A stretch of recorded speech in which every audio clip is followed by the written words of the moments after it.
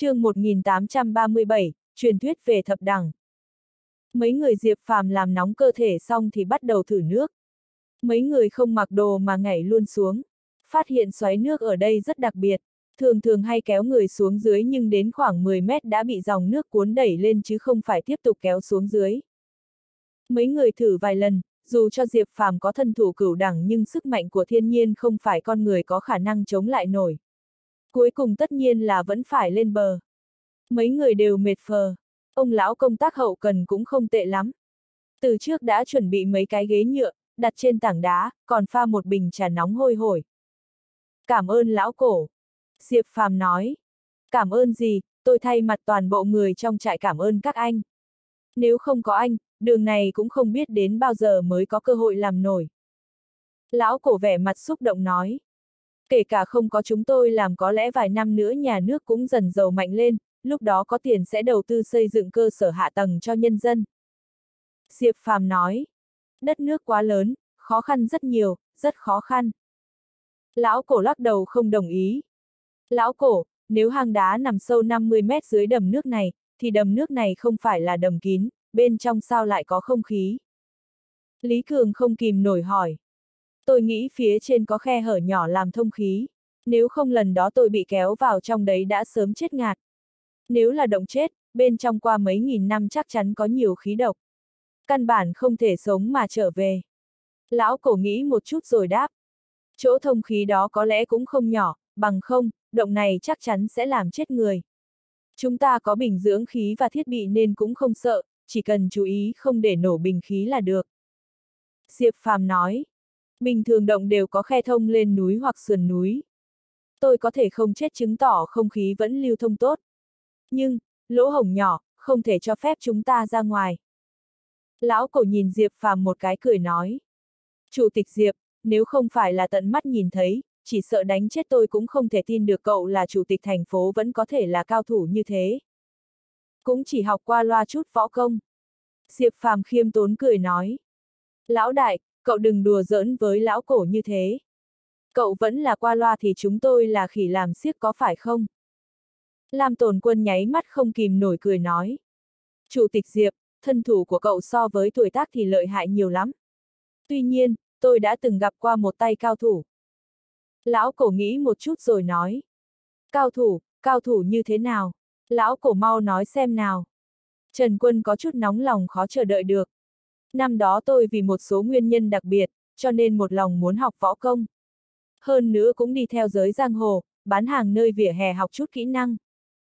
Sau đó mới biết bị lừa, cho nên mới một mạch chạy đến Thiếu Lâm. Tuy nhiên, người ta không để mắt đến tôi. Không có cách nào, sau đó lại tìm lên núi Võ Đăng, người ta cũng thế không hề để mắt. Còn đến cả Thanh Thành, tuy nhiên lại không có cao thủ gì. Cao thủ của núi Ngũ Đài thật ra có gặp qua một người nhưng người ta nói cơ địa tôi không được tốt cũng không muốn chỉ dạy. Trong lòng có chút thất vọng, tôi bèn chạy lên núi săn gà rừng. Ở đây tôi đã gặp một đạo sĩ ẩn cư. Người này lúc đó ăn mặc rách dưới, tuy nhiên, y có thân thủ giỏi. Có lẽ là đói bụng cho nên lúc đó y chỉ dùng một hòn đá đã đánh chết một con lợn rừng nặng 3-400 cân cân TQ bằng 1 phần 5 kg. Cho nên, hai chúng tôi đã cùng nhau lăn lộn. Sau đó y truyền cho tôi mấy chiêu. Y có nói với tôi mấy năm trước có gặp một vị cao thủ. Người này đang tìm bắt cá trong nước, kỳ lạ là người này có thể đi trên nước. Hơn nữa, cách bắt cá làm người ta sợ, tay chỉ chỉ vào nước, nước đã lộ ra một đường. Không lâu, phía dưới đã xuất hiện một con chấm cỏ đến 10 cân. Người này vừa động thủ, trong tay giống như có lực hút, con cá chấm cỏ ngoan ngoãn nằm dưới lòng sông dãy ruộng bị người này hút lên tay. Đúng lúc này, người đó cười nói. Cho cậu một con. Cùng với tiếng cười, người đó vung cá ra bên cạnh, bay thẳng tắp đến trước mặt sư phụ tôi. Phải biết rằng sư phụ tôi đứng cách người này hơn trăm mét. Hơn nữa sư phụ sợ cao nhân phát hiện vẫn nấp trong bụi cỏ lau, không dám thở mạnh. Không ngờ ông ta vẫn phát hiện được, thật lợi hại. Lão cổ vẻ mặt khâm phục nói. Dưới chân người đó chẳng lẽ không dẫm lên tấm ván hay cái gì cả để chịu sức nặng của cơ thể. Lam tồn quân nghe đến đây đã thấy hứng thú, mà Trần Quân và Lý Cường đã chố mắt nhìn giống như người hâm mộ. Tuyệt đối không có, bởi vì người này còn bay lên trên mặt nước vài lần. Giống như biểu diễn nghệ thuật bình thường vậy. Hơn nữa tuy nói là cách xa trăm mét nhưng sư phụ tôi nhãn lực cũng không quá kém. Lão cổ lắc lắc đầu nói một cách chắc chắn. Lợi hại, đây là cao thủ ở cấp nào? Giống như thiết trưởng thủy thượng phiêu trong chuyện anh hùng xạ điêu vậy. Trần Quân nhìn Diệp Phàm vẻ mặt kinh ngạc hỏi. Cửu thiên nhẫn cho dù có thể nổi trên mặt nước nhưng trước mặt đông tà tứ độc nam đế bắc cái cũng không là gì. Tuy nhiên, đây chỉ là trong tiểu thuyết, không có trong đời thực. Lam tồn quân vẻ mặt tiếc nuối lắc lắc dầu. Có truyền thuyết chắc chắn có thật, võ thuật Trung Quốc đã có từ lâu đời. Từ xưa đến nay có rất nhiều truyền thuyết, trên đời này, ai dám khẳng định không có người tài. Nói như chúng ta, so với người thường mà nói chúng ta cũng là cao thủ không lớn không nhỏ. Tin rằng bọn họ nhìn thấy anh đạp một cái đổ cây cũng phải kinh ngạc lắm. Cho nên, có một số việc, không phải là không thể. Mọi việc đều có thể. Tôi không đạt được trình độ như vậy. Nếu có tấm ván hay gì đó có thể di động để mượn lực còn có thể đứng trên mặt nước và di chuyển được. Không có tấm ván gỗ chân ít nhất cũng phải ngập nửa mét nước mới có thể đạp nước cho cơ thể không chìm. Diệp Phàm lắc lắc đầu, xoay người. Nhặt lấy một tấm ván ném xuống mặt nước. Diệp Phàm dùng hổ ưng công, giống như đại bàng bay ra đặt chân lên tấm ván gỗ, liên tục mấy bước đi ra giữa đầm nước. Sau đó lại thoải mái vòng vào bờ. Tuy nhiên, khi chân bước tấm ván gỗ vẫn chìm dưới nước. Chỉ là hồ ưng công là chiêu mà phí thanh sơn đến khi có tuổi mới nghĩ ra nên càng nắm vũng về thân pháp và để túng thuật. Bằng không, sớm đã chìm xuống nước rồi. Hay, hay, hay. Tất cả mọi người trên bờ đều khen ngợi, giọng Trần Quân đặc biệt to. Lợi hại. Trong mắt lão cổ hiện lên một tia khâm phục đến kinh ngạc. Thập đằng thập đằng. Sau khi mọi người ngồi xuống Lý Cường không kìm nổi nói một câu. Có lẽ thập đẳng còn không thể làm được như thế. Tuy nhiên chúng ta đều chưa thấy thập đẳng là như thế nào. Theo truyền thuyết thì cấp độ cuối cùng chính là thân thủ thập đẳng. Lam tồn quân lắc đầu nhìn Diệp Phàm một cái nói. Anh Diệp đã từng gặp qua cao thủ thập đẳng chưa? Không có, trước mắt chỉ gặp người thân thủ cửu đẳng ở tầng thứ ba. Thập đẳng là cao thủ siêu cường, không dám tưởng tượng là cao thủ thập đẳng thì sẽ như thế nào. Tuy nhiên, tôi cảm thấy không biết người có thể đi trên nước có phải là tiên thiên đại năng giả, không? Diệp Phàm đưa ra ý kiến của mình. Tiên thiên đại năng giả, còn có loại cao thủ này sao? Trần Quân lần đầu nghe thấy cao thủ như vậy. Nghe nói Trương Vũ Trần của võ đang đạt đến tiên thiên đại năng giả. Tuy nhiên, truyền thuyết dù sao cũng chỉ là truyền thuyết. Mấy chục năm qua người ta chưa từng thấy người này. Đã chết chưa cũng khó nói, nếu còn sống thì nay đã trên trăm tuổi. Còn họ đạt đến cấp độ đó có khả năng gì, chúng ta chỉ nghe trong truyền thuyết mà thôi. Diệp Phàm nói, chẳng lẽ người này là Trương Vũ Trần, ẩn sĩ áo rách. Lam tồn quân không ngờ hào hứng nói, giọng có chút run run vì sợ. Đạo sĩ áo rách, thật sự là có thể đấy. Trần quân gật đầu. Việc này cũng khó nói. Diệp Phàm cũng không chắc chắn. Người này sau khi quăng con cá về phía sư phụ tôi rồi lập tức bỏ đi ngay. Hơn nữa còn hát vang khúc nhất Thái Sơn thiêu lạc Trần Phong. Phi Linh đang tuyết nha nha. Mỹ Vũ phiêu uy Á Đương. Anh tiêu tiêu y huyết tiên. Lang Đức mộng lộ bảo la. Diêu Thái Dương tương điền trì. Sa sa đa bỉ khố tao.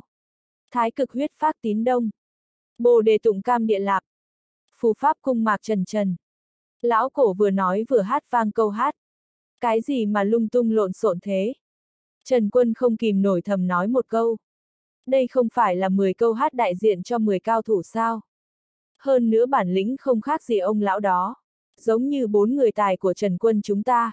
Trung Quốc lục tôn đều có những câu ca truyền thuyết, như lục tôn tọa địa lão hổ phí thanh sơn, Phu sơn thủy tiên mai thiên tuyết.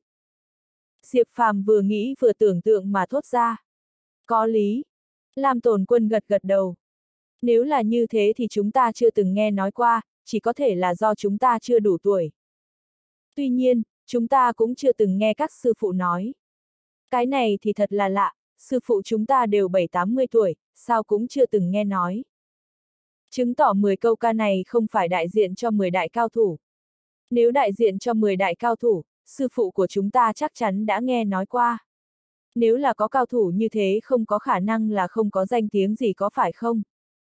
Trần Quân lắc lắc đầu không đồng ý với Diệp Phàm và Lam Tồn Quân. Ừ, nếu nói là sư phụ của tôi không nghe qua cũng là bình thường. Nhưng sư phụ của anh Diệp chắc chắn là vị cao thủ siêu phàm sao cũng không nhắc đến. Việc này thực có chút kỳ lạ. Lam tồn quân nhìn nhìn Diệp phàm có vẻ không thể tin nổi, gật gật đầu. Thôi vậy, chúng ta không có quan hệ với người đó, không cần phải để ý đến. Nghỉ ngơi một chút, ngủ một giấc để chuẩn bị tinh thần. Lần này, chúng ta mặc đồ lặn đeo bình dưỡng khí để lặn xuống lần nữa. Nếu sức nước đánh vào quá lớn thì ôm tảng đá mà xuống. Tôi không tin chúng ta không xuống được. Diệp Phàm quả quyết. Sau khi nghỉ ngơi mấy giờ, mọi người lại chuẩn bị xuống một lần nữa. Diệp Phàm xuống đầu tiên, ôm một tảng đá nặng mấy tạ lao xuống nước. Lần này quả nhiên phá tan vòng xoáy lớn, tiếp cận được xuống dưới đáy. Chiều sâu đạt đến hơn 50 mét. Sau đó Diệp Phàm cảm thấy sức nước ở đây yếu đi không ít, với thân thủ của hắn thì đã có thể bỏ táng đá, đứng dò tìm xung quanh, tuy nhiên, vẫn không phát hiện dấu vết của hang ngầm. chương 1838, hang động bí ẩn. Diệp Phàm chưa từ bỏ ý định, tiếp tục lặn xuống. Áp lực của dòng nước tuy rất lớn nhưng vẫn nằm trong khả năng chịu đựng được của Diệp Phàm. Khi lặn xuống thêm vài mét nước sâu nữa thì Diệp Phàm cuối cùng cũng cảm nhận được sự chuyển động bất thường của dòng nước, cảm thấy phía bên phải trên vách đá giống như có lực đánh vào xuống dưới tương đối kỳ lạ, khi đánh vào, khi đẩy ra, khi siết chặt, khi giãn ra. Diệp Phàm cũng bị dòng nước kỳ lạ kia làm cho lắc lư. Thấy kỳ lạ, Diệp Phàm sinh hứng thú, dồn thêm sức lực lùi vào khe giữa vách đá.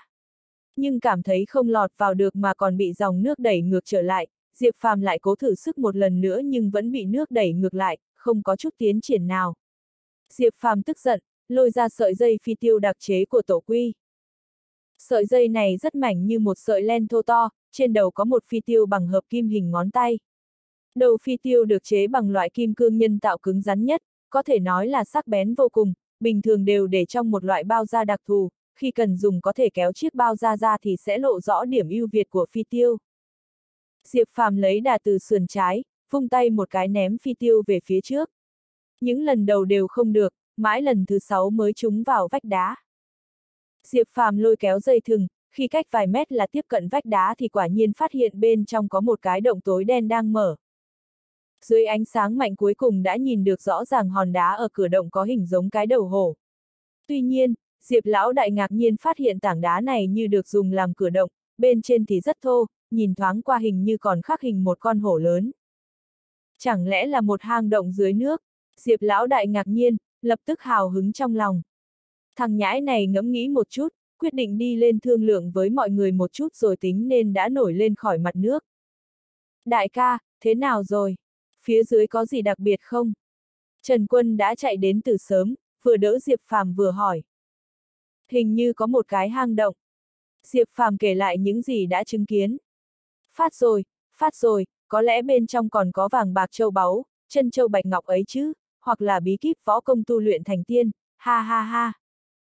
Gã Trần Quân này lập tức nổi máu tham tiền, nói. Diệp Phàm thiếu chút nữa bị gã này làm ồn ào, giơ tay đánh sang. Nhưng Trần Quân đã thoát cái né được, cười nói. Tôi biết lão đại sẽ đánh tôi nên tránh trước. Gã này làm ra vẻ đắc ý vì rất khó có thể ra oai trước mặt Diệp Phàm một lần. Anh Diệp muốn đánh cậu thật thì cậu tránh nổi sao? Lúc này, Lý Cường vốn rất ít nói chuyện thản nhiên cười nhạt một cái, nói. Trần Quân chừng mắt nhìn hắn thì lập tức ngậm miệng lại. Mọi người ăn cơm rồi nghỉ ngơi hai tiếng. Sau khi chuẩn bị sẵn sàng, tất cả đều lặn xuống chỉ để lại lão thạch canh chừng. Vì lần này có Diệp Phàm đại dẫn đường nên mọi người đến chỗ cửa đá rất thuận lợi, hơn nữa còn vào bên trong rất dễ dàng. Mọi người phát hiện cửa động này quả không nhỏ chút nào, phiến đá ở cửa cao khoảng 4 mét, chiều rộng cũng gần 2 mét, dày một thước. Điều này dĩ nhiên không thể khiến cho cả đám người của Diệp Lão Đại giật mình. Thời cổ đại, rất nhiều cao thủ của quốc gia chúng ta phải khiêng một phiến đá cửa như vậy cũng không phải việc gì khó cho cam. Phiến đá cửa bị dòng nước cuốn hơi lay động, một phiến khác đã bị dòng nước đánh vào hỏng cả trục, cả phiến đá cửa đổ nghiêng lên vách động. Hơn nữa, trên hai phiến đá cửa còn phủ đầy một lớp màu xanh đen như rêu hay gì đó, rất trơn. Cửa đá cũng bị nước cuốn mấp mô, những hình vẽ điêu khắc ban đầu đã bị bào mòn, bây giờ chỉ còn mờ mờ. Sau khi nghiên cứu một hồi, Trần Quân kêu lên. Hẳn là hình khắc ban đầu phải là rồng. Có chút giống rồng, chẳng lẽ động có cửa đá này là nơi tu luyện của hoàng đế? Lam tồn quân có trí tưởng tượng phong phú nên lập tức nghĩ đến khả năng này. Đúng đấy, có thể lắm. Diệp Phàm nói. Mấy người lập tức có hứng thú, di chuyển vào bên trong xuôi theo dòng nước. Phía dưới động đá có một cầu thang tự nhiên, xếp nghiêng lên trên. Sâu mất chục mét, không lâu sau cả mấy người đều thoát ra khỏi mặt nước. Mẹ kiếp, cuối cùng đã lên được rồi, ông đây ngạt gần chết rồi. Trần Quân chửi một câu, đang định tháo mũ ra thì bị Diệp lão đại ngăn lại. Lúc này, Lam Tồn Quân đưa thiết bị ra thử một lượt, thấy bên trong bình thường nên mới dùng tay ra giấu.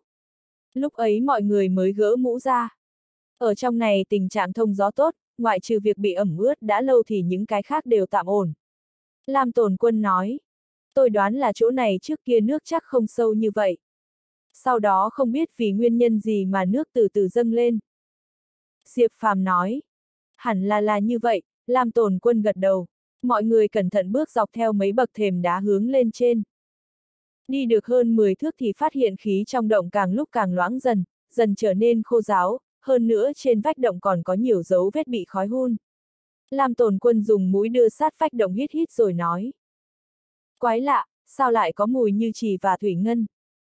Chẳng lẽ là đang luyện thần đơn trường sinh bất lão? Diệp phàm thuận miệng trêu đùa, cười nói. Ha ha, đại ca cũng tin điều này à? Trần quân phá lên cười, tiếng cười ở trong động âm vang lên. Theo truyền thuyết năm 219 trước công nguyên, Tần Thủy Hoàng từng ngồi thuyền dạo quanh bán đảo Sơn Đông. Đến đó, ông ta cũng ở lại ba tháng liền. Nghe nói ở Vịnh Bột Hải có ba ngọn núi tiên gọi là Bồng Lai, Phương Trượng và Doanh Châu. Trên ba ngọn núi tiên này có ba vị tiên nhân có thuốc trường sinh bất lão trong tay. Người nói cho Tần Thủy Hoàng biết cậu chuyện thần kỳ này tên là Từ Phúc. Hắn lúc đó là một phương sĩ, nghe nói hắn đã từng tận mắt nhìn thấy ba vị tiên nhân đó. Tần Thủy Hoàng sau khi nghe xong thì vô cùng vui mừng nên đã phái một ngàn đồng nam và một ngàn đồng nữ đi tìm thuốc trường sinh bất lão. Từ phúc, hắn đã mang theo mấy ngàn đồng nam đồng nữ này xuôi theo dòng hải lưu đến Nhật Bản. Theo sử sách ghi lại, Tần Thủy Hoàng vì tìm mãi không được thuốc trường sinh bất lão, tên gọi khác là Thái Tuế, tên khoa học là Nhục Linh Chi. Nhưng cuối cùng Tần Thủy Hoàng vẫn chưa dùng được thuốc trường sinh, lại không có mệnh sống đến trăm tuổi, ngay cả vương triều nhà Tần cũng bị diệt vong. Lan Tồn Quân cười nói. Thực ra có rất nhiều truyền thuyết liên quan đến thuốc trường sinh. Những chuyện này thời cổ đại rất nổi tiếng, hoàng đế thích theo đuổi thuật luyện kim, mục tiêu là thông qua phương pháp hóa học chuyển biến một số kim loại thành vàng, một số kim loại cơ bản biến thành vàng có thể được dùng để chế tạo vạn linh dược hay bảo chế thuốc trường sinh bất lão. Khoa học ngày này chứng minh rằng phương pháp này không thể thực hiện được, bao gồm cả một số nhà khoa học nổi tiếng từng tiến thành thử nghiệm thuật luyện kim như Newton. Hơn nữa, kim loại thường được dùng để luyện kim chính là trì hoặc đồng. Như thế làm sao có thể biến chúng thành vàng được? Nhà luyện kim cho rằng trì hay đồng sở dĩ không quý và bền được như vàng là bởi vì trong tính chất của chúng có khiếm khuyết, cho nên đã nghĩ đến các vật chất khác làm phụ liệu bổ sung. Một số ít người cho rằng ngoài bốn nguyên tố của lý thuyết Aristotle ra, những nguyên tố tạo thành các kim loại thông dụng nhất còn có ba loại khác chính là thủy ngân, lưu huỳnh và muối. Theo tỷ lệ phối chế không giống nhau của ba nguyên tố này có thể chế tạo ra trì, đồng hay vàng. Tương tự bọn họ đã làm với phương pháp khác và tỷ lệ khác pha trộn ba nguyên tố này lại tạo thành một hỗn hợp, hoặc là bên trong hỗn hợp còn cho thêm một nguyên tố nào đó làm thí nghiệm xem có thể chế tạo ra vàng không. Những dấu vết còn lưu lại trên vách động có chỉ và thủy ngân. Lẽ nào đây chính là nơi các phương sĩ cổ đại luyện thuốc trường sinh cho hoàng đế? Trên cửa động có khắc hình con rồng cũng có thể lý giải cho điều này. Anh Diệp, điều anh nói chính là thuật luyện kim của châu Âu, còn ở nước ta gọi là thuật luyện đan. Các nhà đạo sĩ cổ đại đã lấy những khoáng thạch làm nguyên liệu sử dụng phương pháp hóa học để luyện thành thuốc trường sinh bất lão trên thực tế có độc, được gọi là phương pháp và kỹ thuật luyện đan. Thời nhà đường là thời kỳ thuật luyện đan hưng thịnh nhất. Hầu hết các hoàng thế nhiều thế hệ của thời đại này đều đam mê luyện đan. Mà phần lớn các hoàng đế này đều bị chết vì trường sinh đan. Các vị hoàng đế nhà đường bị bỏ mạng vì uống đan dược trường sinh gồm có 6 vị hoàng đế, đường Thái Tông, đường Hiến Tông, đường Mục Tông, đường Kính Tông, cuối nhà đường có đường Vũ Tông, đường Tuyên Tông. Cái động này không thể là nơi các phương sĩ nhà đường bí mật tới luyện đan cho đường Thái Tông đấy chứ. Trần Quân hì hì cười nói. Bốn người vừa nói, vừa đi trên cầu thang xếp chéo hướng lên trên, đi được khoảng hơn trăm mét thì nhìn thấy phía trước rất rộng rãi. Hơn nữa hai bên thềm đá của động cũng được làm rất bằng phẳng. Cách hơn 10 thước, thềm đá thấp hơn còn được khảm bằng đá cẩm thạch. Các vết tích khói hun trên vách động càng rõ ràng. Đúng là một cái động chuyên để luyện đan. Diệp phàm phóng đôi mắt chim ưng ra bốn phía đánh giá. Mẹ kiếp, nếu tất cả các thềm đá này đều được giải bằng ngọc thượng hạng thì tốt rồi, đào tất cả mang về cũng có thể đáng đồng tiền. Trần Quân châm chọc, cười nói. Thời cổ đại tuy có ngọc nhưng công nghệ khai thác không được như bây giờ, không thể giải nhiều ngọc như vậy ở trong này được. Những thời đại đó, đến người giàu cũng chỉ có vài miếng ngọc, còn lại đều do các vua chúa và quý tộc hưởng hết rồi. Diệp Phàm lắc đầu nói. Cuối cùng cũng đến một sơn động rất lớn, chắc là sơn động tự nhiên, diện tích chừng hơn trăm mét vuông, cao hơn ba bốn mươi mét. Một số thạch nhũ trên nóc treo đổ xuống rất kỳ quái, thật sự trông có vẻ huyền bí. Nền đáy động được cải tạo rất bằng phẳng, hơn nữa còn được ốp từng viên đá dài lên. Ở trung tâm có một đồ vật hình tròn rất lớn, hình như ả đồ dùng để đúc kim loại. Loại đồ vật này hình như có vẻ hơi giống với máy đo địa chấn mà Trương Hành thời Đông Hán làm. Hơn nữa bốn phía xung quanh đều có miệng, phía dưới có bốn đế nào đen xì, được chạm khắc vô cùng oai phong, có hình dữ tợn như trong truyền thuyết kỳ lân. Quả nhiên là luyện đan. Lam tồn quân gật đầu, chỉ vào cái vật gì đó hình bầu dục ở trung tâm nói. Cái này chính là bếp lò dùng để luyện đan, hơi giống với lò bát quái của Thái Thượng Lão Quân trong Tây Du Ký. Mà bốn cái miệng của nồi luyện đan này còn chảy ra một ít tạp chất. Có thể khi đan được luyện thành cũng sẽ chảy ra từ cái miệng này. Trần Quân chạy lên, cầm lấy một cây gậy đã mục ruỗng từ lâu, không còn hình dạng của thiết côn gõ gõ, đồ vật này liền phát ra âm thanh tang tang nặng nề. Quạch một cái, chiếc gậy liền bị đứt đôi. Thăm dò một chút, nhìn bên trong xem có gì không. Diệp Phàm nói, Trần Quân lập tức dùng máy móc quét một vòng. Nhất định có thứ gì đó, chỉ không biết là cái gì. Hình như còn rung động, và lại vân sóng thăm dò bị phản ngược trở lại có chút kỳ lạ. Thứ này hình như là phi kim, cũng không biết là cái đồ vật gì. Kệ nó, mở ra rồi tính. Trần Quân nhìn màn hình máy móc nói. Chắc là không có gì nguy hiểm đâu, tuy nhiên chúng ta đều nên đeo mặt nạ phòng độc lên. Diệp Phàm nói. Sau khi mấy người đeo mặt nạ xong, Diệp lão đại vận khí nhấc chiếc nắp phung hình bầu dục ra. Không ngờ lại nhấc không nổi, phải biết rằng Diệp Phàm hiện tại có thân thủ cửu đẳng, dốc toàn lực có thể nâng 400 cân không thành vấn đề. Lẽ nào bị tan chảy dính vào nhau rồi? Lam tồn quân ngẫm nghĩ một chút nói. chương 1839, trong động có động. Nào, chúng ta cùng thử bẩy xem, Trần Quân nói xong, cầm lấy dụng cụ bắt đầu bẩy. Nhưng chỉ phí sức vì họ không tìm thấy một khe hở nào để làm điểm tì, chiếc đòn bẩy đặc chế này của tổ đặc nhiệm A căn bản là chưa đủ lực. Mẹ nó chứ, một cái đòn bẩy thép ăn thua cái rắm, Trần Quân tức giận giơ chân đá vào cái vật hình bầu dục kia một cước thì vang lên một tiếng hét thảm thiết. Chân của đồng chí Trần Quân kia tự nhiên bị cái đổ vật kim loại kia đập vào. Chẳng lẽ có cơ quan gì đó? Diệp Phàm như thoáng có chút suy nghĩ, nói. Có thể lắm. Trần Quân lại hưng phấn lên. Mấy người liền đi xung quanh đồ vật này nghiên cứu kỹ càng, sờ sờ nắn nắn, gõ gõ đập đập nhưng cuối cùng cũng không phát hiện được cái gì. Cái này không cần phải vội, chúng ta hãy từ từ nghiên cứu. Dù không phát hiện ra manh mối thì chúng ta vẫn tìm đồ vật quan trọng nhất rồi. Diệp Phàm xua xua tay nói. Thứ này chắc là được đúc bằng hợp kim đồng, rất có giá trị nghiên cứu. Mặc dù là bên trong không cái gì thì cũng có thể dùng để điều tra nghiên cứu một chút thuật luyện đan vớ vẩn của thời cổ đại kia. Lam Tồn Quân nói, vẫn có giá trị khảo cổ. Diệp Phàm gật gật đầu, liếc nhìn cái thứ hợp kim đồng kia một cái nói. Nếu mang đi bán đấu giá thì chắc là cũng phải làm được món tiền hơn 10.000 tệ đấy. Đại ca, anh cũng tham tiền gớm. Trần Quân cười ha ha nói. Bỏ qua đồ vật ở trung tâm, mấy người bắt đầu tìm kiếm khắp xung quanh hang động. Nửa giờ sau vang lên tiếng hò reo phấn khích của Trần Quân. Ở đây có cái gì đó này? Mấy người vội vã chạy qua, thấy Trần Quân đang gõ vào vách đá. Phát hiện ra cái gì rồi? Diệp Phàm hỏi. Bên trong hình như trống rỗng. Quân giơ tay gõ mạnh vài cái, phát ra âm thanh canh canh. Có một cái hang động tự nhiên khác. Lam Tồn Quân nói, mấy người lại hứng khởi lên, đưa máy dò ra, không lâu sau liền có kết quả. Lại là một cánh cửa khác, mở nó ra. Diệp Phàm hét lớn một tiếng, vận sức đẩy cảnh cửa sang. Tuy nhiên cánh cửa không có chút suy chuyển nào. Cùng nhau đẩy nào, Diệp Phàm kêu lên. Bốn người hợp lực dồn hết sức về một chỗ trên cửa đẩy sang nhưng vẫn không đẩy ra được. Quái, cái cửa này không giống cái thứ tròn tròn kia, chẳng lẽ cũng đúc liền hay sao? Trần Quân gãi gãi đầu, vẻ mặt nghi ngờ khó hiểu. Diệp Phàm nghe xong, giật mình, nghĩ tới tình cảnh năm đó mở cánh cửa đá của cổ mộ triều nhà đường ở đập nước thiên thủy.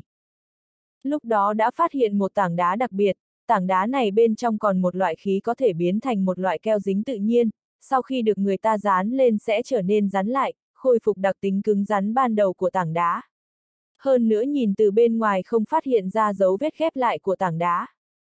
Các cậu hãy nghỉ một chút, để tôi, Diệp Phàm vung tay, sau khi nghỉ ngơi một hồi, dồn toàn bộ nội lực về phía nghi là kẽ hở được dán keo kia và làm nó nóng đỏ lên, bàn tay dựng lên khẽ rung rung như chiếc bàn là ủi quần áo, tư thế như đang vuốt ve cánh cửa vậy.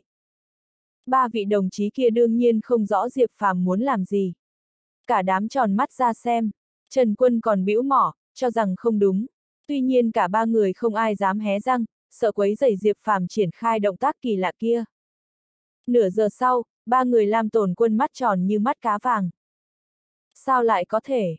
Trần Quân miệng lẩm bẩm nói, bởi vì rõ rành rành là một phiến đá liền một khối kia sao có thể lộ ra một dấu vết kỳ lạ như một kẽ hở. Diệp Phàm không để ý tới bọn họ, tiếp tục thi triển nội lực làm tan chảy bột đá đặc biệt này. Một giờ sau, khe hở cửa đá càng ngày càng rõ ràng. Hai giờ nữa trôi qua, cuối cùng đã nhìn thấy một khe hở hoàn chỉnh. Diệp Phàm vừa thu tay lại, vừa lấy tay trà sát, trong tay đã có một nhúm dạng bột phấn màu trắng. Không lâu sau, thứ giống như bột phấn kia bị Diệp Phàm trà sát, bị lạnh dần dần trở thành một nắm bột phấn. Trần Quân giơ tay nhéo nhéo, cảm giác còn hơi mềm. Cái gì vậy? Đồng chí Lam Tồn Quân cũng thật sự tò mò hỏi. Thứ này gọi là gì tôi không rõ lắm, nhưng chờ chút nữa nó sẽ trở nên cứng rắn lại như tảng đá vậy. Cái thứ này có thể trở nên mềm ra thành dạng như bột giấy dưới lực tác động của các cao thủ. So với keo dính vạn năng không khác là mấy. Các chuyên gia bộ phận bí mật của quốc gia đã từng nghiên cứu loại đồ vật này sau khi dán lại với nhau còn chặt và khít hơn hàn điện hơi nhiều, hơn nữa còn không sợ lửa, không sợ nước, cứ như là nhựa cao su tự nhiên ấy. Diệp Phàm cười bí hiểm nói. Bởi vì một công ty con của tập đoàn bàn đế của anh trai Diệp Cường đang chuyên sản xuất loại keo dính này, chuyên cung cấp cho các dự án công nghệ cao của quốc gia sử dụng. Trước mắt đã ứng dụng trong lĩnh vực sản xuất đặc thù của quốc gia như tàu ngầm, vệ tinh vũ trụ. Đương nhiên, công ty con này tạm thời vẫn là bí mật, chỉ hợp tác sản xuất cho tổ đặc nhiệm A, không để cho người ngoài biết được mà thôi. Tuy nhiên thứ này cần cao thủ lục đẳng trở lên vận công dùng nội lực mới có thể luyện ra được, sản lượng thực sự vô cùng hạn chế, không thể sản xuất hàng loạt được. Quốc gia tất nhiên coi trọng loại này như báu vật, tất nhiên tập đoàn bàn đế thu được lợi nhuận thường niên không nhỏ, chỉ nhờ vào một hạng mục này đã thu được khoản tiền lên đến vài trăm triệu mỗi năm. Chúng ta hãy cùng nhau hợp sức đẩy nó ra. Sau khi nghỉ ngơi một lúc, Diệp Phàm cười nói. Két, soạt. Một âm thanh ghê răng vang lên, cánh cửa từ từ được mở ra một cách khó nhọc. Tránh ra, nếu bên trong toàn bộ bị đóng kín lại nhất định có khí độc. Diệp Phàm kêu lên. Mấy người lập tức tránh ra một bên, đeo mặt nạ phòng độc lên. Còn Trần Quân và Lam Tồn Quân bên này cũng lập tức hành động, dùng thiết bị thử khí hút xả khí một hồi, sau một lúc lâu mới có cảm giác an toàn. Có thể đi vào rồi. Diệp Phàm nói, thi triển đôi mắt chim ưng, chậm chậm bước vào trong cửa. Mẹ kiếp, chỉ là một gian phòng ngủ thôi, Trần Quân có chút cụt hứng. Chỗ này chắc là nơi nghỉ ngơi của các phương sĩ luyện đan. Bên trong kê một chiếc giường gỗ đã mục xuống, mà trên đầu giường còn bày một số sách đã ố vàng, mục nát. Tuy nhiên sau khi lật xem, mấy người lại có chút hưng phấn trở lại. Bởi vì dưới một tảng đá lớn được làm thành một cái hộp không ngờ phát hiện quyển xuân kỹ. Vịnh xuân quyền này đã tàn lụi, nhưng người cầm đầu môn phái đã tương đối lớn tuổi, người người xin theo học vẫn còn đông. Ông cụ có làn da đã thành đồi mồi, khô quắt lại như mặt bà lão 80. Đám xuân tiêu này nếu còn sống thì chắc khá đáng kể, số lượng cũng không ít, những mấy chục cái. Kỳ lạ, ông lão này chắc cả nửa đời làm Xuân Tiêu, cho thấy Xuân Tiêu sinh trưởng trong cái động này. Xuân Tiêu đang còn sống thì ở đâu? Diệp Phàm lẩm bẩm nói. Biết đâu chừng nhiều năm như vậy rồi, bị nước cuốn trôi chết mất cũng không chừng. Trần Quân nói. Lục soát khắp nơi xem còn sống không. Mặc kệ, dù có khô héo gì thì cũng đủ bào chế một lần thử xem. Diệp Phàm cười nói, cầm lấy mọt đồ vật gì đó đã ố vàng từ dưới hộp đá lên, phát hiện là bao xuân tiêu, là hàng dệt tơ, bên trên không ngờ có chữ viết. Sau khi được Lam Tồn Quân đối chiếu phân tích cho thấy đây là chữ khải mà người đương thời triều đường dùng. Đương nhiên chữ thời kỳ đó vẫn tương đối khó đọc. Sau khi được đồng chí chuyên gia nghiệp Dư Tiểu Lam phiên dịch thì mới biết được vật ấy căn bản không phải là xuân tiêu mà người triều đường gọi nó là quả phong sĩ. Loại quả này ngoài khả năng kích dục còn có hàm lượng dinh dưỡng phong phú. Người luyện võ cổ đại cũng thường xuyên dùng loại quả kích thích này để đột phá cảnh giới của mình, mục đích để đạt tới tầng cảnh giới rất cao. Tuy nhiên loại quả này không phải dùng để ăn độc lập mà phải phối hợp mấy chục loại dược liệu, trải qua quá trình luyện chế của cao thủ thập đẳng trở lên dùng nội lực làm tan chảy mới có thể chiết xuất ra. Bằng không, con người dùng biện pháp ăn trực tiếp vào thông thường sẽ bị nổ tan xác, rất nguy hiểm. Sau khi đọc xong, Diệp Phàm toàn thân toát mồ hôi hột. May mắn là trước kia khi thử dùng quả phong sĩ bào chế long sĩ đầu hoàn mới chỉ thí nghiệm trên loài khỉ, bằng không đã gây tai nạn chết người thì gai to. Đáng tiếc, phải là cao thủ thập đẳng mới có thể bào chế loại thuốc đột phá cảnh giới hóa vân hoàn này. Biết chạy đi đâu tìm cao thủ như thế. làm tồn quân hơi ủ rũ, ngồi bệt xuống một phiến đá. Ha ha, yên tâm đi, chú em làm à, cậu bây giờ là cao thủ lục đẳng cấp đỉnh. Lần này trở về tôi sẽ khiến cậu đột phá thất đẳng tầng khai nguyên. Đương nhiên, loại hóa vân hoàn này, nếu có thể điều chế ra thì hiệu quả chắc là quá đỉnh luôn. Diệp Phàm cười thần bí. Anh Diệp có loại thuốc này sao? Lam tồn quân lập tức đứng lên, ánh mắt sáng quắc nhìn chằm chằm Diệp lão đại. Chúng tôi ai cũng từng được hưởng rồi. Trần quân cười khan một tiếng, đắc ý vô cùng. Tôi, tôi, Lam tồn quân thực sự bị kích động. Đồng chí Tiểu Lam, anh Diệp rất hiếm khi ra tay, nhưng đã ra tay thì phải gọi là sư phụ. Trần quân chừng mắt nhìn, cười nói. Gã này rõ ràng đang chỉnh Lam tồn quân.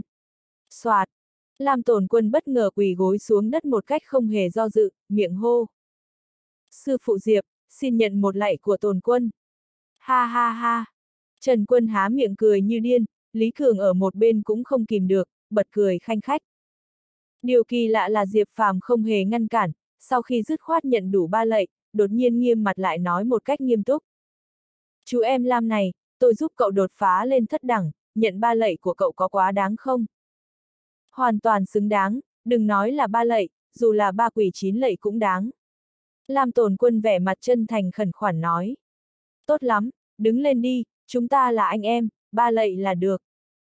Diệp Phàm kéo Lam tồn quân dậy. Vì sao khi nãy Diệp Phàm nhận đủ ba lạy này, tất nhiên là có mục đích. Như vậy Diệp Phàm vừa có thể ra uy của một người đại ca với Lam Tồn Quân, vừa có thể gây ảnh hưởng một cách thức đến Lam Tồn Quân. Bởi vì Lam gia ở thành phố Tân Môn là mục tiêu của Diệp Phàm, lôi kéo Lam gia vào mạng lưới của Diệp Phàm là việc hắn đang làm. Mấy người lại thử tìm một lượt nữa, phát hiện dưới gầm giường có một thi thể đã mục nát. Tuy nhiên cũng không thể gọi là thi thể mà chỉ có thể gọi là một bộ xương khô. Bộ xương khô này ôm chặt một hộp màu đen trong tay. Bốn phía xung quanh hộp cũng được dùng loại keo kia dán chặt. Diệp Phàm lại thi triển nội lực làm tan chảy keo đá. Dùng tay mở hộp gỗ một cách nhẹ nhàng, một mùi gỗ đàn hương nồng nồng lập tức phả vào mặt, kéo khối gỗ đàn hương thì rơi ra một bức tranh có vân màu đen được cuốn tròn cẩn thận ở bên trong, miếng ngọc màu trắng xanh được khảm ở hai đầu trục. Trải qua thời gian hơn một ngàn năm mà vẻ ngoài của nó gần như không thay đổi nhiều chương 1840, thật là kỳ lạ. Động tác của Diệp Phàm rất nhẹ nhàng, cuộn giấy được kéo ra chậm chậm. Những chữ khải màu đen dày chi chít chiếm trọn cả cuộn giấy dài gần 10 mét. Cuốn kinh sách được bảo tồn một cách hoàn hảo, ngay cả vết tích của côn trùng cũng cực kỳ ít. Những người hiện đại thường cho rằng các tác phẩm thi họa để càng lâu thì các dấu vết của côn trùng để lại càng nhiều, thực ra không phải, khi chế tạo giấy, cổ nhân đã chọn phương thức xử lý đặc biệt khiến giấy thành phẩm hoặc tơ thành phẩm có thể bảo quản trong thời gian cả nghìn năm mà không bị côn trùng phá hoại. Huống chi, cuốn kinh này sử dụng chất liệu là tơ lụa cao cấp. Tẩy cốt kinh, Quyển kinh này giới thiệu cách tiến hành tẩy cốt cho người luyện võ. Mỗi tháng ngâm tẩy một lần, sau nửa năm cao thủ cấp cửu đẳng trở lên ngâm tẩy, người luyện võ có xương cốt bình thường ban đầu sẽ đẩy nhanh tốc độ luyện tập nhanh hơn khoảng gấp đôi. Lam Tồn Quân vừa xem vừa giải thích. Vậy thì rất tốt, Trần Quân cười nói, liếc nhìn Diệp lão đại một cái. Không dễ dàng như vậy đâu, Trần Quân. Dù có cao thủ cửu đẳng dùng nội khí giúp cậu tẩy cốt nhưng người ta cũng bị tiêu hao sức lực, giúp một người tẩy tủy thì chắc cũng phải mất gần một năm thì cao thủ cửu đẳng mới khôi phục lại được trạng thái ban đầu. Hơn nữa, đả thông kinh mạch, da có bị tổn thương hay không, điều quan trọng nhất chính là cần rất nhiều dược liệu để tẩy cốt. Những vị thuốc chủ đạo quá khó tìm rồi, sâm núi 100 tuổi, nấm linh chi 100 tuổi. Lam Tồn Quân nói. Thôi, phiền phức như vậy còn tẩy cái rắm, Trần Quân tức giận hừ nói. Thằng nhóc này, xương cốt của cậu thế này còn tẩy cái gì? Hoàn toàn là lãng phí, kiểu tẩy cốt này chắc chỉ dùng cho những người mới không có cách nào luyện công hoặc những đệ tử tiến bộ quá chậm mà thôi. Sư phụ không thể không bỏ ra một lượng sức lực lớn lao để tẩy cốt. Tuy nhiên phương pháp này cũng có điểm tốt của nó, chỉ ít là bang phái nào đó khi cần bồi dưỡng nhân tài nào đó thì cũng có thể dùng được. Nếu như những đệ tử bình thường sau khi trải qua tẩy cốt có thể tăng tốc thì những đệ tử tiến bộ nhanh sau thì tẩy cốt nhất định hiệu quả sẽ càng rõ ràng. Diệp Phàm cười nói, thực ra tâm cũng dao động, thầm nghĩ rằng nếu có thể tẩy cốt cho một số người, bồi dưỡng ra một đám đệ tử, biết đâu muốn đánh một trận sống mái với phái thiếu lâm và võ Đang thì có thể cũng không tệ. Nên như vậy thôi, tuy nhiên dù thế nào nếu có được dược liệu đầy đủ thì cũng là một phương pháp tốt. Lam Tồn Quân vừa nói, vừa lật qua lật lai like xem rồi nói tiếp. Tốt rồi, phía dưới có cách mở ra, thì ra cái đồ vật tròn tròn này được gọi là đỉnh thiên thu. Có cách mở riêng, tuy nhiên trên cái đỉnh này có ghi lại rằng, trong lúc đóng kín thiên thu đỉnh đầu tiên dùng than củi đốt nóng, sau đó mới dung nhập keo vạn hợp. Tôi nghĩ keo vạn hợp hẳn là loại keo dán đá mà chúng ta vẫn gọi. Hơn nữa nếu không nắm vững thời cơ thì còn bị phản tác dụng, gây nguy hiểm là khác. Thì ra là thế, đó chẳng phải là nói phải làm nóng chảy đồ vật tròn tròn đó, không phải gọi là đỉnh thiên thu gì đó chẳng phải là cần dùng than đun làm nóng lên, sau đó cao thủ cửu đẳng dùng nội lực làm tan keo vạn hợp ra thì cái đỉnh này mới có thể mở ra được. Ông em lão tam, hãy thử xem nào, biết đâu trong cái đỉnh này có dấu đồ vật gì đó. Diệp Phàm hỏi. Không thấy viết, tuy nhiên tôi bây giờ đã biết hài cốt này là của ai. Người này tên là Cát Tử Dương, theo như hắn nói hắn chính là đời sau của Cát Hồng. Lam Tồn Quân nói. Cát Hồng, hình như là một học giả đạo giáo thời Đông Tấn, là nhà luyện đan, thầy thuốc và học giả nổi tiếng. Người này từ lúc 11 tuổi đã có thể xem bói, là người huyện Cú Dung, Giang Tô ngày nay, là cháu trai của trách sĩ Cát Huyền thời Tam Quốc, được người đời tôn là Tiểu Tiên Ông. Hắn từng được phong làm quan nội hầu, sau này sống ở ẩn trong sơn động luyện đan. Hắn có những tác phẩm nổi tiếng là sách bói thần tiên, cách chữa khuỷu tay cấp, Tây Kinh tạp kỹ. Diệp Phàm nói, không sai, Cát Tử Dương nói đã hy sinh cả tính mạng của mình để luyện trường sinh đan cho đường Thái Tông, cuối cùng đan dược không luyện thành được. Mà Cát Tử Dương cho rằng, đó là bởi vì hoàng đế thuộc nhóm người có xương cốt quá kém. Cho nên, Thái Tông vừa nghe đã phát người đi thu thập vơ vét các dược liệu có liên quan đến tẩy cốt kinh. Mà tẩy cốt kinh này được chính bổ đề nước Ấn Độ mang đến. Chỉ có điều, đường Thái Tông đến cuối cùng vẫn phải chết, không thể trường sinh. Cát tử dương sợ người nhà Lý ra chiều đường tìm hắn tính sổ nên đã trốn ở trong động này luyện đan. Hắn còn tự mình quyết tâm nghiên cứu thuốc trường sinh bất lão. Cát tử dương thề là phải luyện được ra đan dược trường sinh bất lão, đúng là thằng điên. Tôi nghĩ không luyện được là điều tất nhiên. Có lẽ các Tử Dương đã tự ăn trường sinh đan do tự mình luyện ra nên đã bị trúng độc mà chết. Anh xem xương cốt hắn đã cốt biến thành màu đen, mang đi xét nghiệm pháp y nhất định là bị chúng phải độc thủy ngân nên mới thành ra như thế này. Lam tồn quân tiếc rẻ nói. Anh Diệp, hay là chúng ta cứ mở đỉnh thiên thu ra đi. Trần quân có chút sốt ruột. Chúng ta quay về nghỉ ngơi một chút, mai lại đến mở tiếp, hơn nữa còn phải quay về kiếm chút than mới được. Huống chi làm đến bây giờ mọi người đều mệt gần chết rồi. Đợi sau khi hồi phục sức khỏe rồi tính tiếp, Diệp Phàm nói, dẫn theo ba người thoát ra khỏi động tới bên đầm nước. Lão cố đầu cũng không hỏi han tình hình bên trong như thế nào, mà Diệp Phàm cũng chưa nói gì. Xong Diệp Phàm bảo Trần Quân và Lý Cường phải đi kiếm một ít than. Sáng hôm sau, Trần Quân và Lý Cường mới trở về. Sau khi nghỉ ngơi nửa ngày, buổi chiều bốn người liền nhanh chóng đi vào trong hang động. Sau khi chuẩn bị xong liền bắt đầu đun nóng đỉnh thiên thu. Dưới tác động của quạt gió, than nhanh chóng đạt đến nhiệt độ cao. Sau khi đun mười mấy giờ sau, đỉnh thiên thu bắt đầu có động tĩnh. Toàn bộ đỉnh bắt đầu chuyển màu hồng. Có thể làm tan keo vạn hợp, thấy thời cơ đã chín mùi, Diệp Phàm nói, sau khi chuẩn bị tư thế sẵn sàng liền vận nội công thông qua cách kinh mạch tác động lên đỉnh thiên thu. Chiêu thức này chỉ có cao thủ cửu đẳng như Diệp Phàm mới làm được. Còn ba vị kia chỉ có thể dương mắt nhìn. Hai giờ sau, Diệp Phàm mệt sắp đứt hơi. Tuy trên người mặc quần áo phòng cháy chuyên dụng nhưng toàn thân ướt đầm như mưa. Trên trán mồ hôi lấm tấm thành giọt, cả người ê ẩm, mệt cứng. Nhưng việc làm tan keo vạn hợp không thể ngắt quãng nửa chừng vì nếu dừng lại thì keo sẽ dính lại, sẽ phải làm lại từ đầu. Diệp Phàm không còn cách nào, đành phải cố gắng gượng. 5 giờ sau, Diệp Phàm vừa được Trần Quân đút cho ăn thực phẩm dinh dưỡng đặc biệt, vừa thi triển nội lực. Lúc này vang lên một tiếng tách, Diệp Phàm biết đã thành công, kêu lên. Mọi người lùi ra một chút, chú ý an toàn. Ba người Trần Quân lùi ra xa, đột nhiên nghe thấy một tiếng nổ lớn ngân vang. Chiếc đỉnh thiên thu kia chắc là bị nhiệt độ cao làm cho giãn nở không khí bất ngờ bắn ra, bay lên trên không trung trong hang động. Hơn nữa keo vạn hợp bị Diệp Phàm làm tan chảy ra, không dính được vào đỉnh nữa cũng bay lên. Mở được rồi, ha ha ha. Trần Quân cười lớn, mấy người đều chạy qua, muốn nhìn xem rốt cục trong đỉnh chứa cái gì. Nguy hiểm, mau lui ra, Diệp Phàm đột nhiên cảm nhận được điều gì đó, kêu lớn lên, bản thân mình cũng hết sức lùi ra xa. Tuy nhiên Diệp Phàm đã chậm một chút. Một chút tinh chất màu bạc bắn ra từ chiếc đỉnh bị đốt hồng, bay thẳng về phía Diệp Phàm. Thằng nhãi này giật mình hoảng sợ vội tránh ngay sang một bên.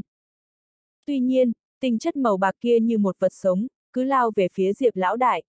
Ba người làm tổn quân sau khi ngây người ra vài giây vội cầm thiết côn đập về phía vật này. Nhưng tinh chất màu bạc này thực sự linh hoạt, cả ba người thẳng tay dồn sức đập mà đều không đập chúng được. Hình như đây là một sinh vật sống, vô cùng nhanh nhẹn linh hoạt. Mọi người lui ra đi, thứ này có chút kỳ quái, Diệp Phàm xua xua tay, đôi mắt chim ưng nhanh chóng nhìn chằm chằm tinh chất màu bạc đang phát sáng. Tiếp đó hắn phát hiện tinh chất màu bạc này cứ vờn xung quanh bản thân mình, như có linh tính nhưng không hề tấn công mình. Song khối tinh chất thủy ngân cũng không muốn rời khỏi, cứ di chuyển cách khoảng 10 mét quanh người mình, run rẩy. Quái, cái thứ gì đây? Diệp Phàm nói, cảm thấy hơi mệt mỏi. Tuy nhiên khối tinh chất kia không rời khỏi thì Diệp Phàm cũng không dám chủ quan, lơi là cảnh giác. Nếu nó bất ngờ lao đến đây, người mình cũng không phải kim cương, không phải thân thể bất khả xâm phạm. Cứ như vậy, một người một khối tinh chất cứ chơi trò đuổi bắt ở trong hang động. Diệp Phàm cứ di chuyển qua trái qua phải, lên cao xuống thấp, có khi còn lười biếng lăn tròn. Ba giờ trôi qua, Diệp Phàm thật sự chạy không nổi nữa, hụt hơi, cảm giác hai mắt tối sầm lại, cả người hôn mê bất tỉnh. Đại ca, Trần Quân hét to một tiếng, liều mình lao thẳng đến, một gậy đập thẳng về phía khối tinh chất kia. Điều khiến Trần Quân ngẩn người ra là khối tinh chất màu bạc này cũng như chơi mệt rồi, lập tức dừng lại trên tay Diệp Phàm, ngoan ngoãn bất động. Cái thứ đồ chơi gì vậy? Lam Tồn Quân vẻ mặt ngạc nhiên nói. Ba người đều nhìn về phía khối tinh chất, dưới ánh sáng của đèn mới phát hiện hình như nó là một tấm thép màu bạc, loại rất mỏng, mỏng như tờ giấy vậy. Chiều rộng bằng ngón tay, chiều dài cũng nửa thước. Trần Quân giơ tay muốn lấy đi khối tinh chất nhưng bị Lam Tổn Câu ngăn lại, nói. Thứ này rất kỳ lạ, anh không phát hiện nó như có duyên với anh Diệp hay sao? Nếu không tại sao nó không đuổi theo chúng ta mà chỉ đuổi theo anh Diệp? Nếu chúng ta liều lĩnh lấy đi ký thể làm nó tức giận hay gây tổn thương gì đó chăng? Vậy chỉ có thể đợi lão đại tỉnh lại thôi. Chắc lão đại đã quá mệt rồi, ngủ một giấc chắc sẽ tỉnh lại ngay thôi. Lý Cường nói.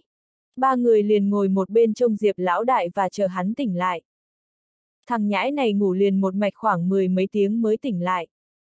Khối tinh chất màu bạc đâu? Diệp Phàm vừa mở mắt ra đã hỏi ngay. Anh nhìn lại trên tay mình xem, Trần Quân nói. Quái, sao lại ở trong tay mình? Rốt cuộc là cái thứ gì đây? Diệp Phàm nói xong, tiện tay cầm lấy khối tinh chất màu bạc lên, dùng đôi mắt chim ưng quan sát tỉ mỉ. Khối tinh chất có một ngón tay cái thô, chiều dài khoảng nửa thước. Nắm tay lại thì cảm thấy mềm mềm, Diệp Phàm vừa lấy tay uốn éo thì vật này có thể kéo thành một vòng tròn, mềm giãn như dây chun. Hơn nữa dưới đôi mắt chim ưng, Diệp Phàm còn phát hiện một điều kỳ lạ là khối tinh chất này có thể cuộn tròn thành một khối ở trong tay. Bởi vì hai đầu khối tinh chất hình như còn có một điểm tiếp nối rất nhỏ mà người thường rất khó có thể phát hiện ra. Diệp Phàm tiện tay ghép lại. Sau khi khối tinh chất thật sự hợp thành một vòng tròn thì vang lên một tiếng động rất nhỏ mà người thường khó nghe thấy. Diệp lão đại thuận tay kéo lên cổ tay, phát hiện vừa khít với tay mình. Hơn nữa, điều kỳ lạ là sau khi hợp lại, Diệp Phàm ra sức kéo cũng rằng không ra được. Nhưng nếu dùng nội lực tác động một chút lên đầu nối thì cũng có thể mở ra được. Anh Diệp, bao tay bạch kim này của anh thật sự phong cách đấy, Trần Quân đứng một bên cười ha ha nói. Ngẫm nghĩ một chút hắn lại nhìn chằm chằm khối thủy ngân kia nói. Có chút kỳ quái, khối thủy ngân này rốt cuộc dùng vật liệu gì chế tạo thành? Sao lại có thể bay nữa? Kỳ lạ quá! chương 1841, vui mừng như điên. Hình như là bạch kim, là chắc chắn mới đúng, chắc chắn là được làm từ bạch kim. Chất liệu cụ thể là gì thì chỉ có qua xét nghiệm mới biết rõ ràng được. Nhưng tại sao khối tinh chất màu bạc này lại bay được, thật là làm người ta khó lý giải. Mà bây giờ nó lại không bay, lạ thật. Diệp phàm miệng vừa nói vừa vận nội công, đôi mắt ưng quan sát cẩn thận, dùng ánh mắt ra hiệu với khối tinh chất và tiến hành phỏng đoán. Không lâu, Diệp phàm kinh ngạc phát hiện, dưới sự tác động của nội lực, khối màu bạc này như hơi phập phồng. Chẳng lẽ vì vừa rồi trên người có nội lực phát ra ngoài nên khối màu bạc này thích khí nội công? Diệp phàm suy nghĩ trong lòng, dùng khí công mạnh bất ngờ tác động sâu vào khối tinh chất. Cuối cùng, một âm thanh rù rù vang lên, khối màu bạc bất ngờ bật đứng lên trong tay Diệp Phàm. Thật sự nghe lời. Lại đứng lên nữa kìa, đến Lam Tồn Quân cũng tròn xoe mắt nhìn chăm chăm khối màu bạc bí ẩn kia nói. Ngoan ngoãn hết chỗ nói, thứ này giống như sinh vật sống vậy. Đại ca, anh làm thế nào cho nó đứng lên được vậy? Trần Quân hỏi. Tôi cũng không rõ lắm, nó tự đứng lên đấy. Cái này chắc là có liên quan đến khí nội công. Diệp Phàm vừa nói vừa giật mình trong lòng. Nội khí phát ra chỉ hơi tác động vào phía bên trái khối tinh chất. Quả nhiên phát hiện khối tinh chất khẽ giật giật phía bên trái. Diệp Phàm rất thích thú, thầm nhủ chẳng lẽ có thể dùng nội khí điều khiển được khối tinh chất này. Nếu thực sự như vậy thì có khác gì phi kiếm trong truyền thuyết đâu. Diệp Phàm thầm ngạc nhiên, lại dùng nội khí phát ra lệch về phía bên phải quả nhiên khối tinh chất màu bạc lại giật giật phía bên phải. Tuy nhiên, sau khi Diệp lão đại thử hai lần thì đột nhiên cảm thấy khí ở đan điền bốc lên, cảm giác như nội công tự nhiên bị hút cạn trong tức khắc vậy. Cái thứ này, hình như điều khiển nó rất tốn sức. Diệp phàm thầm thở dài một tiếng. Khối tinh chất màu bạc này, nếu như muốn biến nó thành phi kiếm thật sự thì chắc là ngay cả cao thủ cửu đẳng như mình cũng không làm được. Mình chỉ có thể làm nó hơi biến dạng một chút, muốn nó bay được thì không có khả năng. Còn vừa nãy nó có thể bay từ đỉnh thiên thu về phía mình là do bắn từ trong đỉnh ra. Chắc là sau cả nghìn năm bị phong ấn, bản thân thanh kiếm này vẫn chịu ảnh hưởng từ khí lực của cao thủ triều đường. Một khi cao thủ đã tiêu hao hết nội công thì tự nhiên khối tinh chất này sẽ không động đậy gì nữa. Hơn nữa, khi nãy nó chỉ bay nhảy theo mình chính là vì chỉ có trên người mình mới có nội khí phát ra, khiến cho khối tinh chất này cảm thấy thân thiết. Cho nên nó chỉ đuổi theo mình, bởi vì ba người bọn Trần Quân đẳng cấp thấp hơn, không làm toát nội khí ra ngoài được. Khối tinh chất tất nhiên không đuổi theo bọn họ. Khi Diệp Phàm đang suy ngẫm trong lòng, đôi mắt chim ưng thăm dò phát ra đã có sự đáp lại. Diệp Phàm lập tức mở to hai mắt. Bởi vì hắn nhìn thấy rất nhiều văn tự. Những văn tự này là do Diệp Phàm dùng nội lực phát ra phản ứng trên khối tinh chất chiếu rọi ở trong đầu. Những văn tự này không phải là được chuyển vào trong não mà là khí phát ra trong não hình thành những hình văn tự mà thôi. Các bạn xem, trên tấm bạch kim này có gì không? Diệp Phàm muốn kiểm chứng một chút, liền đưa tay qua cho đám người Lam Tổn Quân xem. Lam Tổn Quân giơ tay muốn cầm đưa lại để nhìn cho rõ hơn, nhưng phát hiện khối tinh chất không ngờ hơi run sợ. Khi run rẩy ma sát với không khí liền phát ra một âm thanh u u, giống như không muốn người khác động vào nó. Lam tồn quân giật mình, rất hoảng hốt. Trần quân ở bên cạnh kêu lên. Đúng là có linh tính thật, lão Lam, hình như nó không thích cậu. Vậy anh hãy thử xem nó có thích anh không? Lam tồn quân tức đỏ mặt lên nói. Ông đây cũng thử xem, biết đâu sẽ được nó thích. Trần Quân sau khi kiêu ngạo nói xong liền vươn tay muốn chạm vào khối màu bạc kia. Tuy nhiên âm thanh phát ra so với lúc Lam Tổn Quân trước đó còn nặng nề hơn rất nhiều. Thực ra chỉ là do khối tinh chất làm lay động không khí phát ra thanh âm thôi, chứ không phải bản thân khối tinh chất màu bạc kia có thể phát ra âm thanh được. Ha ha ha! Lam Tồn Quân và Lý Cường cùng bật cười chế giễu. Mẹ kiếp, còn không nghe lời. Ông đây nhất định phải làm bằng được, Trần Quân tức giận, nắm tay đấm sang khối tinh chất. Đừng lộn xộn, lúc này, Lam Tồn Quân vội vàng ngăn lại. Hắn liếc nhìn Trần Quân một cái, nói. Trong truyền thuyết cổ có một số bảo kiếm có linh tính, khi đeo trên người chủ nhân lâu cũng bị ảnh hưởng bởi hơi thở của chủ nhân, hơn nữa sau khi dùng nội lực dung hợp, thanh kiếm này nghiễm nhiên trở thành một bộ phận trên cơ thể chủ nhân. Bây giờ thanh kiếm này đã thích anh Diệp, cho nên anh không thể ép buộc nó, miễn cưỡng cầm nó. Làm như thế có thể khiến cho bảo kiếm bị tổn thương, sau này nếu anh Diệp muốn dung hợp với nó sẽ rất khó khăn. Lão Lam này, hình như cậu đang kể chuyện thần thoại vậy. Trên đời này chẳng lẽ cũng tồn tại kiếm thần như trong tiểu thuyết hay sao? Diệp Phàm có chút không đồng tình, lắc lắc đầu. Tuy nhiên sau khi nghe Lam Tồn câu nói, hai người Trần Quân và Lý Cường cũng không dám giơ tay để sờ tấm bạch kim. Còn Diệp Phàm cũng giật mình, cảm thấy thanh kiếm này sau khi run rẩy biết đâu có thể thực sự dùng công lực vận khí để điều khiển. Nội công là một loại khí vô hình của cơ thể. Khí này sau khi phát ra có thể điều khiển thanh kiếm này cũng là điều bình thường. Hơn nữa khi khí tác động sâu vào bên trong thì xuất hiện những ký tự kỳ lạ khiến Diệp Phàm thích thú vô cùng, quyết định sau khi về nhà sẽ tìm những chuyên gia khảo cổ đến thỉnh giáo. Phải dịch các chữ ra trước mới biết được là cái gì, bí mật này là một trong những bí mật cá nhân của Diệp Lão Đại.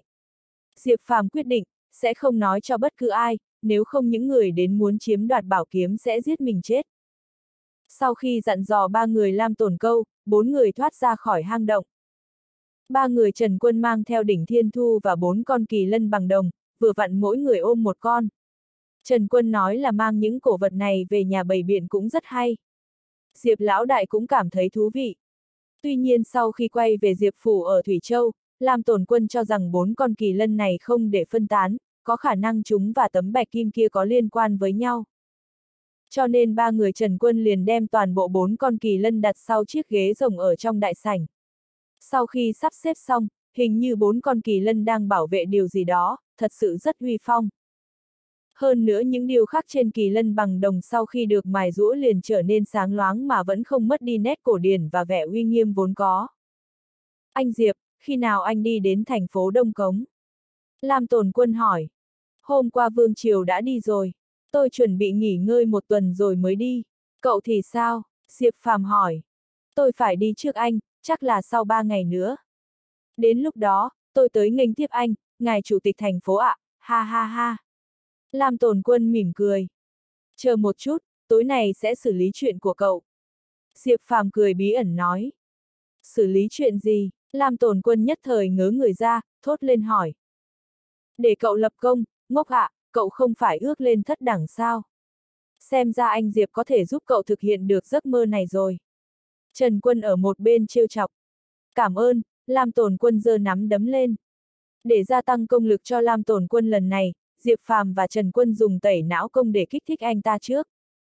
Sau đó kết hợp với một số dược liệu và nội công cửu đẳng thâm hậu của Diệp Lão Đại tác động vào.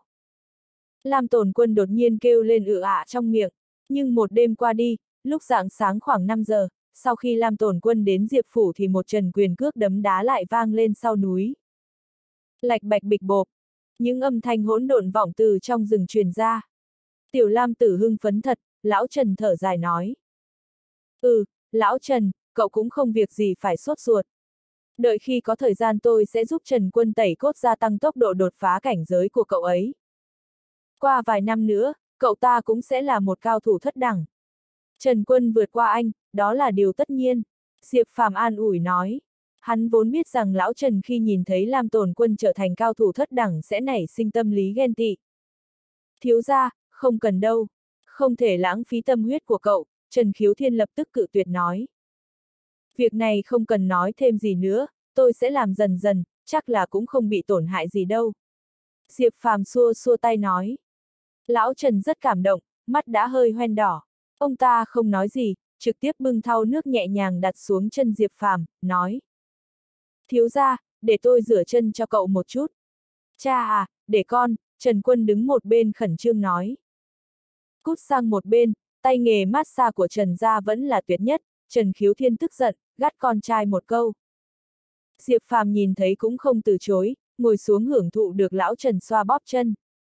Trong suốt một tuần, Diệp Phàm đều trốn ở trong phủ nghiên cứu tấm bạch kim này, hơn nữa còn dùng khí lực để làm xuất hiện lại các ký tự cổ quái, chia nhỏ ra thành mấy chục câu khác nhau rồi mời chuyên gia khảo cổ đến.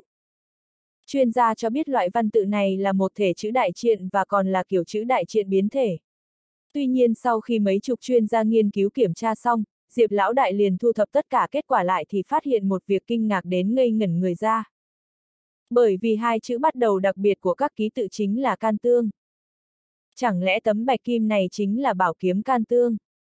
Diệp Lão Đại không thể không kinh ngạc, tuy nhiên vẫn cảm thấy nghi ngờ nên vội vàng xem lại những tài liệu liên quan nên mới có ý niệm mơ hồ này. Can Tương là thợ thủ công nổi tiếng cuối thời Xuân Thu, Tương truyền là người nước ngô, là đồng môn của Âu Giã Tử, người chế tạo binh khí thiện chiến, đã từng nung chảy kiếm thép Thái Ngũ Sơn, kiếm vàng ngũ hợp nhưng sắt và vàng không thể dung hòa với nhau, người vợ tên Mạc Tà liền cắt tóc cho vào lò nung thì dung hợp được sắt và vàng, rèn tạo hai thanh kiếm gọi là Can Tương và Mạc Tà. Tuy nhiên nếu so sánh với những gì ghi lại trong sách cổ thì tấm bạch kim này không giống với bảo kiếm can tương trong truyền thuyết vì tấm bạch kim này đến lưỡi kiếm còn không có chứ đừng nói đến đuôi kiếm hay những thứ khác. Như vậy sao có thể là can tương được? Diệp lão đại nghĩ nát óc mà vẫn không nghĩ ra nên cũng không muốn suy nghĩ nữa, liền tiếp tục nhìn thì mới biết khí lực tác động lên tấm bạch kim làm xuất hiện hàng chữ phi kiếm thuật, tên gọi là nội tức ngự khí thuật. Nội tức ngự khí thuật này thì cao thủ thập đẳng trở lên mới có thể dùng pháp công nội khí điều khiển đồ vật này.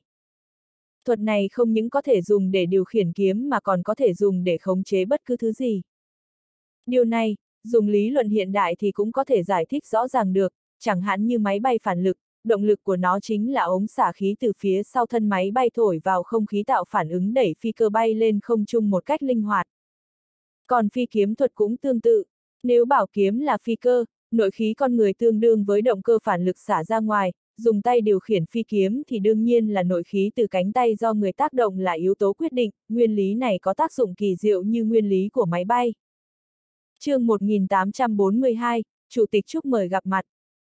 Đương nhiên, vấn đề này nói thì dễ nhưng làm thì khá khó khăn. Phi kiếm thuật này cũng phức tạp giống như cơ chế vận hành của trực thăng. Sau khi Diệp Phàm thử vận khí những lá bạc dịch chuyển đồ vật thì cũng chỉ khiến mấy lá bạc chuyển động lắc lư mấy cái như động kinh. Điều này khiến Diệp Phàm rất bực mình. Biết khả năng của mình còn quá thấp. Tuy nhiên, Diệp Phàm phát hiện sau một thời gian mối liên kết giữa hắn và những lá bạc những lá bạc đã tiến thêm một bước nữa. Dường như những lá bạc này cũng quen thuộc với hắn, sử dụng cũng thuận tay hơn. Diệp Phàm tin rằng chỉ cần dùng một trận thì những lá bạc này sẽ trở thành tay chân của mình. Thứ hai ngày 20 tháng 7 Diệp Phàm lái xe thẳng đến Tây Quải. Ban đầu định đáp máy bay thẳng đến thành phố Tây Quải, thủ phủ của tỉnh Tây Lâm. Nhưng tỉnh Tây Lâm phong cảnh rất đẹp, có thập vạn đại sơn tráng lệ, có tài nguyên khoáng sản phong phú, có hàng trăm con sông đẹp tuyệt trần. Tạo nên những tài nguyên vô tận về sông nước, khí hậu á nhiệt đới đã tạo nên một lượng lớn tài nguyên động thực vật quý giá. Ngoài ra còn có nhiều loại hoa quả, ở đó được gọi là miền đất của hoa quả. Sự đặc thù về điều kiện thiên nhiên, văn vật cổ tích sống động, lại mang đậm nét văn hóa dân tộc đã làm cho Tây Lâm trở thành một tỉnh đầy sức hấp dẫn. Tỉnh Tây Lâm là một tỉnh có nhiều dân tộc, lại là một trong những tỉnh lớn của cả nước. Cho nên, Diệp Phàm muốn tự mình lái xe đi du ngoạn. Vừa đi vừa ngắm cảnh thiên nhiên, ngoài ra cũng là để giải tỏa nỗi bực dọc trong lòng. Thêm vào đó Diệp Phàm lái chiếc xe Cherokee được cải trang thành xe cũ. Đương nhiên cũng phải đặt trong dấu ngoặc kép, trên thực tế là xe mới nhưng bên ngoài đã được làm cũ đi. Đây là Diệp Phàm muốn dùng thủ thuật che mắt tránh bị người khác bàn tán. Bởi vì chủ tịch thành phố điều khiển một chiếc xe tốt như vậy sẽ khiến cho một số người ghen ghét. Vài ngày sau đó Diệp Phàm tự lái xe du ngoạn cũng khá vui, cuối cùng hắn cũng đến được thành phố phương Tây. Buổi sáng ngày hôm sau Diệp Phàm đến ban tổ chức cán bộ tỉnh ủy báo tin. Phó trưởng ban thường trực Thiết Hậu Sơn đón tiếp hắn. Thiết Hậu Sơn đầu hói, chỉ còn sót lại vài sợi tóc sau gáy. Ông ta tiếp Diệp Phàm với thái độ giải quyết công việc chung chung. Đồng chí Diệp Phàm, cậu là cán bộ từ tỉnh Nam Phúc khá phát đạt ở vùng Duyên Hải được giao lưu đến thành phố Đông Cống của chúng tôi. Tỉnh Nam Phúc giàu có hơn nhiều so với tỉnh Tây Lâm đây. Kinh nghiệm của các cậu đều là cái mà các cán bộ tỉnh Tây Lâm cần. Đương nhiên, vùng Duyên Hải có ưu điểm của vùng Duyên Hải, tỉnh Tây Lâm cũng là tỉnh giáp với vùng Duyên Hải. Chỉ là cơ hội phát triển và điều kiện địa lý không bằng tỉnh Nam Phúc các cậu. Tuy nhiên, cùng với sự phát triển của đất nước và thế giới, vị trí địa lý của tỉnh Tây Lâm về sau chắc chắn không thua tỉnh Nam Phúc. Phó trưởng Ban Thiết nói đúng, tỉnh Nam Phúc có ưu thế của tỉnh Nam Phúc, còn tỉnh Tây Lâm cũng có ưu thế của mình. Ví dụ nói về du lịch, tỉnh Tây Lâm làm tốt hơn tỉnh Nam Phúc. Chỉ là tỉnh Tây Lâm bước chậm một chút, hiện giờ đang cố gắng đuổi theo. Tuy nhiên, nói về mặt địa lý thì tỉnh Tây Lâm tuy là vùng duyên hải ven sông nhưng so với vị trí địa lý của Nam Phúc có vẻ không được tốt bằng. Tuy nhiên, tôi tin rằng tỉnh ủy Tây Lâm cũng sẽ phát triển kinh tế và các mặt khác dựa trên tiềm năng có sẵn của mình. Diệp Phàm cũng phụ họa thêm. Trưởng ban thôi vẫn đang họp ở Bắc Kinh, mà tôi ngày mai lại có việc quan trọng không thể rời khỏi tỉnh. Tuy nhiên tôi đã sắp xếp phó trưởng ban Tằng Khải Minh cùng cậu xuống Đông Cống rồi. Thiết Hậu Sơn vẻ mặt nghiêm túc nói. Không việc gì dù tôi một mình đi xuống đó cũng không sao. Diệp Phàm mỉm cười nói, biết lão già này khinh thường mình. Với vị trí phó trưởng ban thường trực của y, một cán bộ bị lãnh đạo giao lưu từ tỉnh Nam Phúc đến thành phố nghèo nhất tỉnh Tây Lâm căn bản không đáng nể. Chắc chắn trong lòng phó trưởng ban thường trực họ thiết này cho rằng đó là người cực kỳ xui xẻo. Cho nên nói là giao lưu nhưng thực tế là bị lãnh đạo tỉnh Nam Phúc cách chức. Thành phố Đông Cống căn bản là không thể so sánh với thành phố Hải Đông về mọi mặt. Giống như người làm công ăn lương không thể so sánh với triệu phú. Cậu có thể thông cảm với khó khăn của ban tổ chức cán bộ tỉnh ủy là tốt rồi, ha ha. Thiết hậu Sơn vỗ vỗ vài diệp phàm, ra vẻ lãnh đạo 10 phần. Đúng lúc này cửa phòng khách bị đẩy ra nhẹ nhàng. Ai đấy? Vì không thấy thư ký nói là có người đến cho nên Thiết Hậu Sơn có vẻ khó chịu. Cảm thấy người này không hiểu quy tắc, ông ta đang tiếp cấp dưới mới đến không ngờ có người không lịch sự chưa được cho phép đã đẩy cửa vào. Với tình huống này nói nhỏ thì là không tôn trọng lãnh đạo, nói lớn thì chính là coi khinh lãnh đạo, căn bản không coi lãnh đạo ra gì. Phó trưởng ban thiết mặt như tượng sắt đúc, ánh mắt nghiêm khắc nhìn như muốn ăn thịt người. Tuy nhiên, khi một cái đầu húi cua hiện ra, vẻ mặt của Thiết Hậu Sơn đã thay đổi ngay, mỉm cười nói. Là thư ký tống, mau vào đây ngồi. Không cần ngồi, phó trưởng ban thiết, vừa rồi chủ tịch Trúc bảo tôi tới hỏi một chút. Nói là nếu đồng chí Diệp Phàm ở thành phố Hải Đông tỉnh Nam Phúc đến thì đến chỗ chủ tịch tỉnh một chút. Vừa đúng lúc, anh này chính là đồng chí Diệp Phàm, chúng tôi cũng đang nói chuyện. Nếu chủ tịch Trúc muốn gặp thì giờ tôi sẽ sắp xếp cho anh ấy sang đó.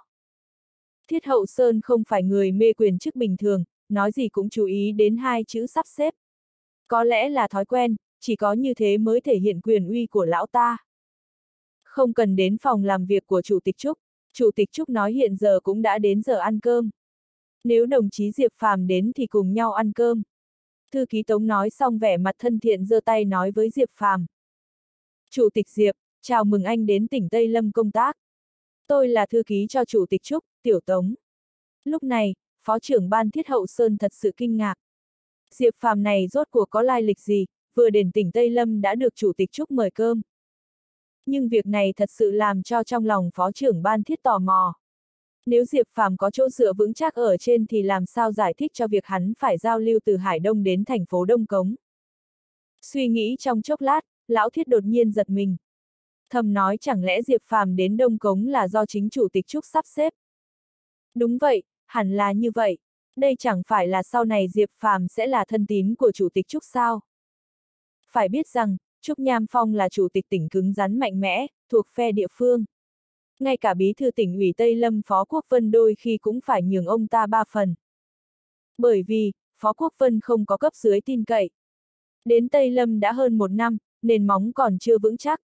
Cho nên, trong khoảng thời gian này quan hệ của Phó Quốc Vân và Chủ tịch Trúc cũng không tệ lắm. Cảm ơn Chủ tịch Trúc đã có lời mời, lại còn cả thư ký Tống đến hoan nghênh nữa. Diệp Phàm cũng giơ hai tay bắt tay thư ký Tống. Thật ra trong lòng Diệp Phàm cũng nghi ngờ khó hiểu, không biết tại sao lại tốt với mình như vậy. Vừa đến ban tổ chức cán bộ tỉnh ủy mà chủ tịch tỉnh người ta đã mời chính hắn ăn cơm. Việc này, có phải là rất vinh dự không? Chẳng lẽ chủ tịch Trúc muốn nhúng tay vào chuyện gì ở Đông Cống sao? Mà thành phố Đông Cống vốn nằm trong tay của bí thư tỉnh ủy Phó Quốc Vân. Mà chủ tịch Trúc muốn mượn lực của hắn để quấy Đông Cống. Chưa gì hắn đã là người kẹp giữa hai vị đầu sỏ. Chủ tịch Diệp, vậy cậu đi nhanh thôi, đừng để cho chủ tịch Trúc đợi lâu. Phó trưởng ban thiếu hậu Sơn vẻ mặt nhiệt tình nói. Vừa quay người, đột nhiên hình như nhớ đến chuyện gì quay mặt hỏi thư ký Lan Phong. Sắp xếp lại lịch ngày mai của tôi một chút. Chủ tịch Diệp là cán bộ từ Hải Đông xa xôi đến, ban tổ chức cán bộ Tây Lâm chúng ta nhất định phải quan tâm chu đáo. Chủ tịch Diệp đồng ý từ tỉnh Nam Phúc đến chỗ chúng ta để xây dựng đông cống thật không dễ dàng. Cho nên, ngày mai tự tôi sẽ dẫn Chủ tịch Diệp xuống đông cống nhậm chức. Hãy thông báo cho Phó trưởng ban tăng là cứ ở nhà là được. Thư ký Lan tất nhiên vội vàng gật đầu đồng ý. Trong lòng Diệp Phàm cực kỳ khinh bỉ lão thiết, miệng cũng ngượng ngùng chậm rãi nói. Vậy không nên, việc này sẽ làm lỡ việc của phó trưởng ban thiết, tôi sẽ có lỗi mất. Hay cứ để một mình tôi xuống đó. Việc này không cần phải nói thêm, cứ quyết định như vậy. Phó trưởng ban thiết khoát tay nói vẻ dứt khoát. Vậy, cảm ơn. Diệp Phàm nói xong chào trưởng ban thiết rồi cùng thư ký Tống đi thẳng đến căng tin. Đương nhiên, trên đường đi Diệp Phàm luôn suy nghĩ mục đích việc chủ tịch Trúc mời mình ăn cơm. Đương nhiên, có thể được chủ tịch Trúc quan tâm như thế Diệp Phàm cũng cảm thấy tự hào. Đi vào căn tin, thư ký Tống đưa Diệp Phàm đi thẳng vào một gian nhỏ bên trong. Chủ tịch tỉnh Trúc Nham Phong khổ người khá lớn, cao khoảng mét 8, chưa đến 50, không ngờ để tóc húi cua. Vẻ mặt sôi nổi, sau khi Diệp Phàm vào phòng, thư ký Tống lặng lẽ đóng cửa đi ra ngoài. Tuy nhiên, khi bắt tay Diệp Phàm phát hiện tay chủ tịch Trúc rất có khí lực. Ngay cả cao thủ cửu đẳng như Diệp Phàm cũng có cảm giác tay nóng run lên. Sự khác thường của Diệp Phàm bị chủ tịch Trúc phát hiện, ông ta cười nói. Có phải là tay hơi bị tê không? Có một chút, lực ở tay của chủ tịch tỉnh rất mạnh. Diệp Phàm thành thật gật gật đầu. Ha ha, tôi đã từng ra chiến trường. Năm đó trên chiến trường kẻ thù hùng mạnh, nếu lực ở tay này không mạnh hiện tại cậu đã không thấy tôi ở đây. Chủ tịch Trúc cười ha hả. Khó trách. Diệp Phàm vẻ mặt cung kính gật đầu. Chỉ trong chốc lát đồ ăn đã được mang lên. Rất đơn giản, một mâm rau xanh, một đĩa đậu, một bát canh củ cải. Một đĩa thịt xé, lại còn có một bát canh thịt ngỗng. Có lẽ là đến nửa con ngỗng, tuy nhiên, nhìn thế này thì có vẻ là chủ tịch Trúc rất thích ăn thịt. Tôi thích ăn miếng thịt lớn, cho nên, thịt ngỗng này là thứ tôi thích nhất. Chủ tịch Trúc cười nói, nhìn Diệp Phàm liếc mắt một cái nói. Buổi trưa chúng ta không uống rượu, buổi chiều còn làm việc. Ừ, buổi trưa uống rượu dễ say, sẽ chậm trễ công việc. Diệp Phàm cười nói, thật ra là đã bình tĩnh lại. Làm cho Chủ tịch Trúc cũng thầm kinh ngạc, bởi vì bình thường cán bộ cấp dưới nhìn thấy ông ta đều vô cùng cung kính. chương 1843, lấy bình mao đài.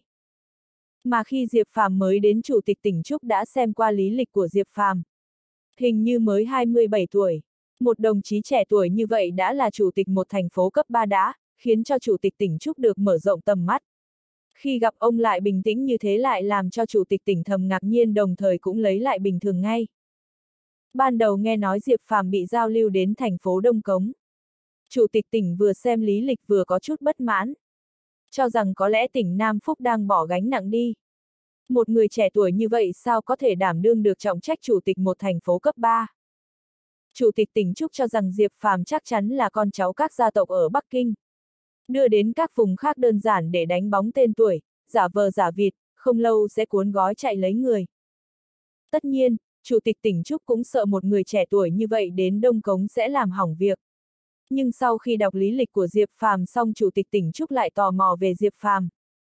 Bởi vì, một cậu nhóc sinh ra trong một gia đình bình thường sao có thể ngồi lên được chức chủ tịch thành phố cấp 3, thật sự làm cho người ta khó hiểu.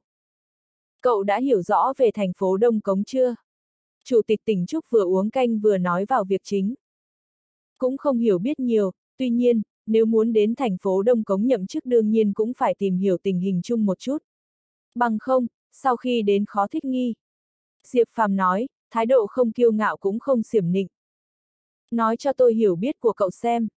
Chủ tịch tỉnh Trúc nhìn chằm chằm vào Diệp Phàm có vẻ như đang thử thách. Thành phố Đông Cống nằm ở phía tây nam của tỉnh Tây Lâm. Ban đầu là một bộ phận của địa khu Lang Châu, tháng 4 năm 1995 chính thức thành lập địa khu Đông Cống. Thành phố Đông Cống nhìn ra hướng Đông Nam, tựa lưng hướng Tây Nam. Phía Đông Bắc giáp thành phố Lân Thủy, bao gồm khu Đông Châu và khu Giang Sa, huyện Nam Tân, huyện Thiên Ninh, huyện Long Đình, huyện Tiền Dương, huyện Thanh Châu, trung tâm là huyện Dương Xuân. Trong đó phía Tây Nam bộ giáp với Việt Nam, toàn tuyến biên giới dài hơn 400 km, là tuyến biên giới trên bộ dài nhất của Tây Lâm. Tổng diện tích 2.560 km vuông. Có hai cảng loại 1 và 5 cảng loại hia, dân vùng biên giới chiếm 10%, dân số toàn thành phố trên dưới 282.000, trong đó dân tộc Choang chiếm 80%. Diệp Phàm nói qua, trong lòng xấu hổ. May mắn là trước khi đến đây đã tìm hiểu qua thành phố Đông Cống. Hơn nữa đã bỏ ra mấy buổi tối mới nhớ được. Nếu không, hôm nay có lẽ là mất mặt. Ấn tượng đầu tiên rất quan trọng, nếu hôm nay không đáp được thì trong lòng chủ tịch tỉnh Trúc tất nhiên sẽ yếu đi. Sẽ cho rằng mình không đáng để quan tâm. Ừ, những việc đó là những việc một người sắp đến nhận chức chủ tịch thành phố Đông Cống nên biết. Chủ tịch tỉnh Trúc cũng không khen Diệp Phàm, vẻ mặt bình thản. Xem ra, chủ tịch tỉnh Trúc yêu cầu rất nghiêm khắc với cấp dưới. Tôi biết hiểu biết của mình còn chưa đủ. Nói thật, tôi chưa từng đến Đông Cống bao giờ. Những điều này chỉ là tìm hiểu trong tài liệu. Nói là lý luận xuông cũng không đủ. Tuy nhiên, vừa đến Đông Cống tôi sẽ tăng cường tìm hiểu những việc này. Nhanh chóng nắm chắc tài liệu về Đông Cống, làm tốt công tác của một chủ tịch thành phố. Diệp Phàm vẻ mặt bình tĩnh nói. Quyết định cử cán bộ giao lưu của tỉnh các cậu đã ban hành từ lâu, nếu tôi không nhầm thì đến giờ đã gần nửa tháng. Chủ tịch tỉnh Trúc nói có vẻ như có chút trách cứ Diệp Phàm không đến Đông Cống sớm một chút, để tìm hiểu tình hình bắt tay vào làm việc. Rất xin lỗi, công việc là công việc, tuy nhiên công việc nhiều cũng không thể không lo cho gia đình. Cho nên trong thời gian vừa rồi giải quyết một số việc riêng mới đến nhận công tác được. Tôi nghĩ, một người không quan tâm đến gia đình là không có tình cảm. Đại Vũ vì chị Thủy mà không về nhà. Tuy nói ông ta làm hết phận sự nhưng làm như vậy tôi không đồng ý. Đứng ở vị trí của vợ con Đại Vũ sẽ cảm thấy thế nào? Hơn nữa đến gia đình cũng không quan tâm thì người đó cũng không thể làm việc tốt. Hơn nữa, trong khoảng thời gian này nghỉ ngơi cũng được ban tổ chức cán bộ tỉnh ủy Nam Phúc đồng ý. Cơ thể là vốn của cách mạng, tôi tin rằng Chủ tịch tỉnh Trúc cũng không muốn thấy một người mệt mỏi đến nhậm chức Chủ tịch thành phố Đông Cống đúng không? Cậu thật đúng là không khách khí. Chủ tịch tỉnh Trúc cũng thản nhiên cười nói. Mạnh miệng nói những lời xuông tôi cũng không thích nghe, tôi chỉ quan tâm đến những việc thực làm. Tôi là cán bộ địa phương vẫn đi được đến vị trí chủ tịch tỉnh như hôm nay. Cho nên tỉnh Tây Lâm đã là nhà của tôi. Không có ai không thương gia đình mình, cho nên tôi cũng không ngoại lệ. Cậu hiểu ý của tôi chứ? Thương gia đình tất nhiên phải xây dựng nhà tốt, nhân dân có thể an cư lạc nghiệp, giàu có. Cả tỉnh phát triển mạnh mẽ, lớn mạnh so với cả nước. Tỉnh Tây Lâm chúng ta xếp hạng trong 30 tỉnh cũng không tốt lắm, hẳn là đứng phía dưới. Tôi nghĩ, Chủ tịch tỉnh Trúc chắc chắn cũng hy vọng tỉnh Tây Lâm chúng ta có thể giống như Việt Đông, giống thành phố Phổ Hải. Việc này không phải múa mép khua môi có thể làm được. Không có tầm nhìn rộng, không có quyết tâm, không có mạng lưới quan hệ với những nhà đầu tư là không thể làm được. Đương nhiên, việc đầu tiên không thể thiếu là thật lòng vì nhân dân phục vụ, thật sự coi nhân dân là thứ nhất, thật lòng muốn mưu cầu hạnh phúc cho nhân dân. Mạnh miệng nói những lời nói xuông diệp phàm tôi cũng không thích nói. Trước khi đến Hải Đông cũng đã động đến quyền cước, ở đó người ta gọi tôi là chủ tịch thành phố bạo lực. Tôi muốn nói chính là vì nhân dân làm một chủ tịch thành phố bạo lực cũng không sao. Hơn nữa, vì nhân dân thành phố Đông Cống, Diệp Phàm tôi không ngại đến Đông Cống lại đang đương một chủ tịch thành phố bạo lực. Vẻ mặt Diệp Phàm cũng nghiêm túc lên, hơn nữa phát ra khí thế của cao thủ cửu đẳng cũng khá kinh người. Ngay cả chủ tịch Trúc Nham Đỉnh cũng thầm khen. Tôi đã xem qua lý lịch của cậu. Về lý lịch cậu rất ưu tú, thậm chí có thể nói là đặc biệt ưu tú. Thị trấn Lâm Tuyền của huyện Ngư Dương trong tay cậu đã biến thành một khu kinh tế mới của thành phố Mạc Hương là khu kinh tế mới cấp huyện. Mà huyện Ngư Dương từ huyện cũng thành thành phố. Huyện Ma Xuyên từ huyện xếp gần cuối hiện giờ trở thành một huyện mạnh trong top 20 của tỉnh Nam Phúc, mà Ma Xuyên cũng có kinh tế phát triển cao. Về giao thông lại trở thành đầu mối then chốt quan trọng của ba An Đông, Giang Đô và Nam Phúc. Về kinh tế huyện Ma Xuyên cũng có thứ bậc trong cả nước. Ở Việt Đông tuy cậu không có thành tựu về kinh tế nhưng cậu lại phá được vụ án ngư đông lớn của cả nước.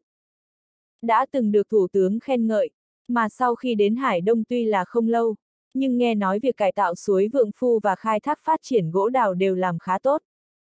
Trong sự kiện Thanh Nghiêu cậu đã được chủ nhiệm phí của Ủy ban Kỷ luật Trung ương khen đồng chí Diệp Phàm là đồng chí tốt. Chủ nhiệm phí nói cậu là đồng chí tốt thì cậu là đồng chí tốt. Tuy nhiên, tôi cho rằng, những việc đó chỉ đại diện cho quá khứ huy hoàng của cậu mà thôi. Quan trọng là sau này đến Đông Cống cậu làm được cái gì. Nhiệm vụ tôi giao cho cậu chính là đưa thành phố Đông Cống trở thành cấp 3 đứng thứ 8 trong toàn tỉnh Tây Lâm. Đến lúc đó, Diệp Phàm cậu muốn nói gì, muốn chức, muốn quyền lực, trực tiếp hỏi Trúc Nham Phong tôi. Nói đến câu cuối cùng, Chủ tịch tỉnh Trúc kích động, không ngờ nện một quyền lên bàn, thể hiện rõ bản chất người lính. Hơn nữa, Chủ tịch tỉnh Trúc hiểu biết về Diệp Phàm khiến cho Diệp Phàm xấu hổ. Xem ra, đối với việc hắn đến đây Chủ tịch tỉnh Trúc cũng đã mất công sức đi tìm hiểu hắn. Đứng trước thứ 8, tỉnh Tây Lâm chúng ta có 16 địa khu hành chính. Như thành phố Tây Quế, thành phố Liễu Dương, những thành phố này đều có tiếng trên cả nước. Nói về tổng sản lượng kinh tế và thu nhập bình quân người ta lớn gấp 5-6 lần thành phố Đông Cống. Chủ tịch tỉnh Trúc, ngài giao mục tiêu như vậy có phải là có chút xa xôi không? Diệp Phàm có chút đầu đầu, không thể tưởng được chủ tịch tỉnh Trúc lại cho rằng hắn có bản lĩnh, giao trọng trách như vậy. Cái gì là vai gánh nhiều trọng trách, nếu không tôi dựa vào đâu cho cậu chức vụ và quyền lực. Cậu nghĩ lại xem, bước tiếp theo của cậu là chức vụ gì? Bí thư thành phố cấp 3 có phải không? Hiện giờ cậu là chủ tịch thành phố. Bí thư mới là người cầm quyền thật sự. Tôi nói là nói đến người cầm quyền. Chủ tịch tỉnh Trúc nhìn Diệp Phàm một cái lạnh lùng hừ nói, vẻ mặt đầy nghiêm túc. Được. Diệp Phàm gật đầu đầy quyết đón, nhìn chủ tịch tỉnh Trúc nói. Tuy nhiên, muốn cầm quyền đầu tiên phải muốn quyền mới được. Nếu chủ tịch tỉnh Trúc yêu cầu với tôi cao như thế, dù sao ông cũng phải cấp cho tôi một chút đồ ăn có phải không? Diệp Phàm dù sao cũng phải bằng mọi giá, trực tiếp đòi ủng hộ về tiền. Nếu Yến Xuân Lai đã âm thầm ra tay giao lưu mình đến thành phố Đông Cống. Vậy thì nên làm ra thành tích cá nhân để ông ta xem. Diệp Phàm tôi cũng không yếu đuối. Đồ ăn. Vẻ mặt chủ tịch tỉnh Trúc ngạc nhiên. Sau đó cười nhạt, cuối cùng, chủ tịch tỉnh Trúc đập bàn, nói. Được, cho cậu đồ ăn. Tuy nhiên, chỉ một lần này, 30 triệu, cậu trực tiếp nhận lấy mang đến Đông Cống nhậm chức. Đây là đồ ăn mà Trúc Nham Phong cho cậu. Tuy nhiên, tôi muốn cậu từ 30 triệu phải làm ra 300 triệu. 10 lần.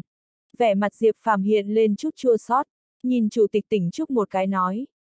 Đến 600 triệu thì sao? Cậu có thể làm ra 600 triệu sao? Chỉ cần hiện giờ cậu dám gật đầu, Trúc Nham Phong tôi sẽ cho cậu. Chủ tịch tỉnh Trúc Nham Phong thản nhiên nhìn Diệp Phàm một cái nói. Thì 60 triệu, không phát triển được đến 600 triệu Diệp Phàm tôi sẽ cuốn gói đi. Diệp Phàm kiên quyết gật đầu, hai mắt sáng nhìn chằm chằm chủ tịch tỉnh Trúc, không có một tia sợ hãi. Ha ha, buổi chiều đến văn phòng tôi, tôi sẽ trực tiếp ký cho cậu. Chủ tịch tỉnh Trúc đột nhiên cười phá lên, nhìn Diệp Phàm một cái, đột nhiên gọi lớn ngoài cửa. Tiểu Tống, lấy bình mau đài. Chủ tịch tỉnh, có ảnh hưởng đến công việc không? Diệp Phàm nhỏ giọng nhắc nhở một câu. Không sao, có khi say cũng vì công việc thôi. Huống chi, chút rượu đó không có gì. Chủ tịch tỉnh Trúc khá vui vẻ. Cuối cùng, hai người cùng uống. Tử lượng của chủ tịch tỉnh Trúc kinh người, nửa bình mao đài 52 độ dường như vẫn không việc gì. Diệp Phàm thầm khâm phục, bởi vì, Diệp Phàm đã dùng nội kình hóa tan 6 phần rượu nếu không sẽ có chút choáng váng. Tuy nhiên, bữa cơm cũng vui vẻ. Buổi chiều, Diệp Phàm đến phòng làm việc của Chủ tịch tỉnh Trúc đúng giờ. Chủ tịch tỉnh Trúc trực tiếp ký. chương 1844, phong bì dày cộm của Chủ tịch Trúc. Đồng chí Diệp Phàm, tôi không chuyển khoản tiền này đến Cục Tài chính thành phố Đông Cống mà trực tiếp chuyển đến Quỹ Chủ tịch thành phố. Cậu có biết vì sao không? Chủ tịch Trúc nhìn chằm chằm Diệp Phàm hỏi. Nếu tôi đoán không nhầm thì Chủ tịch Trúc muốn cho tôi có toàn quyền đối với khoản tiền này. Diệp Phàm bình tĩnh nói. Ừ, tuy nói Cục Tài chính thành phố cũng là một cục cấp dưới của cậu. Nhưng có một số việc, cậu biết, tôi biết mọi người đều biết, tiêu tiền trong túi người khác không thể thuận tiện bằng tiêu tiền trong túi mình. Chủ tịch Trúc gật gật đầu nói. Cậu có dự định gì không? Tôi rất muốn nghe xem 60 triệu này cậu dùng như thế nào. Đồng chí Diệp Phàm, đối với một thành phố ở vùng Duyên Hải có kinh tế phát triển mà nói, 60 triệu không là cái gì. Một chủ tịch tỉnh phê duyệt 60 triệu khá thoải mái. Nhưng đối với tỉnh Tây Lâm chúng ta mà nói thì khoản tiền này rất lớn. Trúc Nham Phong tôi ký tên tay vẫn hơi run, tôi có chút sợ. Tôi cũng sợ chứ. Diệp Phàm thẳng thắn gật đầu nói. Thật ra làm cho chủ tịch Trúc hơi ngạc nhiên. Tuy nhiên, Diệp Phàm đã quay sang nói chuyện khác. Chủ tịch Trúc, anh cho tôi không phải là 60 triệu mà là gà mái nhất định sẽ còn đẻ trứng. Gà mái có thể đẻ nhiều hay ít trứng, nhưng gà mái mà chủ tịch Trúc cho nhất định sẽ đẻ trứng. Hơn nữa, là gà siêu đẻ. Cho nên, 60 triệu này, tôi muốn lấy danh nghĩa ủy ban nhân dân thành phố lập công ty. Mà Diệp Phàm là chủ tịch thành phố Đông Cống cũng là chủ tịch hội đồng quản trị của công ty đó. Đến lúc đó, có người nói những lời không hay thì hy vọng chủ tịch Trúc có thể thứ cho một chút. Chỉ cần có thể làm cho gà mái thành gà siêu đẻ, thu về 600 triệu thì Trúc Nham Phong tôi sẽ giúp cậu mọi việc. Hơn nữa tôi cũng tin tưởng mặc dù là lợi nhuận từ kinh doanh, thì tiền này cũng tập trung vào tài chính thành phố, thực hiện nhiệm vụ chung. Phục vụ cho dân thì việc gì không thể làm. Đổi lại, cậu lấy danh nghĩa ủy ban nhân dân thành phố mở một công ty cũng là công ty của nhà nước, coi như doanh nghiệp nhà nước thôi. Tin rằng trừ phi là người không biết suy nghĩ, hẳn là không có bao nhiêu đồng chí, sẽ nói những lời không hay. Chủ tịch Trúc nói, không hẳn thế. Diệp Phàm thẳng thắn phản đối ý kiến của Chủ tịch Trúc. Không hẳn thế, cậu nghĩ sẽ như thế nào? Chủ tịch Trúc mắt sáng lên, đến đây cảm thấy hứng thú, nhìn chằm chằm Diệp Phàm. Khoản tiền này dùng để mở công ty thì ủy ban nhân dân thành phố chỉ cử tổ giám sát thôi. Việc kinh doanh hoàn toàn giao cho giám đốc được tuyển dụng mới được. Đó chính là tư nhân hóa. Những khuyết điểm của doanh nghiệp nhà nước hẳn Chủ tịch Trúc hiểu rõ. Người nhiều, ăn không ngồi rồi nhiều, người mặc kệ mọi việc nhiều, người thích nói linh tinh nhiều, người thích gây rối cũng nhiều. Doanh nghiệp nhà nước ngoài những doanh nghiệp độc quyền thì những doanh nghiệp khác hiệu quả kinh tế và lợi nhuận không bằng doanh nghiệp tư nhân cùng ngành nghề. Vì sao doanh nghiệp có được sự ủng hộ của nhà nước lại có kết quả như thế? Tôi nghĩ, nghiên cứu sâu chính là liên quan đến con người. Một công ty muốn kiếm được tiền, quan trọng còn xem người lãnh đạo thế nào.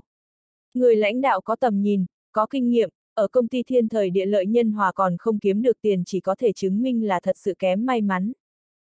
Diệp Phàm cũng có lý luận riêng của mình. Ừ, trong phạm vi quy định cậu có thể làm gì thì làm. Nhìn những chuyện cậu đã làm trước đây thì tin tưởng rằng cậu sẽ không làm cho tôi thất vọng. Đông Cống quá nghèo, cuộc sống của nhân dân Đông Cống rất khó khăn. Mở công ty kiếm tiền về làm gì, chính là hy vọng cậu giải quyết vấn đề của Ủy ban Nhân dân thành phố. Trước đó một thời gian, đồng chí Nông Cao Vân ở thành phố các cậu đã hỏi tôi tiền. Nói là trụ sở của thành ủy và ủy ban nhân dân đã quá cũ, muốn quy hoạch xây dựng lại tòa nhà này. Ngoài ra, tập thể của thành ủy khó khăn, rất nhiều cán bộ phải đi thuê ngoài, không có phòng ở. Các cán bộ không được hưởng ưu đãi của cán bộ, tất nhiên có cán bộ trong lòng không thoải mái. Tuy nhiên, cậu cũng biết, tài chính của Tây Lâm chúng ta khó khăn, nào có dư thừa tiền để cho thành phố Đông Cống xây dựng trụ sở mới. Cho nên, tự lực cánh sinh là con đường của các cậu. Tôi hy vọng có thể nhìn thấy con gà mái này cố gắng đẻ trứng. Chính là phải làm cho cán bộ ủy ban nhân dân thành phố các cậu cũng phải muốn làm, cũng phải thúc đẩy gà đẻ trứng mới được. Chủ tịch Trúc nói chuyện này xong Diệp Phàm hiểu ngay. Chủ tịch Trúc thoải mái như vậy hóa ra khoản tiền này đáng lẽ cấp cho thành phố Đông Cống giải quyết vấn đề phúc lợi của cán bộ. Không thể tưởng tượng được lại bị Lão Trúc cho một đao. Chứng tỏ, Lão Trúc đã nghiên cứu rất kỹ. Việc này, Chủ tịch Trúc, sao tôi cảm thấy mình như bị chui vào giỏ. Diệp Phàm cười chua xót. Ha ha, không thể nói là ai chụp ai. Đương nhiên, cậu cũng rõ ý tứ của tôi. Nếu gà mái không có trứng, tôi không thể cấp cho các cậu 60 triệu. 10 triệu là nhiều lắm. Đồng chí Diệp Phàm, cậu nghĩ lại xem, 10 triệu có thể xây dựng mấy tòa nhà, chỉ sợ là một tòa cũng không làm nổi. Chủ tịch Trúc ánh mắt có chút giả dối bị đôi mắt ưng của Diệp Phàm nhìn thấu. Đều là vì nhân dân phục vụ, cảm ơn Chủ tịch Trúc tin tưởng tôi. Vẻ mặt Diệp Phàm trang trọng nói. Hai mắt của Trúc Nham Phong tôi không hoa, người nào làm được việc, người nào chỉ múa mép khua môi tôi vẫn còn phân biệt được rõ ràng. Hy vọng cậu có thể bỏ hết mọi suy nghĩ, không cần nghĩ mình là cán bộ giao lưu.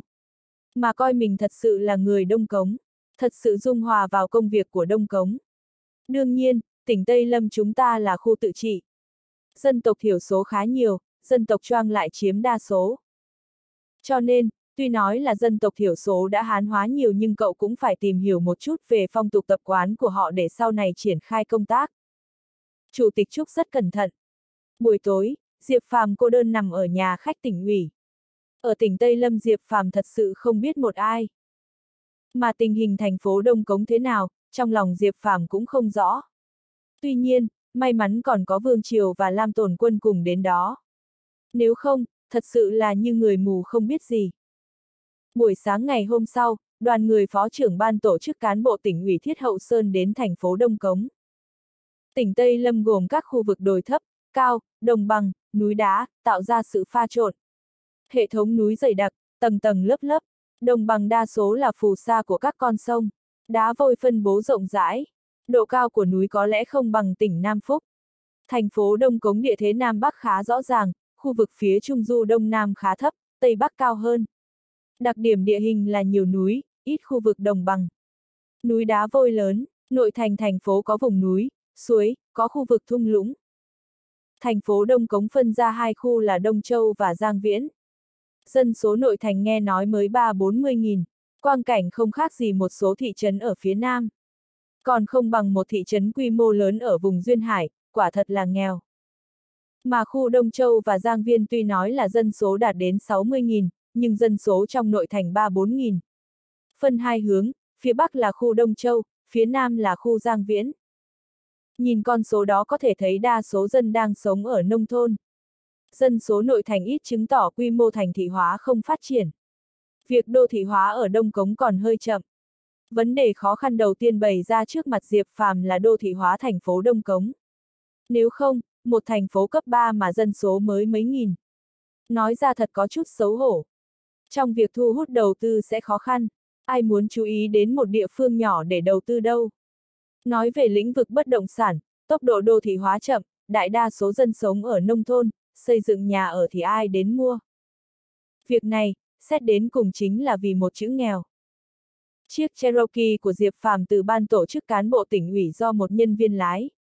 Diệp Phàm bị phó trưởng ban thường trực Thiết Hậu Sơn gọi vào chiếc Audi của ông ta ngồi. Đương nhiên, vị lái xe kia có chút tò mò sao chiếc xe cũ của chủ tịch Diệp như được nâng cấp 10 phần, hơn nữa, lái vô cùng thoải mái. Diệp Phàm hiểu được, việc chủ tịch Trúc mời cơm ngày hôm qua có uy lực không nhỏ. Thiết Hậu Sơn từ thái độ lạnh lùng chuyển sang nhiệt tình. Việc này, tất nhiên đều là chủ tịch Trúc nói bóng gió.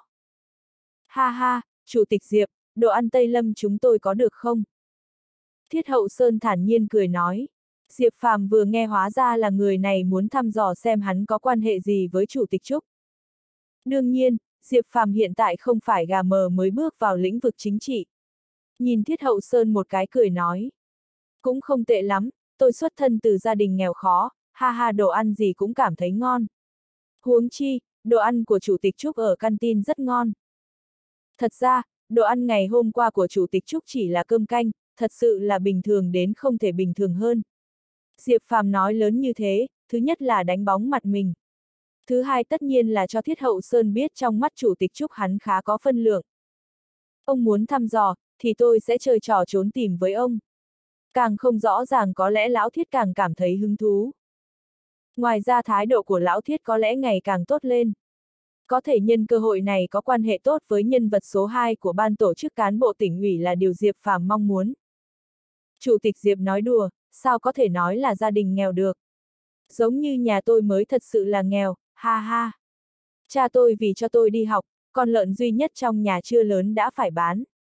Nhớ tới những ngày đó nghĩ mà sợ. Thiết hậu Sơn nói đến gia đình mình, tất nhiên là để tạo không khí thân mật. Đúng vậy, những chuyện trước đây khi nhớ đến đều thấy rất đáng giá. Như ngày hôm qua cùng Chủ tịch Trúc ăn cơm, uống bình mao đài đã giữ vài chục năm, cảm giác vẫn không ngọt ngào bằng hương vị rượu gạo trong nhà tự làm. Diệp Phàm nói rất tự nhiên, trong lúc vô ý lộ ra một tin tức. Ngày hôm qua chủ tịch Trúc dùng mao đài tiếp hắn. Diệp Phàm đã dùng đôi mắt ưng dò xét, phát hiện Thiết Hậu Sơn có chút dao động. Chứng tỏ, Thiết Hậu Sơn có chút kích động. Còn vì sao kích động, Diệp Phàm không hiểu được. Thật ra Thiết Hậu Sơn không thể không kích động. Tuy nói chủ tịch Trúc tử lượng tốt, tử lượng kinh người. Nhưng chủ tịch Trúc cũng là người làm việc tốt. Ông ấy ngồi vào vị trí chủ tịch tỉnh là từng bước đi lên chương 1845, đột nhiên xuất hiện ông lão xe lăn. Cho nên, bình thường buổi trưa khi ăn cơm chủ tịch Trúc tuyệt đối không uống rượu. Vì sợ ảnh hưởng đến công tác buổi chiều, buổi tối thì có thể chè chén, trừ phi là người từ Trung ương đến, hoặc khách quý của tỉnh khác đến Tây Lâm. Nếu không, buổi trưa chủ tịch Trúc không có khả năng sẽ uống rượu. Trong lúc vô ý Diệp Phạm vốn định lấy chuyện bình mao đài quý để tăng thêm phân lượng của mình trong lòng thiết hậu sơn, không ngờ chạm đúng vào tim đen của ông ta. Ha ha, tử lượng của chủ tịch Trúc tốt lắm. Thiết hậu sơn cười nói. Đúng vậy, nửa bình mao đài không ngờ mặt vẫn chưa đỏ. Còn tôi thì không thể, uống xong có lẽ gục luôn tại bàn. Lúc đó chủ tịch Trúc nói mang đến bình nữa, tôi vội vàng xin tha. Thật sự cố cũng không được. Diệp Phàm thản nhiên cười nói, phát hiện mắt của Thiết Hậu Sơn chấp vài cái, có lẽ là thèm muốn. Thật ra, Chủ tịch Trúc hôm qua căn bản là không nói thêm một bình nữa. Tất nhiên là Diệp Phàm tự nói, tin rằng Thiết Hậu Sơn hẳn là không dám đi hỏi Chủ tịch Trúc. Bởi vì, Lão Thiết chưa từng có cơ hội này. Đương nhiên, Chủ tịch Trúc tử lượng cao, được công nhận ở Tây Lâm chúng ta. Có người đặt cho cả biệt hiệu. Lúc này Thiết Hậu Sơn hứng thú, nói. Biệt hiệu. Diệp Phàm hơi ngạc nhiên nhìn chằm chằm Thiết Hậu Sơn. Trúc tiên tử. Thiết Hậu Sơn cười ha hả nhìn Diệp Phàm một cái nói. Ngàn vạn lần đừng nói cho chủ tịch Trúc, bằng không, lão thiết tôi đáng ăn đòn lắm. Đúng thế, miệng tôi sẽ không nói ra. Diệp Phàm gật gật đầu, nhìn Thiết Hậu Sơn một cái, cười nói. Thật sự, không nghĩ là chủ tịch Trúc hào hiệp như thế, thật sự là chủ tịch tỉnh có đại khí. Ủa, sao lại nói như thế? Thiết Hậu Sơn quay đầu nhìn Diệp Phàm kinh ngạc hỏi. Ha ha, ngày hôm qua chủ tịch Trúc trực tiếp cho tôi một phong bao lì xì. Diệp Phàm cười thần bí. Phong bao lì xì, chủ tịch Diệp có thể nói ra, hắn là không dưới 5 triệu đi. Thiết Hậu Sơn cười nói. Bởi vì chủ tịch Trúc tuy là chủ tịch một tỉnh nhưng tới giờ vẫn rất keo kiệt. Cấp dưới lên hỏi tiền, trừ việc phải cấp ra thì bình thường không vượt quá 5 triệu. Nhưng những công trình thật sự vì dân chủ tịch Trúc cũng có khi hào phóng. Diệp Phàm còn chưa đến thành phố Đông Cống, không thể nghĩ đến công trình gì vì dân. Cho nên, lão thiết chỉ dám nghĩ đến 5 triệu, đây cũng là nghĩ theo hướng lớn rồi. Thế này cơ. Diệp Phàm giơ sáu ngón tay ra nói. Chủ tịch Diệp có bản lĩnh thật, không thể tưởng tượng được là 6 triệu. Rất giỏi, rất giỏi. Thiết hậu Sơn có chút khâm phục, không thể tưởng tượng chút keo kiệt cho 6 triệu. Chính tỏ vị đồng chí Diệp Phàm này đúng như mình nghĩ, hẳn là có quan hệ thân thiết với Chủ tịch Trúc. Không phải 6 triệu. Diệp Phàm lắc đầu cười cười. Không phải sao cậu giơ 6 ngón tay. Chẳng lẽ, chẳng lẽ là 60 triệu. Đồng chí Thiết Hậu Sơn cảm giác đầu óc mình có vấn đề một chút. Nhân lúc xe hơi sóc giơ tay xoa đầu để tỉnh táo lại. Ha ha, đúng vậy. Hơn nữa, trực tiếp chuyển đến quỹ của chủ tịch thành phố. Diệp Phàm đang muốn làm cho lão thiết khiếp sợ. 60 triệu, con số này khiến cho tim của lão thiết đập nhanh hơn. Không thể tưởng tượng được lại cấp thẳng đến quỹ của chủ tịch thành phố. Đây không phải là đang nói khoản tiền này Diệp Phàm tự do sử dụng sao? Quỹ bí thư, chủ tịch thành phố giống như là quỹ đen của bí thư, chủ tịch thành phố. Có thể tự do sử dụng trong phạm vi rất lớn. Hơn nữa, tiền dùng thế nào không cần tập thể lãnh đạo ủy ban thành phố họp thảo luận, tự chủ tịch thành phố có thể quyết định. Chủ tịch Diệp có 60 triệu đến Đông Cống, sao tôi có cảm giác như tiền nhiều thế lớn. Thật sự là phú quý kinh người. Nói xong những câu này thiết hậu sơn cười ha hả. Lão già này, rõ ràng muốn che giấu sự kinh ngạc rồi. Phó trưởng ban thiết, nói thật, tình hình của bộ máy thành ủy và ủy ban nhân dân thành phố Đông Cống tôi chưa hiểu biết gì. Diệp Phàm đột nhiên thở dài, tất nhiên là muốn lão thiết nói ra. Tin rằng lão thiết hẳn sẽ cung cấp một ít tin tức có giá trị tham khảo. Ha ha, bí thư thành ủy Đông Cống Vi Lý Quốc cũng là người có khả năng. Hơn nữa là một người sinh ra và lớn lên ở địa phương. Một lòng gây dựng sự nghiệp ở quê hương. Tuy nhiên, ôi, người này chỉ lo làm việc mà quên nghỉ ngơi, kết quả là ngã bệnh. Thiết hậu Sơn quả nhiên rất tự nhiên nói với Diệp Phàm việc này, giống như đang ám chỉ gì đó với Diệp Phàm. Ngã bệnh, Diệp Phàm thật sự không hiểu được tình huống này, vẻ mặt kinh ngạc nhìn Thiết hậu Sơn. Ừ, xuất huyết dạ dày nhiều. Bí thư vi khi xuống nông thôn đều tự mang đồ ăn, đôi khi không kịp hâm nóng liền ăn lạnh. Các đồng chí khuyên ông ta đều mắng dân chúng cơm chưa đủ ăn, trẻ con còn chưa có tiền đến trường, chúng ta có đồ ăn như thế này đã không tồi rồi. Có điều kiện thì hâm nóng một chút, nếu không thì ăn lạnh cũng không sao. Một chút cơm có thể làm chết người sao. Cứ ăn như vậy, lạnh một chút, nóng một chút dạ dày của lão Vi đã bị bệnh. Hơn nữa lão Vi tuổi tác cũng đã cao, cơ thể cũng không được tốt. Một năm nay bị bệnh, công tác của thành ủy vẫn do Phó Bí Thư Thành ủy đồng chí Nông Cao Vân chủ trì. Cho nên, sau khi cậu đến Đông Cống khả năng sẽ không gặp được Bí Thư Vi. Thiết Hậu Sơn vẻ mặt nghiêm trọng nói. Đây là tin tức lớn đối với Diệp Phàm. Đã hơn một năm, chẳng lẽ bệnh tình của Bí Thư Vi còn chưa tốt lên? Diệp Phàm hỏi. Nghe nói cũng không tốt lên, cũng có người nói Bí Thư Vi bị ung thư dạ dày. Đã cắt bỏ hơn nửa dạ dày rồi. Hiện tại chỉ còn một chút chỉ có thể uống cháo, ôi, sau này muốn trở lại cương vị công tác cũng có chút khó khăn. Công tác của bí thư thành ủy quá nặng, không thích hợp với người có sức khỏe như bí thư vi. Thiết hậu Sơn nói, Diệp Phàm lại có thêm một tin tức quan trọng. Rất có khả năng, ban tổ chức cán bộ tỉnh ủy đã xem xét đến việc chọn người làm tân bí thư thành ủy Đông Cống. Nếu không, Thiết hậu Sơn tuyệt đối không nói ra ba chữ không thích hợp này. Đây là báo cho mình một tin tức quan trọng. Là hãy chuẩn bị sẵn sàng, việc thay bí thư thành ủy là việc rất quan trọng. Có lẽ, còn là nhắc nhở Diệp Phàm phải làm tốt quan hệ với đồng chí Nông Cao Vân.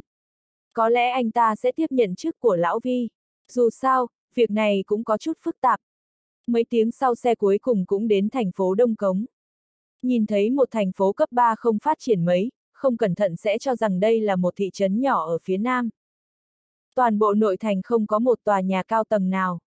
Suốt dọc đường đi nhìn thấy một tòa nhà cao nhất là 8 tầng, không ngờ được gọi là tòa nhà chọc trời.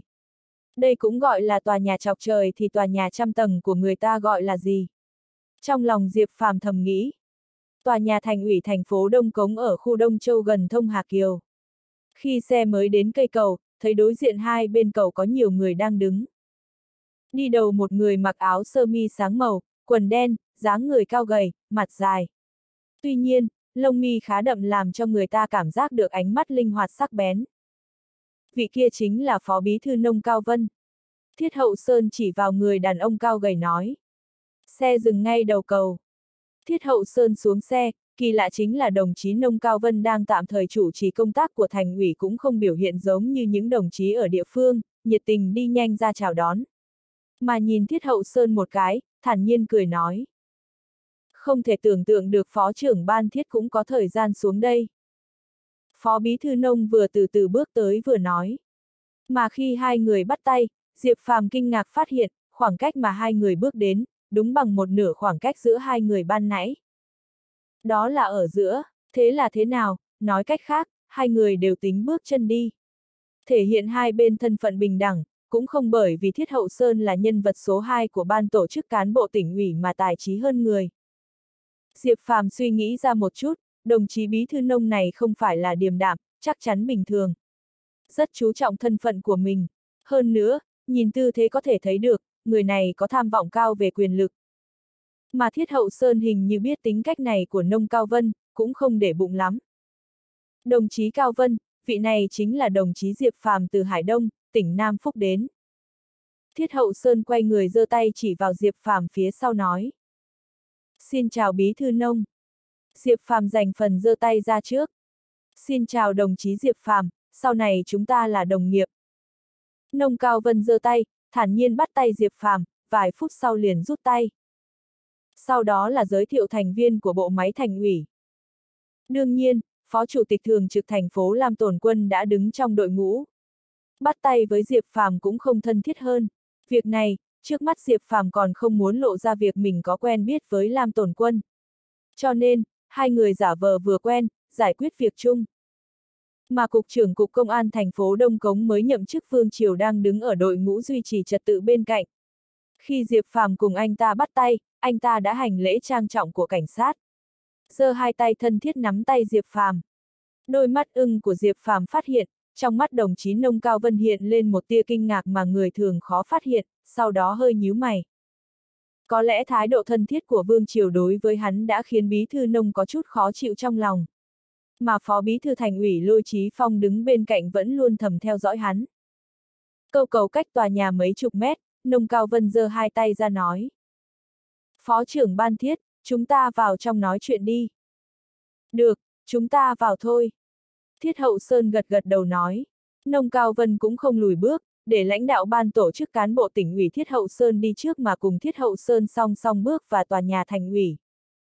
Khi mới cách cửa chính tòa nhà thành ủy hơn 10 mét, Thiết Hậu Sơn cùng Nông Cao Vân đột nhiên dừng bước. Không hẹn mà cùng quay sang bên phải như đang nhìn ai. Diệp Phàm cảm thấy có chút lạ, nhìn sang, phát hiện bên phải có một người tóc đã bạc hết đang ngồi trên xe lăn. Ông lão mặc một chiếc áo kiểu tôn trung sơn. Ông lão hình như đang bị bệnh, mặt gầy chỉ còn da bọc xương. Tuy nhiên, ánh mắt rất bình thản, điềm đạm. chương 1846, chiếm phần nổi bật. Đồng chí Vi Lý Quốc, sao anh cũng đến đây? Thiết hậu sơn sau một lúc sửng sốt lập tức bước về phía xe lăn. Nông Cao Vân nhăn mặt nhíu mày một chút rồi mới bước theo Thiết Hậu Sơn về phía Vi Lý Quốc. Diệp Phàm lại nghĩ ra một việc, việc này rất rõ ràng, Nông Cao Vân không muốn hắn nhìn thấy vị bí thư thành ủy bị bệnh Vi Lý Quốc. Vi Lý Quốc xuất hiện có vẻ như chiếm mất sự nổi bật của người nào đó. Thiết Hậu Sơn thân thiết bắt tay Vi Lý Quốc xong, Vi Lý Quốc nhìn về phía Diệp Phàm, mỉm cười nói. Cậu chính là đồng chí Diệp Phàm từ Hải Đông đến. Vâng, anh là Bí Thư Vi. Chào anh. Diệp Phàm đi nhanh lên, giơ tay ra bắt. Kỳ lạ chính là Vi Lý Quốc hình như cũng thích Diệp Phàm, cũng giơ hai tay nắm lấy tay Diệp Phàm. Nông Cao Vân vẻ mặt không chút thay đổi, không biết trong lòng người này đang nghĩ gì. Có lẽ hẳn là không dễ chịu. Nghe nói hôm nay cậu đến nên tôi qua xem sao. Vi Lý Quốc cũng không để ý đến Nông Cao Vân nhìn Diệp Phàm một cái nói. Đồng chí Diệp Phàm tình hình của thành phố Đông Cống chúng ta tin rằng cậu đã nhìn thấy hết. Nhân dân Đông Cống cần một người khơi mào phát triển kinh tế Đông Cống, một lãnh đạo tốt hướng dẫn nhân dân Đông Cống cách làm giàu. Vi Lý Quốc nói những lời này hơi lớn, việc này rõ ràng là đánh vào thể diện của nông Cao Vân. Ý tứ không phải là nói hiện tại thành phố Đông Cống vẫn chưa tìm được lãnh đạo tốt sao. Tôi sẽ cố gắng. Diệp Phàm thận trọng gật đầu, đối mặt với một cán bộ giản dị như vậy, trong lòng Diệp Phàm có chút đau xót. Vậy là tốt rồi. Vi Lý Quốc gật gật đầu, nói. Chúng ta vào trong nói chuyện đi. Bí thư Vi, ông cần nghỉ ngơi cho tốt. Lúc này nông cao vân thốt lên một câu, câu này chắc chắn có ý rằng hôm nay tôi chủ trì là được, ông cứ về nhà nghỉ ngơi. Ha ha, thành phố Đông Cống chào đón chủ tịch thành phố mới, tôi không đến không được. Vi Lý Quốc cười nói. Tuy nhiên, tư thế này nghiễm nhiên nói ông ta mới là bí thư thành ủy Đông Cống, nông cao Vân Anh chỉ là thay mặt tôi. Vi Lý Quốc tôi mới là bí thư chính thức do ban tổ chức cán bộ tỉnh ủy bổ nhiệm. Vậy đi, chúng ta cùng vào. Nông Cao Vân thản nhiên nói một câu, xoay người bước về phía tòa nhà thành ủy. Tốt, anh dẫn đường đi. Vi Lý Quốc nói, những lời này thật sự làm người ta khổ sở. Nghiễm nhiên Nông Cao Vân chỉ là nhân vật dẫn đường, tôi Vi Lý Quốc mới là bí thư, hoàn toàn xứng đáng là nhân vật số một của Đông Cống. Nông Cao Vân vừa nghe vậy đột nhiên dừng bước, tuy nhiên, chỉ là dừng lại một chút, ngay sau đó anh ta lập tức ngẩng đầu ưỡn ngực bước về phía tòa nhà thành ủy. Nghiễm nhiên, anh ta mới là người đi đầu của thành phố Đông Cống. Hai người âm thầm phân cao thấp, Diệp Phàm và Thiết Hậu Sơn hiển nhiên thấy hết. Liếc nhìn nhau, trên mặt Thiết Hậu Sơn lộ ra một nét cười kỳ quái. Đối với việc một bí thư sắp hết hơi như vi lý quốc lại đi đấu với nông cao vân làm cho trong lòng Diệp Phàm đầy nghi hoặc. Cậu có thể không biết, nông cao vân cũng không chính thức được giao nhiệm vụ chủ trì công tác của thành ủy Đông Cống. Lúc đó bởi vì vi lý quốc bị bệnh không thể đi làm trong thời gian dài. Cho nên, cấp trên có tham khảo ý kiến của vi lý quốc. Người lúc đó vi lý quốc đề cử chính là tiền nhiệm của cậu chủ tịch thành phố Hoàng Quang Nguyên. Tuy nhiên, việc này không được cấp trên ủng hộ, cấp trên muốn đồng chí Nông Cao Vân, bởi vì quan tâm đến cảm xúc của vi lý quốc. Cho nên, cuối cùng việc Nông Cao Vân chủ trì công tác của thành ủy cũng không được ban tổ chức cán bộ tỉnh ủy quyết định chính thức. Nhưng ý của tỉnh ủy vi Lý Quốc cũng không muốn đối đầu, chuyện này giải quyết hơi mơ hồ. Hiện giờ còn không rõ ràng. Lúc này Thiết Hậu Sơn nói nhỏ với Diệp Phàm. Thì ra là thế, Diệp Phàm đã ngầm hiểu rõ trong lòng. Thủ tục bổ nhiệm đơn giản xong, Diệp Phàm tiến hành chuyển giao qua sơ với Chủ tịch Hoàng, coi như là chính thức nhậm chức. Ăn cơm trưa ở nhà khách thành ủy, buổi chiều Diệp Phàm và Thiết Hậu Sơn đến Ủy ban Nhân dân thành phố. Ở đây là địa bàn của Diệp Phàm, cùng làm quen với mấy phó chủ tịch thành phố. Tuy nhiên, tòa nhà của thành ủy và Ủy ban Nhân dân thành phố Đông Cống cũ nát làm Diệp Phàm vô cùng đau lòng. Ngay cả văn phòng của chủ tịch thành phố như hắn còn không bằng văn phòng của một chủ tịch thị xã ở Nam Phúc. Buổi sáng ngày hôm sau, Diệp Phàm đến Ủy ban Nhân dân thành phố đúng giờ. Vừa mới ngồi xuống chiếc ghế xoay cũ, Diệp Phàm xoay một vòng tròn, gõ gõ tay lên bàn làm việc có vẻ cũng cũ như vậy. Lúc này, một tiếng gõ cửa vang lên, nghe tiếng Diệp Phàm trả lời xong thấy trưởng ban thư ký tỉnh ủy Lý Tinh Tinh bước vào. Lý Tinh Tinh nhìn qua khoảng 30 tuổi, mặt có mấy vết tàn nhanh, người cao, có lẽ hơn 1m8. Ngực không lớn nhưng vừa phải. Chủ tịch Diệp, anh mới đến chỗ chúng tôi có thể không quen. Dù sao, điều kiện ở đây không so được với Hải Đông. Tuy nhiên, hôm qua Bí Thư Vi có dặn, không cần lo thành phố có tiền hay không có tiền, nhất định phải tạo điều kiện tốt nhất để anh làm việc. Bí Thư Vi chỉ thị, tiến hành sửa chữa toàn diện phòng làm việc của anh. Nhà và đồ dùng làm việc đều quá cũ rồi. Anh có yêu cầu gì, có thể trực tiếp đề xuất trực tiếp với tôi, tôi tiện sắp xếp. Lý Tinh Tinh khẽ cười nói. Cảm ơn Bí Thư Vi, tôi thấy chỗ này cũng rất tốt, không cần phải lãng phí tiền của. Thành phố Đông Cống chúng ta không giàu, thậm chí có thể nói là kinh tế rất lạc hậu, đứng cuối cùng của tỉnh. Chúng ta cứ để tiền dùng vào việc cần.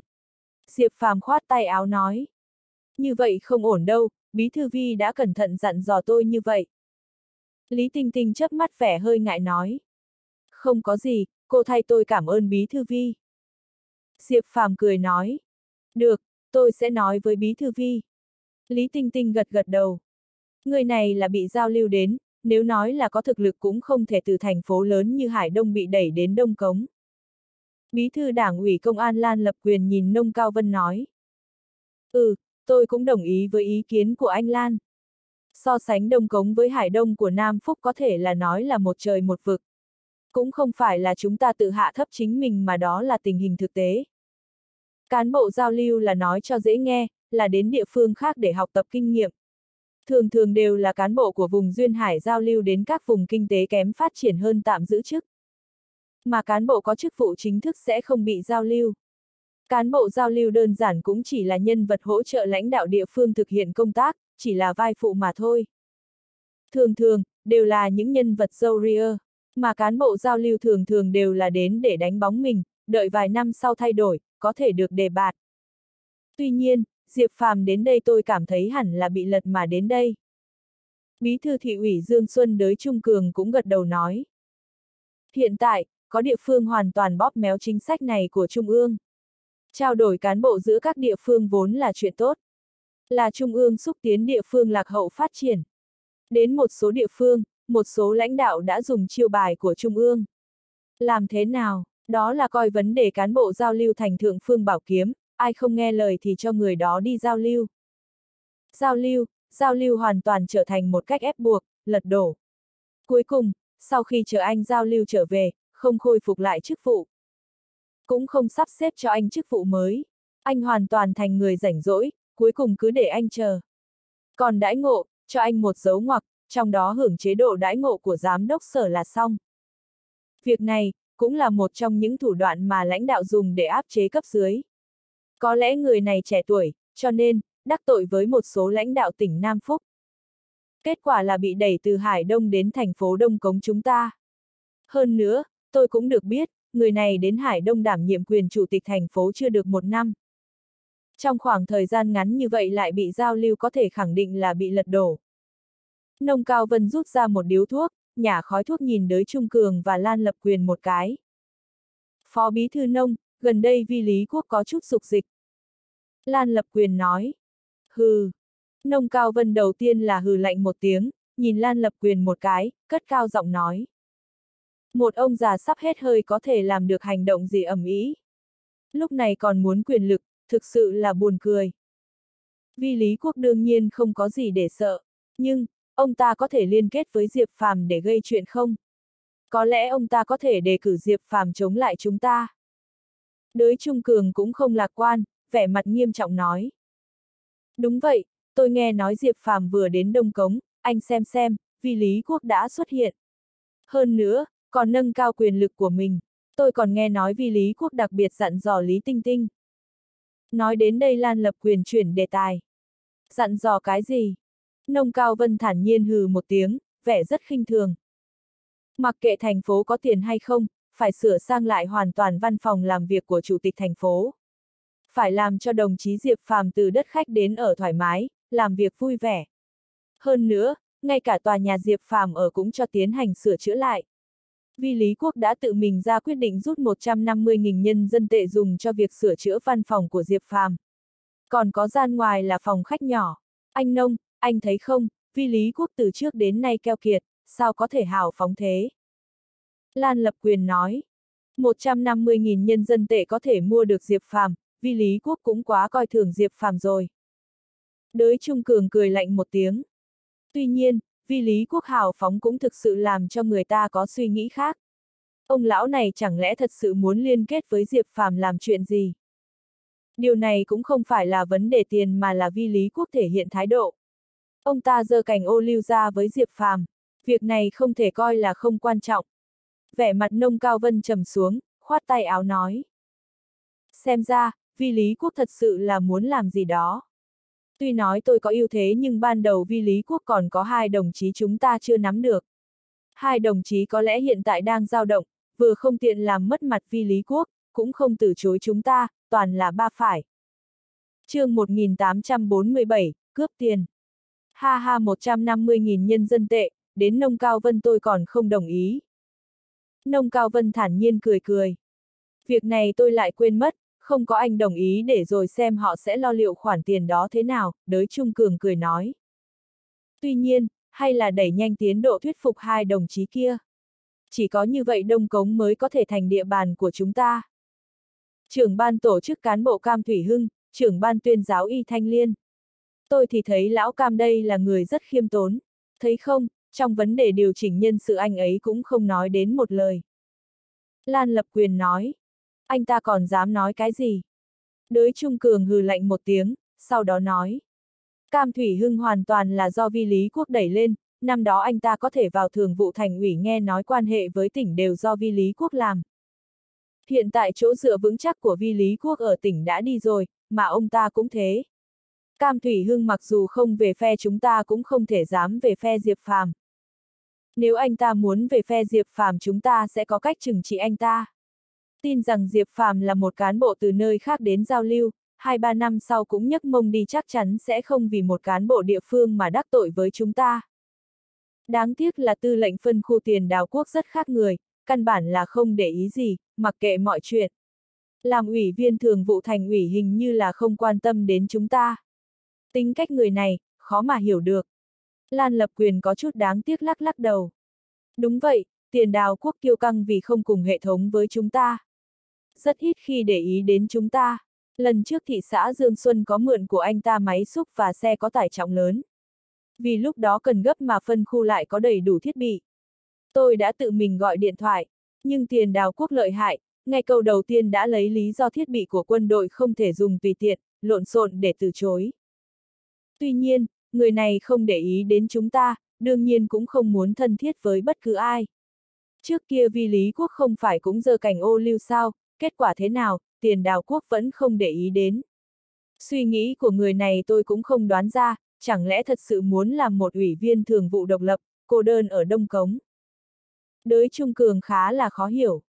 Hay là tìm cơ hội gõ cửa anh ta một chút, hệ thống quân đội thì sao chứ? Anh ta không phải đang công tác ở thành phố Đông Cống chúng ta sao? Hơn nữa, anh ta cũng là ủy viên thường vụ thành ủy, vì sự phát triển của Đông Cống là việc nên làm. Lan Lập Quyền hừ nói. Thôi vậy, anh ta không muốn về phe chúng ta cũng không về phe người khác. Vì Lý Quốc không làm gì được anh ta, tin rằng người từ nơi khác đến như Diệp Phàm, lại là người trẻ tuổi người ta lại càng không để ý đến. Hơn nữa, Người này tôi nghe nói có liên quan đến nhà họ Yến ở Bắc Kinh. Nông Cao Vân thản nhiên nói. Nhà họ Yến, không thể nào. Lan Lập Quyền có chút kinh ngạc nhìn Nông Cao Vân một cái nói. Không sai, một thời gian trước đây tình cờ tôi thấy anh ta chiêu đãi phó quân đoàn trưởng họ Yến ở Thủy Châu. Hơn nữa, theo người hộ tống phó quân đoàn trưởng Yến thì họ là quan hệ thân thiết.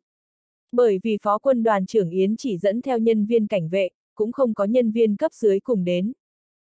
Nếu có các sĩ quan cấp tá đi cùng thì có thể nói là đồng nghiệp cùng trong quân đội giao lưu, không phải gặp cá nhân. Anh nghĩ xem thành phố Đông Cống chúng ta cách tỉnh Nam Phúc không phải là gần. Hơn nữa, Đông Cống thuộc quân khu Việt Châu, mà Nam Phúc lại thuộc quân khu lĩnh Nam. Về lý thuyết mà nói đoàn trưởng Yến Thành sao chạy đến đây kết bạn với anh ta. Nông Cao Vân nói. Yến Thành là ai, anh Nông, anh không cần để chúng tôi đoán mò. Đới Trung Cường có chút khó hiểu nhìn chằm chằm Nông Cao Vân. Ha ha, Yến Thành là người thân nhất của Phó Thủ tướng, anh nói xem là ai.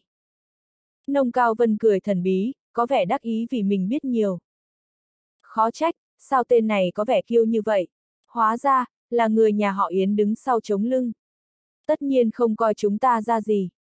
Đới Trung Cường có vẻ nản lòng, có chút tức giận. Mọi người cũng không nên để ý đến anh ta. Đối với chúng ta mà nói anh ta chỉ là vật trang trí thôi, không có tác dụng gì. Nông Cao Vân nhẹ nhàng khoát tay áo. Vừa lúc này tiếng gõ cửa vang lên. Không lâu trưởng ban thư ký Lý Tinh Tinh đến. Cô nhìn mọi người một cái nói. Vừa rồi gặp Diêu Thông, anh ta nói tiền để chúng ta xây dựng trụ sở tỉnh đã cấp xuống. Cấp nhiều hay ít? Ánh mắt Lan Lập Quyền sáng lên, anh ta hào hứng hỏi. 60 triệu. Lý Tinh Tinh giơ sáu ngón tay nói. Vẫn là lão nông lợi hại, anh chạy đến tỉnh một chuyến đã đưa về 60 triệu. Trước kia cán bộ đông cống chúng ta đi xin tiền đã bao giờ vượt quá 10 triệu. Lần này Trúc Keo Kiệt thật sự là hào phóng một hồi rồi. Đới Trung Cường vẻ mặt tươi cười nói, cố tình nịnh nông cao vân. Ha ha, đáng tiếc, lúc ấy tôi xin 100 triệu, mới cho có 60 triệu, ôi nếu thêm 40 triệu thì tốt rồi. Nông Cao Vân tuy vẫn thể hiện sự bình tĩnh nhưng giọng nói vẫn đầy đắc ý, ai cũng có thể thấy. Quay sang chuyện khác Nông Cao Vân nhìn ba người nói. Tuy nhiên, Chủ tịch Trúc có thể cho 60 triệu, cũng coi như là phá kỷ lục cán bộ đi xin tiền trong tỉnh Tây Lâm chúng ta. Lần sau đến tỉnh thành, tôi còn phải đến chào Chủ tịch Trúc, cảm ơn ông ta hào phóng quan tâm đến cán bộ đông cống chúng ta. Cảm ơn ông ta ủng hộ công việc của chúng ta, ha ha. Bí thư nông, có 60 triệu lần này nhất định anh phải giải quyết trụ sở làm việc của Cục Công an chúng tôi. Nếu không, trụ sở làm việc của cảnh sát hình sự cũ nát như vậy sao có thể phá án đạt hiệu quả cao được. Bí thư đảng ủy công an Lan lập quyền lập tức tiến hành công cuộc tranh giành. Tôi nói nhé anh Lan, trụ sở của Cục Công an thành phố các anh so với trụ sở làm việc của thị xã Dương Xuân chúng tôi là không tồi rồi. Tòa nhà của chúng tôi xây dựng từ đầu những năm 80. Tòa nhà của các anh ít nhất cũng xây dựng từ giữa những năm 80. Tòa nhà của chúng tôi càng cũ càng phải quy hoạch xây dựng lại. Tiền chưa tới tay hai người không ngờ đã tính toán. Được rồi, đều có đều có cả. Trụ sở làm việc của Cục Công an quan trọng, nhưng thị xã Dương Xuân chúng tôi cũng sẽ xem xét. Tuy nhiên, đừng hy vọng cho các anh hết 60 triệu. Các anh xem xem, trụ sở làm việc của thành ủy không phải là tòa nhà lạc hậu từ thập niên 80 sao, phải xây dựng lại trước hết. Nông Cao Vân ra vẻ trách cứ hai đồng chí. Trên thực tế lời nói đầy vẻ đắc ý. Đây tất nhiên là có tiền thì có quyền lực. Việc này, bí thư nông, khoản tiền này chỉ sợ là không dễ rút ra. Lúc này Lý Tinh Tinh mới nói. Buồn cười, bí thư nông xin được tiền còn không lấy được. Chẳng lẽ vi lý quốc có lý do để rút khoản tiền này? Có bản lĩnh bảo vi lý quốc tự mình lên tỉnh đi. Không xin được một đồng giờ lại muốn linh tinh, cho cái dám. Lan lập quyền tức giận mắng. Được rồi, dừng lại. Khoản tiền này chắc chắn phải qua cửa của Diệp Phàm. Rút tiền là quyền của chủ tịch thành phố. Tuy nhiên, thôi. Nông Cao Vân thản nhiên nói một câu. Hắn có thể thế nào? Thứ nhất nhận được khoản tiền lớn như vậy, tiền cũng không phải do hắn làm ra, dựa vào cái gì mà hắn quản lý. Anh Nông, tôi thấy việc này phải qua hội nghị thường vụ thảo luận. Không thể để bút của chủ tịch thành phố như hắn muốn phê thế nào thì phê. Đới Trung Cường cũng có chút tức giận, giọng rất lớn. Hừ, bút của hắn có bao nhiêu khả năng. Nông Cao Vân hiển nhiên mất hứng nhìn Trung Cường một cái hừ một tiếng. Ha ha, lão đới yên tâm. Tuy nói là chủ tịch thành phố, ủy ban nhân dân thành phố quản lý tiền làm những việc cụ thể. Nhưng đây là đâu, là thành phố Đông Cống. Mà khoản tiền này do Phó Bí Thư Nông làm ra. Diệp Phàm sao có thể làm gì? Huống chi, thực gây với chúng ta thì đến lúc đó cục tài chính không phải là cục tài chính trong tay ủy ban nhân dân thành phố mà là quỹ đen của Bí Thư Nông chúng ta. Lan Lập Quyền cười nói. Không thể nói lung tung như vậy lão Lan, cục tài chính vẫn là cục tài chính thuộc ủy ban nhân dân thành phố. Tuy nhiên, nếu có đồng chí nghe lời thì bút kia của hắn vẫn dùng được. Đương nhiên, nếu không nghe lời. Nói đến đây, nông cao vân không nói tiếp mà dùng một chút lực bẻ gãy một cây bút. Đương nhiên, đương nhiên. Lan Lập Quyền cùng đới Trung Cường đều mỉm cười. Không phải là như vậy, khoản tiền này có lẽ bí thư vi cũng không nhúng tay. Nhưng, nghe nói khoản tiền này không cấp xuống cục tài chính thành phố. Lúc này Lý Tinh Tinh lại nói. Sao lại như thế, ở tỉnh cấp tiền cho chúng ta không cấp xuống cục tài chính thành phố thì cấp cho ai? Đới Trung Cường cho rằng đó là một chuyện buồn cười. Thật sự không cấp xuống cục tài chính thành phố. Trên đường tôi đã gặp cục trưởng cục tài chính thành phố Trương Cao Nguyên. Anh ta cũng ngạc nhiên, lập tức gọi điện thoại kiểm tra. Nói là chắc chắn cục tài chính thành phố không nhận được khoản tiền 60 triệu này. Cuối cùng tôi phải kiểm tra một chút mới biết khoản tiền này đã được chuyển thẳng đến quỹ của Chủ tịch Diệp Phàm. Lý Tinh Tinh nói. Vớ vấn, đây rõ ràng là vi phạm quy định, chẳng lẽ các đồng chí sở tài chính bị choáng? Nếu như thế thì có gì để nói? Đới Trung Cường tức giận nói. Có chuyện trùng hợp vậy sao? Nông Cao Vân hừ một tiếng. Thế này không được, khoản tiền này là Phó Bí Thư Nông xin được, sao lại để Diệp Phàm hưởng? Phó Bí Thư Nông, tôi đề nghị nhanh chóng mở hội nghị thường vụ, rút khoản tiền từ quỹ đen của hắn ra. Bằng không, để hắn hưởng không có lẽ chúng ta không được gì. Lan Lập Quyền có chút nóng nảy. Tình trạng của Cục Công an thành phố thực sự khiến Lan Lập Quyền có chút lo lắng. Hơn nữa vì trụ sở làm việc cũ nát mà trang thiết bị hiện đại cho cảnh sát hình sự và trinh thám của Cục Công an đều không có. Một chút việc cũng phải mang lên sở công an tỉnh. Cứ như vậy thì các đồng chí ở sở công an tỉnh cũng không muốn bị làm phiền. Thứ hai, Lan Lập Quyền là bí thư đảng ủy công an người ta cũng nhìn y với ánh mắt khác. chương 1848, cách để biến 60 triệu thành 600 triệu. Vậy cho nên, vì thể diện, vì sự uy nghi, lão Lan phải nhanh chóng giải quyết vấn đề này. Bằng không, y cũng đã không sốt ruột đến thế. Hội nghị thường vụ là không nhất thiết, có thể nói sau cũng được. Anh nghĩ xem, hiện tại ai là người muốn gọi Diệp Phàm lên hội nghị thường vụ nhất nào? Y Cao Vân nói. Đương nhiên là vi Lý Quốc, anh ta đương nhiên muốn chúng ta gọi Diệp Phàm đến. Tuy nhiên, tôi vẫn không hiểu, vì sao vi Lý Quốc lại tích cực như vậy. Theo như bệnh tình của anh ta mà nói, không thể trở lại cương vị công tác. Đới Trung Cường thắc mắc. Hừ. Y Cao Vân hừ lạnh một tiếng không đáp, nhưng mặt mũi trông rất khó coi. Lan Lập Quyền đang ngồi đối diện với đới Trung Cường cũng nhanh chóng thay đổi sắc mặt, ý tứ rõ ràng là bảo anh ta đừng có hỏi han gì nữa. Ngày đầu tiên đi làm, Diệp Phàm việc gì cũng không làm. Cũng không tham gia cuộc họp của Ủy ban Nhân dân thành phố, cũng không thèm đến cơ quan. Mà tự nhốt mình trong phòng làm việc bận bịu với việc gì đó. Diệp Phàm đang làm gì? Tự nhiên, trước mặt hắn lại có một số tài liệu về Đông Cống, hắn đang tìm kiếm một cơ hội. Chủ tịch tỉnh Trúc giao nhiệm vụ phải kiếm được 600 triệu từ 60 triệu, số tiền này cũng không dễ kiếm. Tuy nhiên chủ tịch cũng không hạn chế về thời gian. Tuy nhiên nếu như có thể kiếm được số tiền này càng sớm, vô hình chung sẽ được chủ tịch tán thưởng. Bởi vì, chủ tịch tỉnh là một người mẫn cán, ông ta thực lòng muốn xây dựng một đội ngũ cán bộ tốt. Diệp Phàm cũng có chút động lòng, cũng muốn hợp sức với ông đưa Đông Cống đi lên. Đương nhiên, cũng phải chứng minh cho đồng nghiệp thấy, Diệp Phàm này là một miếng vàng, ở bất cứ nơi đâu cũng có thể tỏa sáng. Tuy nhiên, chỉ trong thời gian ngắn mà biến 60 triệu thành 600 triệu, thì quả là đã làm khó cho lão Diệp. Đương nhiên, Chủ tịch tỉnh cũng hiểu được là chuyện này rất khó, cho nên mới không định rõ về thời gian phải hoàn thành. Đây cũng chính là một trong những lý do mà Diệp Phàm dám nhận nhiệm vụ này. Nói không chừng, Chủ tịch Trúc đã cho Diệp Phàm một cơ hội mới. Buổi tối, Diệp Phàm gọi Lam Tồn Quân và Vương Triều đến. Trước mắt, ở đông cống này, đây là hai người đáng tin nhất. Đương nhiên, đêm khuya lão Diệp muốn đi ra ngoài thì phải trèo qua cửa sổ. Địa điểm là do Vương Triều tìm, cổ hàn tự của Đông Cống là một nơi tương đối hẻo lánh, thật thích hợp để cho ba người tụ họp. Trong thời gian ngắn phải biến 60 triệu thành 600 triệu, chuyện này làm sao có thể, trừ phi anh Diệp đi cướp ngân hàng. Nghe xong kế hoạch của Diệp Phàm, Vương Triều nghẹn hỏng chố mắt nhìn. Diệp Phàm hiểu được vẻ mặt của Vương Triều lúc này, thản nhiên cười nói. Việc chúng ta cần làm lúc này là biến những chuyện không thể thành có thể. Vì sao trong thế giới này của chúng ta lại tồn tại những ngành nghề làm ra được món lãi cách xù, nếu như có thật, thì chúng ta cũng phải tham gia thôi. Vương Triều, anh Diệp nói rất có lý. Không phải là không thể, mọi chuyện đều có thể mà. Lam Tồn Quân thản nhiên mỉm cười, sau đó nhíu mày nói. Anh Diệp, tôi cũng mới đến Đông Cống có vài ngày, phát hiện ra ở đây ngoài tài nguyên du lịch ra, thì những thứ khác quả thật chẳng ra sao cả.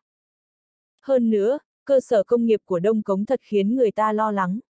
Trên thực tế thì không có lấy một xí nghiệp lớn nào cả. Việc này, cũng là do Đông Cống khá hẻo lánh. Tuy rằng tỉnh chúng ta giáp danh với các nước trong liên minh các quốc gia Đông Nam Á, chúng ta đều biết điều đó. Mười nước trong liên minh các quốc gia Đông Nam Á, mạnh nhất có thể là Singapore, là một trong bốn con rồng lớn của châu Á. Hơn nữa Việt Nam giáp với Đông Cống chúng ta lại là một trong những nước tiếc thay là còn kém phát triển. Cho nên, muốn thu hút đầu tư để phát triển kinh tế của Đông Cống, cũng không trông cậy được gì ở họ. Mọi người thì lại muốn chúng ta bỏ tiền túi của mình ra để phục vụ cho họ. Biện pháp tốt nhất chính là đi ra ngoài, xây dựng nhà máy tại một nơi kém phát triển nhất tại Việt Nam chẳng hạn, có lẽ sẽ kiếm được tiền nhanh hơn. Bởi vì, ở đó đất đai thuận tiện, giá nhân công rẻ, chính phủ cũng mong muốn có vốn đầu tư từ nước ngoài, chính sách ưu đãi tuyệt đối, cho nên chúng ta chỉ cần nhắm vào ngành nghề mà họ đang cần, mà những người khác ít đầu tư vào, chắc chắn là sẽ có thể kiếm được nhiều tiền. Lam tồn quân dù sao cũng là từ bộ thương mại cử xuống, tầm nhìn của Vương Triều cũng không hề tầm thường. Đương nhiên, cách làm của mỗi người không giống nhau, cho nên không thể nói ai hơn ai kém.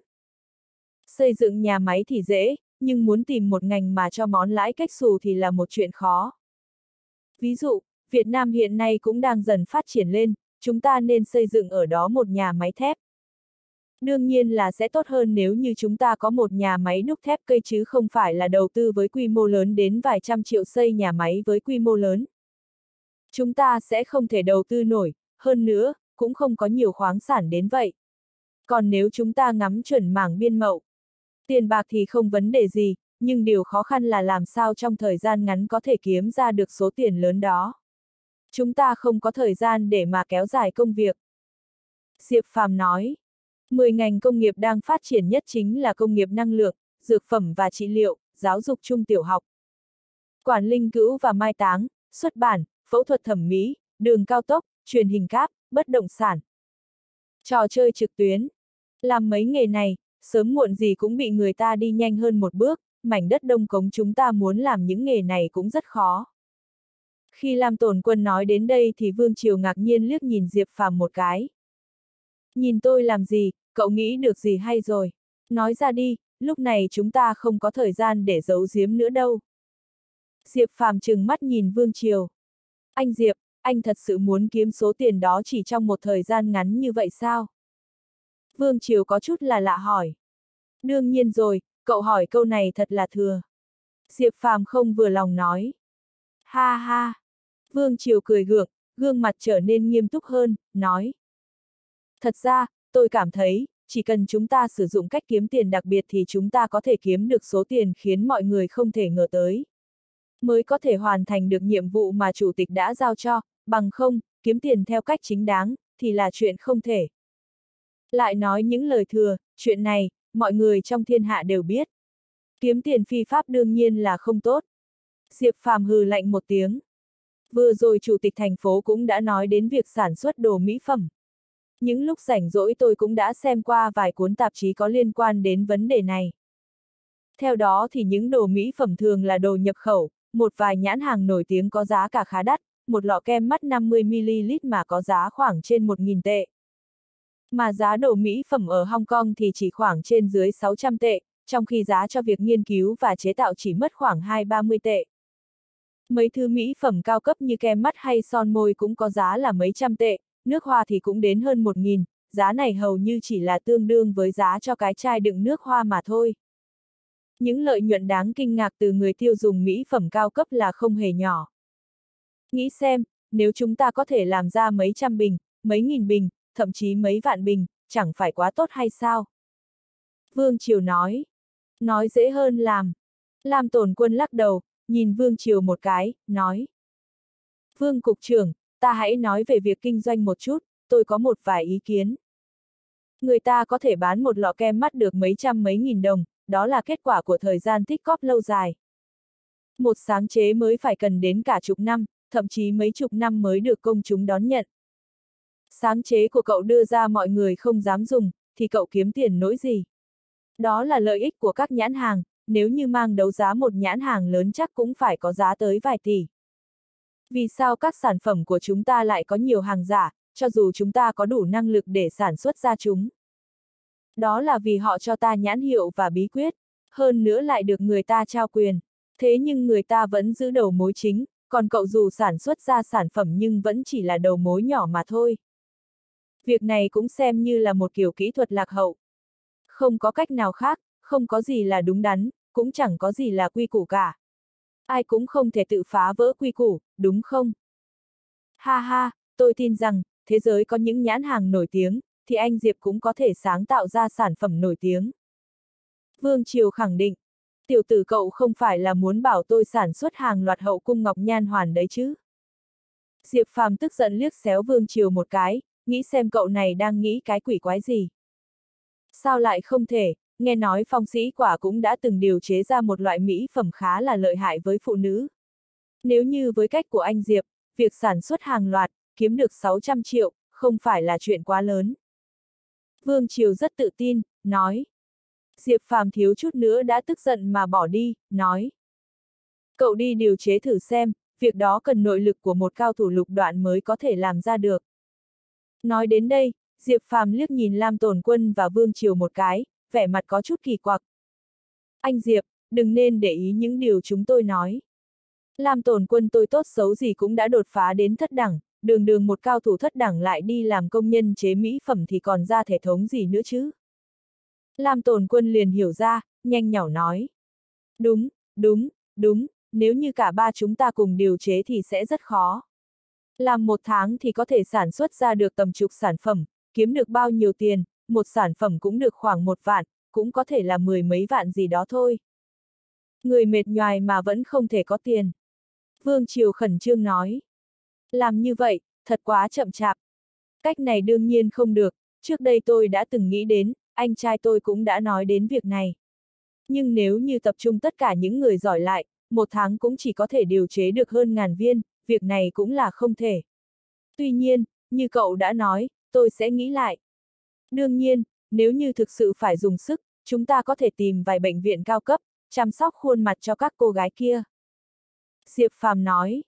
chương 1849, Hội nghị thành ủy lần thứ nhất. Anh Diệp, tôi nghĩ Ngọc Nhan Hoàn lần này phải tìm đến cao thủ mới được. Nếu như tự mình làm thì hiệu quả sẽ không được tốt cho lắm. Sản xuất ra những viên thuốc mà không có danh tiếng, thì khó mà bán ra được, cho dù phụ nữ ai ai cũng muốn làm đẹp. Mọi người không phải là mắt mù tai điếc, đương nhiên biết đâu là hàng thật, nếu không họ tuyệt đối không bỏ tiền ra mua. Sự thực là như vậy, chúng ta sẽ biến thành kẻ lừa đảo. Còn nói gì đến chuyện sáng lập hàng hiệu, nói không chừng Vương Triều sẽ đem chúng ta tống vào tù đầu tiên. Lam Tồn Quân nhìn Diệp Phàm, nói. Thực ra, chuyện này tôi cũng đã từng nghĩ đến, chính là khi Chủ tịch Trúc giao nhiệm vụ. Anh nghĩ, trong một thời gian ngắn mà biến 60 triệu thành 600 triệu, quả là rất khó thực hiện, trừ phi là cướp ngân hàng như Vương Triều đã nói. Tuy nhiên, nếu là Ngọc Nhan Hoàn thì còn có khả năng. Tuy rằng không thể mang ra sản xuất hàng loạt, nhưng hiện nay dựa vào danh tiếng của nó trên thị trường thì có thể làm được. Diệp Phàm thản nhiên cười nói. Tôi vẫn còn có chuyện không hiểu, nếu như không thể sản xuất hàng loạt, thì phải dựa vào mấy người chúng ta. Mệt mỏi cả một năm nhiều nhất cũng chỉ được hơn trăm viên, kiếm được trên trăm vạn đồng, thì 600 triệu kia bao giờ mới đạt được. Lam tồn quân nhìn Diệp Phàm, suy nghĩ của Vương Triều cũng không khác Lam Tồn Quân là mấy. Ha ha, khi nãy chẳng phải tôi đã nói đến lợi ích của nhãn hiệu nổi tiếng sao? Nếu như chúng ta liên hợp những người này lại, không chừng chúng ta sẽ làm nên chuyện lớn. Giống như tôi với hai anh cũng đã đạt tới trình độ trên lục đẳng, lại còn có cả cha con nhà họ Trần. Chỉ tiếc là Tề Thiên không có ở đây, nếu không lực lượng của chúng ta sẽ càng đông. Trước hết chúng ta sẽ phải vất vả vài tháng, làm ra khoảng trên trăm viên, những viên này sẽ là hàng thật giá thật. Sau đó chúng ta sẽ tiến hành quảng cáo, tạo thương hiệu. Còn làm thế nào để tạo danh tiếng, tôi nghĩ, nên mời những người nổi tiếng làm quảng cáo, lên truyền hình, và tuyên truyền trên các báo đài. Một khi Ngọc Nhan Hoàn của chúng ta có tên tuổi rồi, thì lo gì tiền sẽ không vào như nước. Nếu tự chúng ta làm thì hiệu quả có thể không được tốt lắm, nhưng cũng không phải là không có tác dụng. Mà giá cả thì có thể rẻ hơn một chút. Chúng ta có thể phân cấp cho Ngọc Nhan Hoàn, trả tiền thế nào thì dùng hàng thế đó. Còn về việc sản xuất hàng loạt, thì công hiệu của các mỹ phẩm này cũng có thể sánh ngang hàng với các sản phẩm nổi tiếng khác. Giá cả của chúng ta lại có thể cao hơn của họ. Nếu như chúng ta mời chuyên gia tới làm, mỗi viên sẽ có giá cả vạn đồng. Như vậy tuy rằng hiệu quả không được cao lắm, nhưng khi đã có được tên tuổi, tôi tin rằng mọi người sẽ trách bản thân mình không đủ tiền để bỏ ra mua hàng. Mà không thể trách sản phẩm của chúng ta không tốt. Diệp Phàm tự tin, nói. Cũng có lý, tôi nghĩ nếu chúng ta làm việc cẩn thận, thứ thuốc này chắc chắn sẽ tốt. Có phải vậy không? Ban đầu, chúng ta chỉ làm ra vài viên, còn khi đem vào sản xuất hàng loạt, với trình độ của chúng ta thì có thể làm ra vài chục viên, thậm chí cả trăm viên. Hiệu quả so với ban đầu có thể sẽ kém đi, nhưng tôi nghĩ, so với các sản phẩm trên thị trường hiện tại thì vẫn tốt hơn nhiều. Nếu như chúng ta làm tốt hơn bọn họ, chúng ta bán giá cao hơn thì cũng không có gì là quá đáng cả phải không? Vương Triều trầm trồ nói. Người tài như vậy tìm ở đâu đây, theo như những gì mà tôi biết, hình như là có hai vị hòa thượng có thể có khả năng đó. Lam Tồn Quân nói. Có có, trong tổ chức bí mật quốc gia cũng có ba bốn người. Khi đó bọn họ thực hiện nhiệm vụ của quốc gia, nhưng sau đó bị thương, không thể tiếp tục chấp hành. Cho nên giờ đã lui về địa phương công tác. Tôi nghĩ, nếu như tiền lương khiến họ vừa lòng, rất có thể họ sẽ làm việc cho chúng ta. Diệp Phàm thản nhiên cười, nói đến mấy người đã xuất ngũ ở tổ đặc nhiệm A lúc trước. Cũng có mấy người có tài nhưng vì bị thương nên đã rút lui. Nhưng khả năng của họ thì vẫn còn. Chỉ cần có họ, thì có thể có những viên thuốc mong ước. Dù là chỉ còn một chân, thì cũng có thể làm ra được ngọc nhan hoàn. Anh biết quả không ít đó. Lam tổn quân liếc mắt nhìn Diệp Phàm. Ha ha, anh Lam, những điều anh Diệp biết chúng ta không thể đoán hết được đâu. Vương Triều cười thần bí, bởi vì Vương Triều cũng hiểu khá rõ tổ đặc nhiệm A. Quyết định như vậy đi, còn về tên thuốc, chúng ta nên đặt một cái tên thật hoành tráng mới được. Mà việc triển khai công việc này, tôi nghĩ là nên hợp tác đầu tư, chúng ta nên đi vay thêm một ít tiền để mở quy mô lớn. Diệp Phàm nói. Tuy nhiên, anh Diệp, vẫn còn một vấn đề. Loại cây xuân tiêu không phải ở đâu cũng có. Chúng ta cần nguồn nguyên liệu dồi dào, không thể để đến lúc sản xuất hàng loạt ngọc nhan hoàn chỉ vì thiếu nguyên liệu mà ngừng sản xuất được. Vương Triều nghĩ thật chu đáo. Đây đúng là một vấn đề, tuy nhiên tôi nghĩ, không phải là chúng ta không thể có xuân tiêu, mà là vì phạm vi tìm kiếm của chúng ta quá hẹp. Vài ngày tới, chúng ta hãy đăng tin lên truyền hình, thu mua chúng. Có thể ở một nơi nào đó sẽ có rất nhiều loại cây này, chỉ là chúng ta chưa tìm ra mà thôi. Hơn nữa, nếu như không được, chúng ta có thể tìm kiếm cây thay thế. Diệp Phàm nói, cũng chỉ có thể như thế, việc này, cứ để tôi làm. Lam Tồn Quân nói, tốt lắm, vậy việc này giao cho anh.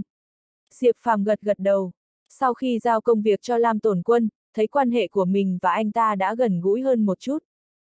Hơn nữa, Lam Tồn Quân còn đang nghĩ ngợi xa xăm gì đó, cũng trông chờ nhiều vào Diệp Phàm, bởi vì anh ta đã thấy được tài năng ẩn chứa bên trong của hắn. Lam Tồn Quân cũng thầm khâm phục hắn, theo như những biểu hiện vừa rồi thì hẳn là anh ta có ý như thế. Đương nhiên, quan hệ cũng chưa rõ ràng lắm, hai bên vẫn còn trong thời gian thăm dò nhau. Chỉ có điều cuối cùng thì đâu cũng sẽ vào đấy thôi. Sau khi quyết định chuyện đại sự, tâm trạng Diệp Phàm thoải mái hơn một chút. Ba người ngồi uống rượu một chút rồi mới về nhà. Năm ngày liên tiếp, Diệp Phàm chưa làm gì cả, chỉ ở trong phòng xem tài liệu, không ra ngoài một lát nào. Cứ như là con dâu mới về nhà chồng vậy. Điều này không khỏi khiến cho các cán bộ ở Đông Cống cảm thấy kỳ quái. Sáng sớm hôm sau, Lam Tổn Quân thông báo thu mua xuân tiêu trên nhiều phương tiện thông tin đại chúng. Đương nhiên, thông tin này không phải là của Ủy ban Nhân dân thành phố, mà thông qua tập đoàn Thủy Châu Lư Thị. Ở Đông Cống thì tập đoàn Lư Thị còn có tiếng tăm hơn cả Ủy ban Nhân dân thành phố, có bọn họ trợ giúp, cơ hội sẽ càng lớn. Việc này, tất nhiên là do Diệp Phàm đã làm. Tối ngày thứ sáu, Diệp Phàm thông báo cho phòng thư ký, tránh văn phòng Ủy ban Nhân dân thành phố Vệ Diêu Thông về việc 9 giờ sáng ngày hôm sau sẽ tổ chức hội nghị Ủy ban Nhân dân thành phố. Vệ Diêu Thông người lùn béo, trông khá lãnh đạm. Trong lòng Diệp Phàm thì đang nghĩ đến Vu Hữu Hòa ở Hải Đông, nếu như có cậu ta ở đây giúp đỡ thì tốt biết bao. Đáng tiếc là trên thế gian này làm gì có chuyện hoàn hảo như thế. Ngày hôm sau đúng 9 giờ, Diệp Phàm bước chân vào phòng họp. Nhìn qua một lượt, thấy mọi người đều đã đến đông đủ. Danh sách các thành viên tham gia hội nghị như sau. Thứ nhất là Chủ tịch thành phố Diệp Phàm, thứ hai là Phó Chủ tịch Thường trực Lam Tồn Quân. Thứ ba là Phó Chủ tịch thành phố Trần Tân Lễ, thứ tư là Phó Chủ tịch Lưu Chuyển Kim. Thứ năm Phó Chủ tịch Trương Trí Khôn, thứ sáu Phó Chủ tịch Y Tiễn Sâm. Thứ bảy Phó Chủ tịch Cam Thu Thu. Thứ tám Phó Chủ tịch Nạp Thanh Tuyết, thứ chín là Viện trưởng Viện Kiểm sát Nguyễn Tiến Phát. Thứ 10 là tránh án La Phong. Người thứ 11 là Phó trưởng Ban Thư ký Thành ủy kiêm tránh Văn phòng Ủy ban Nhân dân thành phố Vệ Diêu Thông. Đầu tiên chính là Diêu Thông giới thiệu các vị đại biểu có mặt, Diệp Phàm mỉm cười bắt tay mọi người. Sau khi ngồi xuống, Diệp Phàm uống trà, trầm ngâm trong chốc lát, mặt trở nên nghiêm túc hơn, lại nhìn quanh mọi người một lượt, nói. Mấy ngày nay tôi đã xem các tài liệu liên quan đến đông cống của chúng ta, từ trên xuống dưới. Nói thật, tôi có chút không hài lòng. Nói đến đây, Diệp Phàm dừng lại một chút, rồi nói. Ngân sách tài chính của chúng ta hiện tại chỉ đủ ăn, nếu như muốn có tiền để đầu tư xây dựng thành phố, gần như là không thể. Gần đây, trong tỉnh có rất nhiều ý kiến, nói là phải xây dựng khu Tây Nam thành phố. Hơn nữa, tôi phát hiện, các công trình xây dựng ở Đông Cống chúng ta rất kém, khu vực nội thành quá nhỏ, vùng ngoại thành thì dân cư lại quá thưa thớt. Cho nên, cần phải xây dựng khu trung tâm thành phố cho Đông Cống, mà phát triển kinh tế chính là nhiệm vụ quan trọng hàng đầu. Tuy nhiên, quy mô thành phố của chúng ta còn nhỏ, khả năng thu hút đầu tư còn yếu, vẫn chưa có khả năng thúc đẩy kinh tế xã hội phát triển. Chúng ta phải tập trung lực lượng, mau chóng xây dựng trung tâm thành phố Đông Cống thật tốt, thì mới có thể thu hút đầu tư và phát triển được. Điều làm tôi vô cùng ngạc nhiên đó là thị trấn Dương Xuân trực thuộc Đông Cống chúng ta. Không ngờ là họ xây dựng và phát triển hơn chúng ta rất nhiều. Nếu như làm tốt, Dương Xuân sẽ trở thành khu trung tâm phía tây nam của thành phố, đến lúc đó, mọi người nghĩ xem kết quả sẽ ra sao. Diệp Phàm nói đến đây thì dừng lại. Chủ tịch thành phố, tôi vừa mới xuống đây vài ngày đã phát hiện ra vấn đề này. Mấy hôm trước cũng đã đi xuống Dương Xuân thị sát một vòng, quả là không tồi chút nào. Về kinh tế và các hạng mục khác đều dẫn đầu thành phố. Nếu như mở rộng xuống đó, thì có thể Dương Xuân sẽ trở thành thủ phủ của chúng ta. Cho nên, việc xây dựng, quy hoạch Đông Cống trở thành trung tâm cứ thế mà làm. Dương Xuân phát triển tốt quả thật là quá hay. Còn chuyện làm thế nào để phát triển thành phố là chuyện chúng ta phải làm ngay bây giờ. Lam Tồn Quân là người đứng thứ hai trong thành phố này, đang kêu gọi mọi người ủng hộ cho Diệp Phàm. Audio điện tử võ tấn bền chương 1850, vô tình hay cố ý. Phát triển phát triển, không có tiền thì phát triển như thế nào? Chỉ nói mồm thì ai chẳng nói được chứ. Tất cả đều chỉ là vấn đề tiền. Chẳng ai là không muốn phát triển cả, nhưng biện pháp là gì, tiền ở cục tài chính thành phố thì ít. Ví như vừa rồi Chủ tịch thành phố Diệp nói, mục đích của chúng ta là kiếm sống, ngượng thay là cơm không đủ no thì nói gì đến xây dựng thành phố. Trung quy lại là không thể kêu gọi mọi người xây dựng cao ốc, công viên, mà trong bụng vẫn còn bị đói đúng không? Lúc này, đồng chí Lưu Phó Chủ tịch thành phố quản lý việc xây dựng lạnh lùng đáp lại Lam Tồn Quân và Diệp Phàm. Phó Chủ tịch thành phố Lưu, nhà ở thị xã Dương Xuân thì phát triển thế nào chứ? Người ta chỉ là một thị xã, trong khi chúng ta vốn là một đơn vị lớn hơn, một thành phố cấp 3 chứ. Lam Tồn Quân nói. Ha ha, phải nói thế nào đây, chắc hai người vừa tới đây nên không hiểu rõ cho lắm. Thật ra, vài năm trước, khu vực trụ sở chúng ta, không phải ở thị xã Đông Cống, mà là ở thị xã Dương Xuân. Sau này, do phong thủy và nhiều nguyên nhân, trụ sở ở Dương Xuân được chuyển tới thị xã Đông Cống. Tuy nhiên, đến tận bây giờ, nhân dân thị xã Dương Xuân vẫn còn không phục, luôn kiện lên cấp trên tại sao lại rời trụ sở đi chỗ khác. Cuối cùng, khu vực trung tâm hành chính cũng là một thị xã, việc này một thằng ngốc cũng nghĩ ra. Kỳ thật, lúc di chuyển khu vực hành chính, nhiều đồng chí đều có ý kiến. Nếu lúc trước không di chuyển, có lẽ, hiện tại Dương Xuân đã phát triển trở thành thành phố trung tâm phía tây nam của tỉnh. Nói thật, thì tôi không đồng ý di chuyển. Đó là một khiếm khuyết, vấn đề quá lớn. Bây giờ đã thấy rõ chỗ sai. Sau đó thị xã Dương Xuân phát triển chậm lại, thị xã Đông Cống cũng không có hữu lực để phát triển. Việc xây đô thị của thị xã Đông Cống vì không có tiền mà bị gác lại, căn bản là không giống một thành phố cấp 3, ngược lại trông giống như là một thị trấn nhỏ ở phía nam. Lúc này, Phó Chủ tịch thành phố Y Tiễn Sâm cười giải thích tiếp. Đúng vậy, việc thu hút đầu tư là phạm vi công tác của tôi. Lần trước, vất vả lắm mới câu được một khách hàng lớn, tôi phải hao tổn hết bao nhiêu calo mới mời được anh ta tới thị xã Đông Cống. Kết quả thế nào chứ, làm người ta chạy mất dép luôn. Phó Chủ tịch thành phố Nạp Thanh Tuyết nói đến đây, liếc nhìn Diệp Phàm một cái, lại nói tiếp. Vị thương gia kia chỉ nhìn thoáng qua thị xã Đông Cống đã lắc đầu nói. Thị trấn nhỏ này thì có thể phát triển cái gì, nếu tôi vứt vào đây mấy chục triệu, có khác gì lấy tiền ném xuống sông. Sau khi nói xong cũng chẳng ngồi ăn cơm chưa đứng dậy lên xe đi luôn. Việc di chuyển thường là do phải di chuyển, nhờ Tần Thiên Hàm Dương tới nói đi. Mọi người đều biết, Tần quốc hấp mạnh bắt đầu từ việc có biến pháp của thương ưởng. Biến pháp của thương ưởng đều có thứ tự, nội dung quan trọng nhất chính là rời đô Hàm Dương. Sau khi Tần quốc từ sau Bình Vương Đông Thiên, bắt đầu xây dựng đất nước ở bên dòng sông, ban đầu lãnh thổ quốc gia nhỏ hẹp, hơn nữa vị trí lại hướng về Tây, và các dân tộc du mục tiếp cận với phương Tây, thậm chí dân cư hỗn tạp, bởi vậy kinh tế, văn hóa rời xa các quốc gia Trung Nguyên, các phương diện đều khá lạc hậu, mà một thời gian dài không bị các quốc gia ở Trung Nguyên xâm chiếm. Nếu Tần quốc muốn trở thành bá chủ Trung Nguyên, biến yếu vì cường, nhất định phải thay đổi trung tâm chính trị Đông Di. Lần này Tần quốc rời đô, khiến cho thế lực hướng đông được đẩy mạnh nhanh, mà trung tâm chính trị Đông Di, cũng khiến cho Tần quốc chính thức sánh ngang với các quốc gia Trung Nguyên về chính trị.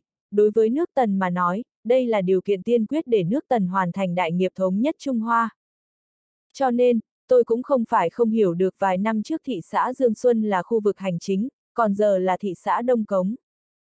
Mà nếu thủ trưởng muốn nói cho mọi người, khu vực hành chính được chuyển đến thị xã Đông Cống là dựa trên việc đã suy xét tất cả các phương diện. Mà việc chuyển đến Đông Cống, nói thật, cũng không làm cho thị xã Đông Cống phát triển lên. Nguyên nhân là gì, mọi người cần cân nhắc một chút. Mấy năm trôi qua rồi, khu vực hành chính thị xã Xuân Dương cũng chịu nhiều ảnh hưởng, bọn họ ngược dòng mà phát triển, làm các đơn vị hành chính sự nghiệp hưng thịnh. Mà vì sao cho đến tận bây giờ thị xã Đông Cống vẫn không có nhiều chuyển biến, các đồng chí đã ngẫm lại chưa? Tuy nói là chúng ta sống bằng đồng lương, nhưng cũng không thể làm cho hiện tượng này phát triển thêm nữa. Nói như vậy không dễ nghe chút nào, không thể để cho nhân dân thị xã Xuân Dương chê cười. Ngay cả các đồng chí có mặt tại đây, đồng chí nào thấy vinh quang nào. Nhanh chóng xây dựng Đông Cống thành thành phố trung tâm phía Nam tỉnh là việc bắt buộc phải lên kế hoạch trước. Hôm nay, triệu tập mọi người tới đây, chính là muốn thảo luận việc thành phố chúng ta phải quy hoạch lại, xây dựng lại. Về tài chính, cứ từ từ suy nghĩ. Mà đầu tiên chúng ta phải xác định vị trí để xây dựng trung tâm đô thị phía Tây Nam. Cho nên, lần quy hoạch này, phải có tầm nhìn xa hơn, phải thực hiện việc hiện đại hóa thành thị. Tuy nhiên, các tài sản văn hóa, di tích cổ chúng ta phải chú ý giữ gìn. Lời nói của Diệp Phàm có sức hút rất lớn, hơn nữa còn đánh trả được bài phát biểu của đồng chí Y Tiến Sâm. Nên sớm lập quy hoạch lại, để xây dựng. Nét mặt Phó Chủ tịch thành phố Trương Trí Khôn có vẻ hưng phấn, nói. Ai chẳng biết nên sớm xây dựng, tôi làm lãnh đạo phụ trách khối xây dựng đô thị, chẳng nhẽ không muốn xây dựng thị xã Đông Cống tốt hơn. Lưu chuyển kim tôi ngày cả ngồi nhà vệ sinh cũng đều nghĩ đến việc mở rộng phạm vi nội thành, tăng thêm nhân khẩu cho thị xã Đông Cống. Nhưng tiền không có thì tăng thêm như thế nào, chẳng nhẽ những thiết kế có thể đứng ở đông cống chúng ta. Chúng ta cũng không phải thần bút mã lương đúng không? Còn nếu nông thôn đến thị xã Đông Cống sinh sống, người ta ăn cái gì, uống cái gì chứ? Nếu ở đây đói chết, không bằng cứ ở nông thôn còn có thể trồng khoai tây khoai lang mà ăn, ha ha. Cho nên phải đồng bộ công tác, thiết lập vị trí đều phải từ từ mới đuổi kịp được. Nếu Ủy ban Nhân dân thành phố có thể rót xuống vài tỷ, lưu chuyển kim tôi sao không làm chứ? Lời nói của lưu chuyển kim sắc bén, dường như để đáp lại Diệp Phàm và Lam Tồn Quân nói việc xây dựng thị xã Đống Cống quá chậm. Hơn nữa khẩu khí rất lớn, câu nào nói ra cũng không rời được chữ tiền. Lam Tồn Quân nghĩ thầm trong lòng, người này giống như vừa ăn đạn, trên người bốc hỏa, rồi nói. Đồng chí chuyển kim, ý tưởng của anh còn có phần lệch lạc. 2. Lưu chuyển kim có vẻ ngạc nhiên liếc nhìn Lam Tồn Quân một cái, hừ lạnh nói. Phó Chủ tịch thành phố Khương, Lưu chuyển kim tôi không biết mình sai ở chỗ nào. Mời Phó Chủ tịch thành phố Lam chỉ giáo. Những lời của Lưu chuyển kim thể hiện rõ sự châm chọc, mọi người ngồi đây đều nhận ra điều đó. Ủy ban Nhân dân thành phố không có tiền sẽ không thể xây dựng được đông cống, thật đúng là chuyện thiếu lâm. Lam Tồn Quân cũng nói như lửa, câu đầu tiên đã đánh lưu chuyển kim. Từ này về sau nói. Cách xây dựng thành thị rất nhiều, phải mở rộng tầm nhìn, biết quan sát sự vật. Vì sao nhất định cứ phải ủy ban thành phố bỏ tiền ra mới có thể xây dựng thành thị? Chẳng nhẽ thành thị lớn vùng Duyên Hải, bọn họ xây dựng thành thị đều là ủy ban nhân dân thành phố bỏ tiền ra sao? Ủy ban nhân dân thành phố có thể xây dựng được bao nhiêu tòa nhà? Nhiệm vụ của Ủy ban Nhân dân thành phố là gì? Chính là chỉ đạo chính sách, để lập quy hoạch xây dựng, chứ không phải là bỏ tiền ra để xây dựng thành thị. Giống như thủy điện, cơ bản tự xây dựng nhưng Ủy ban Nhân dân thành phố quy định phạm vi số tiền cho phép. Ha ha, Phó Chủ tịch thành phố Lam, tôi nghĩ ngay cả Phó Chủ tịch thành phố Lưu cũng đều không hiểu chức năng của Ủy ban Nhân dân thành phố sao. Này, thật là đáng chê cười. Ngay cả anh cũng chưa từng tiền tu, việc sửa sang hệ thống cống ngầm không thể tiến hành thêm được. Thật sự là đáng chê cười. Y Tiễn Sâm ra vẻ đang cười, nhưng, Diệp Phàm cũng hiểu ra chút ít. Rõ ràng là đồng chí Y Tiễn Sâm được đồng chí lưu truyện kim cổ động. Chẳng nhẽ hai lão già này là một người.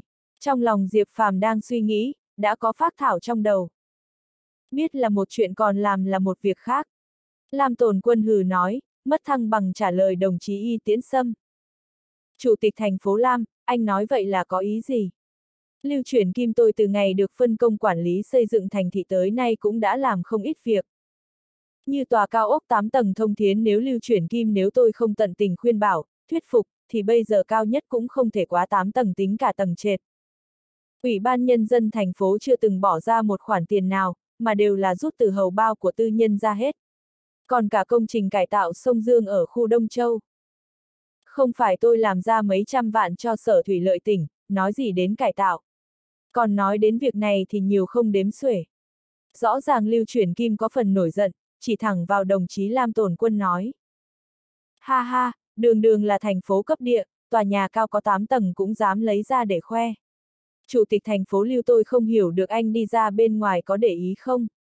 Một số thị trấn lớn ở vùng Duyên Hải đều có nhà mười mấy tầng. Nói về việc cải tạo sông Dương, chẳng qua cũng chỉ như cải tạo trên 100 mét rãnh thoát nước thôi. Này, Cục xây dựng, Cục Thủy lợi thành phố chúng ta có thể tự mình giải quyết được, không phải nhờ đến trên tỉnh. làm tổn quân không chút khách khí, nói lưu chuyển kim. Việc đại sự, bác lại là thương tích đầy mình đó. Tôi muốn nhắc nhở một số đồng chí chú ý là tòa nhà cao 8 tầng đối với một số thành phố và thị trấn vùng Duyên Hải tuy nói là chưa cao. Nhưng, ở đây chúng ta là thị trấn Đông Cống, việc cơ bản nhất là để cho nhân dân no ấm còn không giải quyết được, thị trấn thì xếp hạng lót trên toàn tỉnh. Ai dám đến đây đầu tư xây dựng một tòa nhà hơn 10 tầng chứ? Ở không được, dùng cũng chẳng xong, người ta cũng không phải thằng ngốc mà đồng ý ném tiền vào chỗ ngay cả bọt khí cũng không thấy đâu. Người khác gọi tôi là đại quản gia, tôi hiểu rất rõ vốn tích lũy của chúng ta không có. Tôi cảm thấy chúng ta cần phải có chỗ dựa thật sự, cao ngạo quá là không có tác dụng. Đừng ảo tưởng những tòa lâu đài xây trên cát có thể biến thành tòa nhà cao hàng trăm tầng. Việc có thể làm mấy chục mét đường quốc lộ thành thị là không có khả năng. Lúc này, Phó trưởng ban thư ký thành ủy vệ diêu thông có chút lấy làm tiếc, lắc lắc đầu nói. có ý ám chỉ Lam Tồn Quân nói có chút không thực tế. Anh ta phát biểu ý kiến nhưng thật ra lại làm cho Diệp Phàm chú ý đến cách thể hiện. Dường như, vệ diêu thông cũng không một lòng với Ủy ban Nhân dân thành phố. Như vậy đại quản gia thị xã lấy đến một, không, tốt quá, vệ diêu thông tuyệt đối không thể tưởng tượng được buổi nói chuyện của chính mình đã khiến Diệp Phàm phải cảnh giác hơn, hơn nữa, tự nhiên trong đầu suy nghĩ phải thay đổi đại quản gia của Ủy ban thành phố.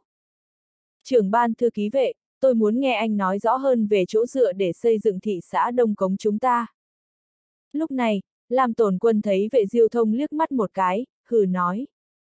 Vừa rồi tôi đã nói quá rõ ràng, tôi là tổng quản của thị xã, vốn tích lũy đã mất của Ủy ban Nhân dân thành phố là rất rõ ràng. Tuy nhiên, Ủy ban Nhân dân thành phố chúng ta và tòa nhà của thành ủy đều đã rất cũ rồi, mọi người đều quá rõ ràng. Ngay cả đến văn phòng, phòng họp đều không có. Hiện tại, còn rất nhiều cán bộ còn phải đi thuê phòng làm việc. Người ta đường đường là phó giám đốc sở cán bộ cấp cao mà còn không có trụ sở làm việc, chế độ đãi ngộ phúc lợi không đến nơi đến chốn. Trong lòng người ta có nghĩ bình thường không? Mà lần trước bí thư y ở trên tỉnh xuống đòi xây dựng thành ủy và ủy ban nhân dân thành phố thành một khu cao tầng. Cuối cùng lần này cũng có kết quả, trên tỉnh rút 60 triệu cấp cho ủy ban nhân dân thành phố. Tuy nhìn qua thấy con số này rất lớn, nhưng cũng chỉ có 60 triệu thôi. 60 triệu có thể làm được gì đây? Nói đến đây, vệ diêu thông có vẻ hơi đắc ý liếc nhìn mọi người một cái, nói. Nếu xây dựng tòa nhà nhiều nhất cũng chỉ được vài tầng. Cho nên, chúng ta phải có chỗ dựa, muốn xây dựng thành thị đầu tiên phải xây dựng trụ sở thành ủy và ủy ban nhân dân thành phố lớn. Bây giờ, không phải cứ giản dị, chịu gian khổ là có thể nhìn ra được thời đại. Các thương nhân, khách mời đến thị xã Đống Cống nhìn thấy bộ dạng trụ sở như thế này liệu người ta có tin tưởng được không? Vệ diêu thông ra vẻ mình nói những lời này chỉ để xây dựng thành thị có chỗ đứng, trong lúc đó đã vô ý nói ra chuyện trên tỉnh cấp cho khoản tiền 60 triệu. chương 1851, đồ vô dụng, giữ lại mày thì có tác dụng gì? Trên tỉnh cấp cho 60 triệu, xem ra, bí thư y chạy trốn vẫn đạt được kết quả. Có 60 triệu so với không có đồng nào thật sự là tốt hơn nhiều. Trưởng ban thư ký vệ nói đúng đó, với 60 triệu này, chúng ta có thể quy hoạch trụ sở lớn của thành ủy và ủy ban nhân dân thành phố trước. Có 60 triệu này, ít nhất chúng ta cũng có thể xây trụ sở thành ủy và ủy ban nhân dân thành phố, giải quyết được vấn đề chỗ làm việc. Mà khu vực thành ủy và ủy ban nhân dân thành phố xanh tươi, công trình và cảnh quan cũng có thể cùng nhau khởi động. Lúc này, Lưu Chuyển Kim rất tự nhiên tiếp tục nói. Diệp Phàm nghe xong, trong lòng suy nghĩ, để ý thấy rõ manh mối. Rõ ràng mấy người này đang diễn trò. Cho dù không phải diễn trò, chắc chắn là theo dõi 60 triệu trong ngân sách chủ tịch thành phố. Vệ Diêu Thông biết chắc chắn khoản tiền này chủ tịch thành phố rút ra từ trong quỹ, không ngờ vẫn nói là trên tỉnh cấp cho Ủy ban Nhân dân thành phố. Mọi người đều lẫn lộn khái niệm, cái chính là mình đem 60 triệu này để xây tòa nhà. Một ý định rất độc, mà lưu chuyển kim lại vào góp vui. Hai, có 60 triệu này có thể làm được chút việc. Chí ít, cũng có thể rút ra 10 triệu trước để giải quyết vấn đề nhà ở phúc lợi cho cán bộ. Lúc này, đồng chí tránh án tòa án La Phong cao hứng, nói. Bởi vì, do nguyên nhân đặc biệt nên đồng chí La Phong đến tận bây giờ vẫn còn thuê nhà dân, và không hề có phương tiện. Tự nhiên nghe thấy có 60 triệu liền cao hứng nói. Đúng rồi, đúng rồi. Cùng lúc đó, Viện trưởng Viện Kiểm sát thị xã Nguyễn Tiến Phát cũng gật đầu, vấn đề sử dụng 60 triệu được các thành viên đưa ra thảo luận. Có nói giải quyết trước tòa nhà của Ủy ban Nhân dân thành phố, sau đó Diệp Phàm thấy Lưu Chuyển Kim mỉm cười một cách nhợt nhạt. Anh ta thảo luận rất sôi nổi, thiếu chút nữa hôm nay trở thành nhân vật chính trong phòng họp. Răng rác. Đột nhiên, có một âm thanh chói tai. Lập tức, mọi người bị tiếng động đó thu hút, thấy chủ tịch thành phố Diệp đang ngồi yên. Không biết là tức giận do nguyên nhân gì. Dù sao, chủ tịch thành phố Diệp Phàm mới chỉ bóp chặt các nốt tay. Cho nên trong phòng họp có âm thanh răng rắc vang lên. Tất cả mọi thành viên đều suy nghĩ, dường như có một chút mùi gì ở đây. Cho nên, tất cả đều ngồi yên không nói gì, chỉ nhìn chằm chằm Diệp Phàm. Một lúc lâu sau Diệp Phàm đưa tay ra châm điếu xì gà. Hắn chậm chậm liếc nhìn mọi người một cái, nói. Thế nào, đang thảo luận rất sôi nổi mà, rốt cuộc 60 triệu nên làm thế nào, Phó Chủ tịch thành phố chuyển kim, còn có trưởng ban thư ký vệ, không phải mọi người nói chính mình phải có chỗ dựa sao, cho tôi nói một chút ý kiến về 60 triệu dùng để xây dựng nhé. Có thật họ sẽ rút ra 60 triệu từ ngân sách của chủ tịch thành phố ra cho các anh xây dựng tòa nhà không?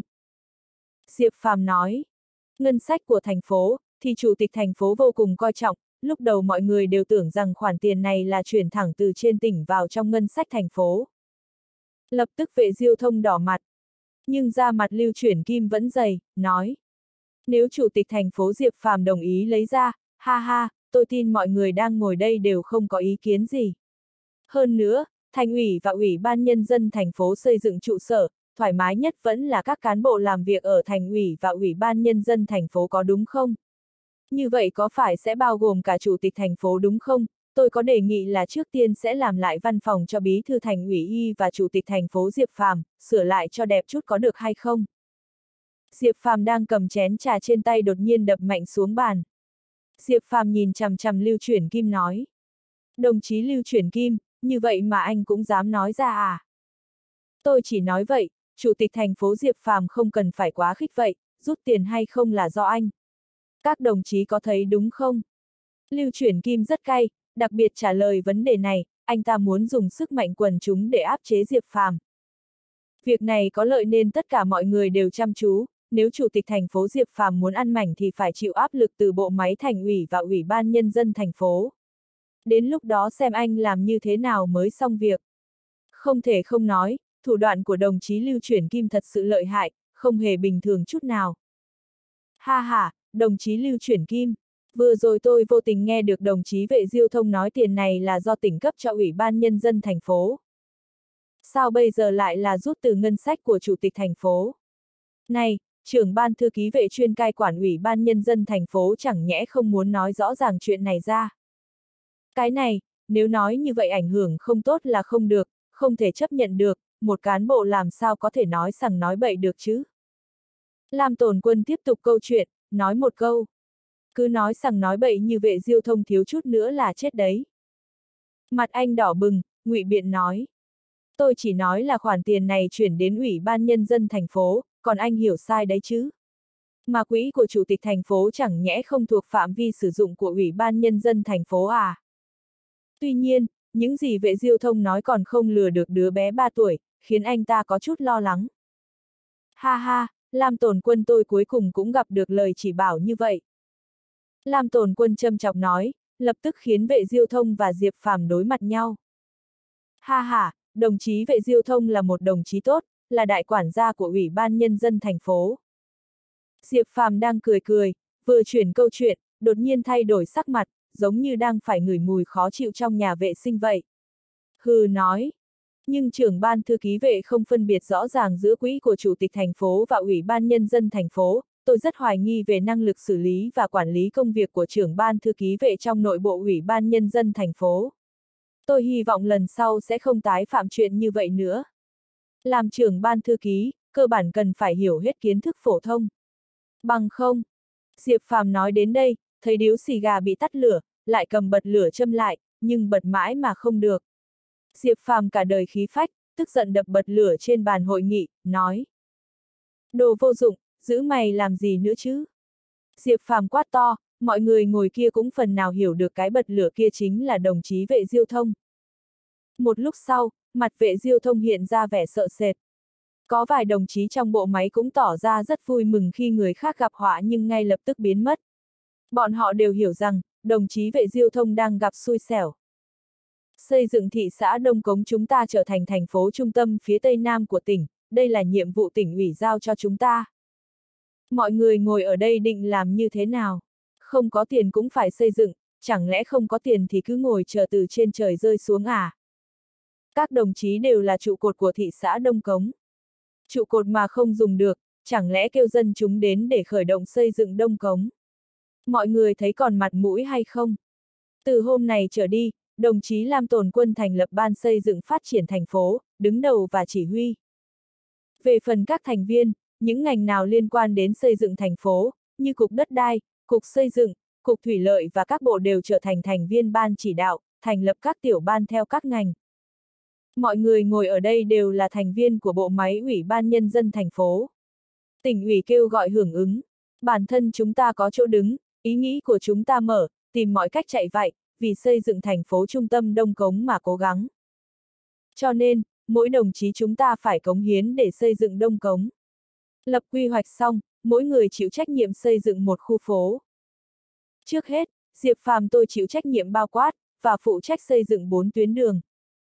Diệp Phàm quyết định nhanh gọn, nhân cơ hội này đưa quyết định xuống dưới. Tuy nói rằng xin ý kiến của một số đồng chí, nhưng chẳng ai dám hé răng, bởi vì, Diệp Phàm lấy tỉnh ủy ra làm căn cứ, ai phản đối tức là vi phạm chỉ thị của lãnh đạo tỉnh ủy. Cuối cùng, tôi muốn giải thích lại một câu, 60 triệu kia tôi sẽ không lấy ra để xây dựng đông cống, khoản tiền này tôi đã tính toán dùng vào việc khác. Các đồng chí cũng không phải cần cả ngày nhìn chằm chằm. Không phải Diệp Phàm tôi không cảm thông các cán bộ cấp dưới vất vả, mà là, muốn dùng 60 triệu này xử lý chuyện lớn hơn nữa. Về phần các cán bộ cấp dưới, chỉ có thể khắc phục một thời gian. Nhiều nhất là 2 năm, thành ủy và ủy ban nhân dân thành phố có điều kiện làm việc sẽ giải quyết vấn đề phúc lợi cho các cán bộ. Diệp Phàm giải thích lại nhưng lại phá hỏng hoàn toàn chút hy vọng cuối cùng của một số cán bộ. Tuy nhiên, nhìn cách Diệp Phàm nói như chắc chắn đến 10 phần, lại khiến trong lòng một số ít cán bộ hoài nghi. Đa số các đồng chí có mặt ở đây cũng không xem trọng lời nói của Diệp Phàm. Cũng có vài đồng chí trong lòng cười khẩy, muốn xem Diệp Phàm dùng 60 triệu kia để làm những việc gì. Buổi tối, Lam Tồn Quân và Vương Triều tới chỗ ở tạm thời của Diệp Phàm. Thế nào anh Diệp, hôm nay là lần đầu tiên bộ máy họp, anh có thấy chút manh mối nào không? Lam Tồn Quân liếc mắt nhìn Diệp Phàm một cái, vẻ mặt thoải mái, thản nhiên cười nói. Tôi không đoán sai chút nào, Lưu Chuyển Kim cùng Y Tiên Sầm, còn có cả trưởng ban thư ký vệ diêu thông, ba tên này rất khả nghi. Diệp Phàm nhấp một ngụm trà rồi nói. Không phải là khả nghi, ba người này chính là một.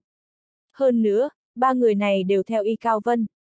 Phía sau còn hợp tác với một nhóm giấu mặt, cũng phải cảnh giác.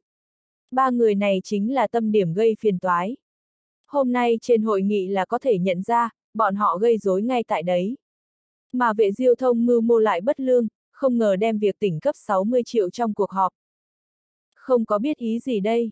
Tôi thấy, không giống như là vệ diêu thông có ý gì. Cho anh ta 10 lá gan cũng chẳng dám làm như thế. Lam Tồn Quân nói. Cậu nói là y cao vơ muốn thử thái độ của tôi. Diệp Phàm thản nhiên hừ một tiếng, thanh âm hơi cất cao một ít. Nếu như anh Lam nói, vệ diêu thông và y cao vân là một người, thì khẳng định việc này y cao vân sẽ chăm chú theo dõi. 60 triệu, đúng là đông cống nghèo thật, nhưng vẫn là một miếng béo bở. Tôi nghĩ là, bọn họ định thử xem kết quả như thế nào rồi mới báo cáo Cao Vân, không biết ông ta muôn như thế nào.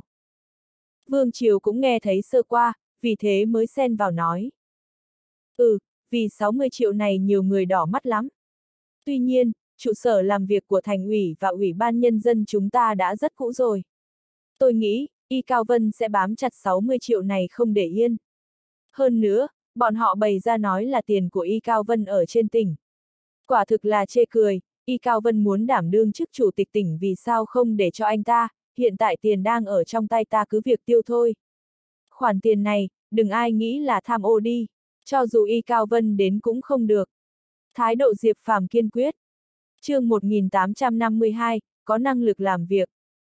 Chắc chắn còn có sự chuẩn bị ở phía sau, để thử thất bại. Lần này Y Cao Vân trực tiếp đối mặt với anh. Tuy nhiên, tôi có chút lo lắng là Y Cao Vân đem khoản tiền đến thảo luận ở hội nghị thường vụ thành ủy. Cuối cùng bức anh phải rút tiền. Nếu bàn ở hội nghị thường vụ, tôi và anh đều là hộ ngoại lai, hiện tại tình huống bí mật đều không rõ ràng lắm. Mà mấy ngày nay Y Cao Vân cũng không có động tĩnh gì. Trên mặt Lam Tồn Quân hiện lên vẻ sâu muộn. Cần phải giải quyết dứt khoát, trước tiên sẽ bàn để xác định kế sách. Cho dù Y Cao Vân muốn dùng hội nghị thường vụ thành ủy để áp chế tôi, nhưng việc này tôi tuyệt đối không được thương lượng.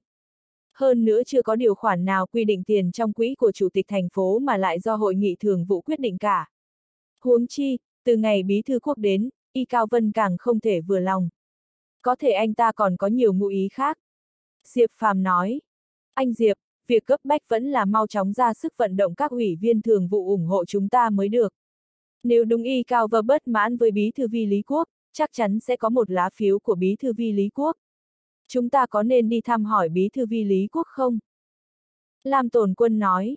Mặc dù không có chuyện như vậy, nhưng chúng ta cũng phải đi thăm hỏi bí thư vi. Tôi đến đây làm chủ tịch thành phố cũng được có vài ngày, còn chưa đi thăm bí thư vi lần nào, cũng là không xứng đáng với chức vụ. Diệp Phàm thản nhiên cười nói, hắn liếc nhìn Lam Tồn Quân một cái, nói. Tồn Quân, còn một việc có khả năng các cậu không hiểu được. Theo cấp trên nói, cấp trên cũng không chính thức chủ trì chỉ định Cao Vân đại diện đến công tác ở thành ủy Đông Cống. Hiện tại là do một số nguyên nhân đặc biệt, có vẻ có chút hỗn độn. Vì Lý Quốc không thể đi làm bình thường, mà trên thực tế công việc của thành ủy vẫn là do Phó Bí Thư Thành ủy Y Cao Vân chủ trì. Cấp trên cũng không đưa ra cách khác, vậy giải thích cái gì, giải thích thì cũng có một số cấp trên đang ủng hộ Y Cao Vân. Hơn nữa, từ việc đó cũng có thể thấy được, các lãnh đạo ở tỉnh vẫn ủng hộ đồng chí Vi Lý Quốc. Chắc hai bên sẽ phải rằng có để phân cao thấp. Còn có việc như vậy nữa sao? Lam Tồn Quân vừa nghe, tỏ ra kinh ngạc nhìn Diệp Phàm. Bởi vì Lam Tồn Quân cũng chưa từng nghe nói là phó trưởng ban thường trực ban tổ chức cán bộ tỉnh ủy đồng chí Thiết Hậu Sơn và Diệp Phàm rất tin tưởng lẫn nhau. Đương nhiên rồi, hàng thật thì phải giá thật chứ. Diệp Phàm cười thần bí, lại bắt đầu chơi trò thần bí. Cái này, thái độ của tỉnh ủy thực sự là rất kỳ lạ. Theo lý thuyết thì vấn đề này rất nghiêm túc, làm sao có thể mặc kệ không làm rõ ràng, không phải là nói dẫn chứ, nó liên quan đến cuộc sống của hơn 2 triệu dân chúng thành phố cấp địa. Lam Tồn Quân cảm thấy việc này quả thực là không thể nói lý được. Ha ha, chuyện của cấp trên, chúng ta để ý làm gì? Để ý chỉ thêm phải lo nghĩ. Tuy nhiên, tôi thấy Y Cao Vân vẫn có phần kiêng nể vi lý quốc, ông ấy mau bệnh mà chết. Diệp Phàm nói. Việc này lạ thật. Vương Triều đứng bên cạnh lắc đầu, hóa ra khiến cho Diệp Phàm như lọt vào trong sương mù, không thể rõ ràng. Cho rằng có nói như thế nào, chí ít cũng giải thích một chút. Trên tỉnh cũng không trực tiếp đặt vi lý quốc ở vị trí đó. Hơn nữa, tôi nghe nói vi lý quốc rất chú trọng đến công việc, anh ta bị ốm chính là do công tác. Ở trong cơ chế này, những cán bộ như vậy không còn nhiều nữa. Ở Đông Cống, uy tín của vi lý quốc tương đối cao trong dân chúng. Tôi từng vài lần đến xã, đều thấy dân chúng khen ngợi vi lý quốc. Vẻ mặt Lam Tồn Quân tỏ ra đáng tiếc. Những gì cậu nghe được đều là do người ta sắp xếp hết rồi, có gì phải ngạc nhiên. Vương Triều đang ở bên cạnh bất thình lình đả kích đồng chí Lam Tồn Quân. Không phải, là tôi tự đi xuống, trước đó cũng không có nói cho bất cứ ai. Lam Tồn Quân lắc lắc đầu liếc nhìn Vương Triều và Diệp Phàm một cái, nói. Tuy nói là đông cống lạc hậu, nhưng vẫn có công ty có tên tuổi.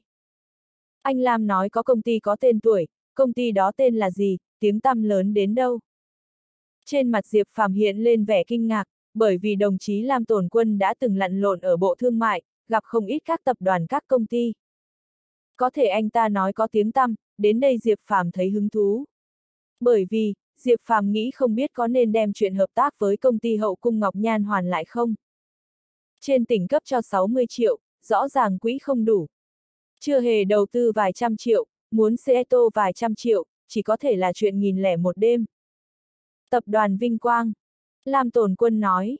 Tôi cũng có nghe nói qua, tài sản của công ty này lên đến vài trăm tỷ. Bên dưới có mấy chục công ty con, có vài ngàn công nhân viên chức. Có người nói là, chủ tịch cam của tập đoàn Vinh Quang Cam ở Đông Cống, có biệt hiệu là Cam Nương Tử. Người đàn bà này này rất dứt khoát, nghe nói 30 tuổi rồi vẫn chưa kết hôn. Vài năm trước trở lại Đông Cống dựng nghiệp bằng hai bàn tay trắng, tiền vốn tích lũy kia cũng không đủ để kinh doanh. Phải vay nặng lãi mấy tỷ mất mấy năm. Có người nói cô ta làm nhân tình cho một đại gia. Đại gia đó cho cô ta vài trăm triệu làm vốn khởi động, nên cô mới phất lên. Ở Đông Cống nhưng thậm chí tận trên tỉnh cũng hoan nghênh. Chúng ta từng đến tỉnh Tây Lâm, năm trước Phó Chủ tịch tỉnh Vi Hùng Khai đi tham quan công ty Vinh Quang ở Đông Cống. Hơn nữa, Phó Chủ tịch tỉnh còn tự tay viết chữ lưu niệm trên hòn non bộ của công ty Vinh Quang. Ha ha, Vương Triều tôi tuy không phải là con người lỗ mãng nhưng cũng không phải kẻ su nịnh. Vương Triều cười gượng ngạo, liếc nhìn Diệp Phàm một cái, nói. Anh Diệp, nhìn bộ dạng của chủ tịch cam của tập đoàn Vinh Quang. Chỉ là mua danh cầu lợi thôi, có thể đi cùng phó chủ tịch tỉnh chứng tỏ cô ta không tồi, đoan trang, trang trọng giống như một hoàng hậu. Xinh đẹp đến mức đi qua thôi mà có người muốn chết thay. Lam Tồn Quân nói. Nói như các cậu thì Phó Chủ tịch Vi cùng Vi Lý Quốc có liên hệ với nhau. Đột nhiên Diệp Phàm nghĩ tới chuyện đó, liếc nhìn Lam Tồn Quân một cái, cười nói. Lúc nào phải đến coi mặt cô này mới được, ái Mỹ chi tâm, nhân gian hữu chi mà. Này, việc này không tiện nói ra. Dân tộc Choang ở tỉnh Tây Lâm chúng ta đặc biệt nhiều. Họ Vi cũng không phải ít, nếu nói Bí Thư Vi và anh ta có quan hệ, thì trời mới biết được. Lam Tồn Quân không tỏ rõ ý kiến nói. Nhìn một cái có thể biết ngay, dù sao cũng đừng đảo ngược quá là được. Nghe nói chủ tịch Cam Vũ Thần lớn lên ở địa phương, là con gái của Choang gia, hát khá hay, thật là buồn cười. Lúc đấy cậu Lam không lưu sao. Diệp Phàm cười gượng một tiếng, mờ ám nhìn Lam Tồn Quân. Ha ha! Lam Tồn Quân có vẻ hơi ngượng ngùng, cúi cúi đầu xuống, liếc nhìn Diệp Phàm một cái, cười nói. Cô ý là nữ doanh nhân ghê gớm, tôi vừa mới đến Hải Đông ngày hôm sau liền nhận được giấy mời của cô ấy. Nhưng cũng hơi kỳ lạ, cậu đã đến đây được một tuần, không ngờ cô ý không mời, thật là chuyện lạ. Ôi, nhìn anh đẹp trai như vậy chẳng có người yêu, không giống như tôi và Diệp Phàm, diện mạo trông, bà không thương, mẹ không yêu, thảm quá thôi.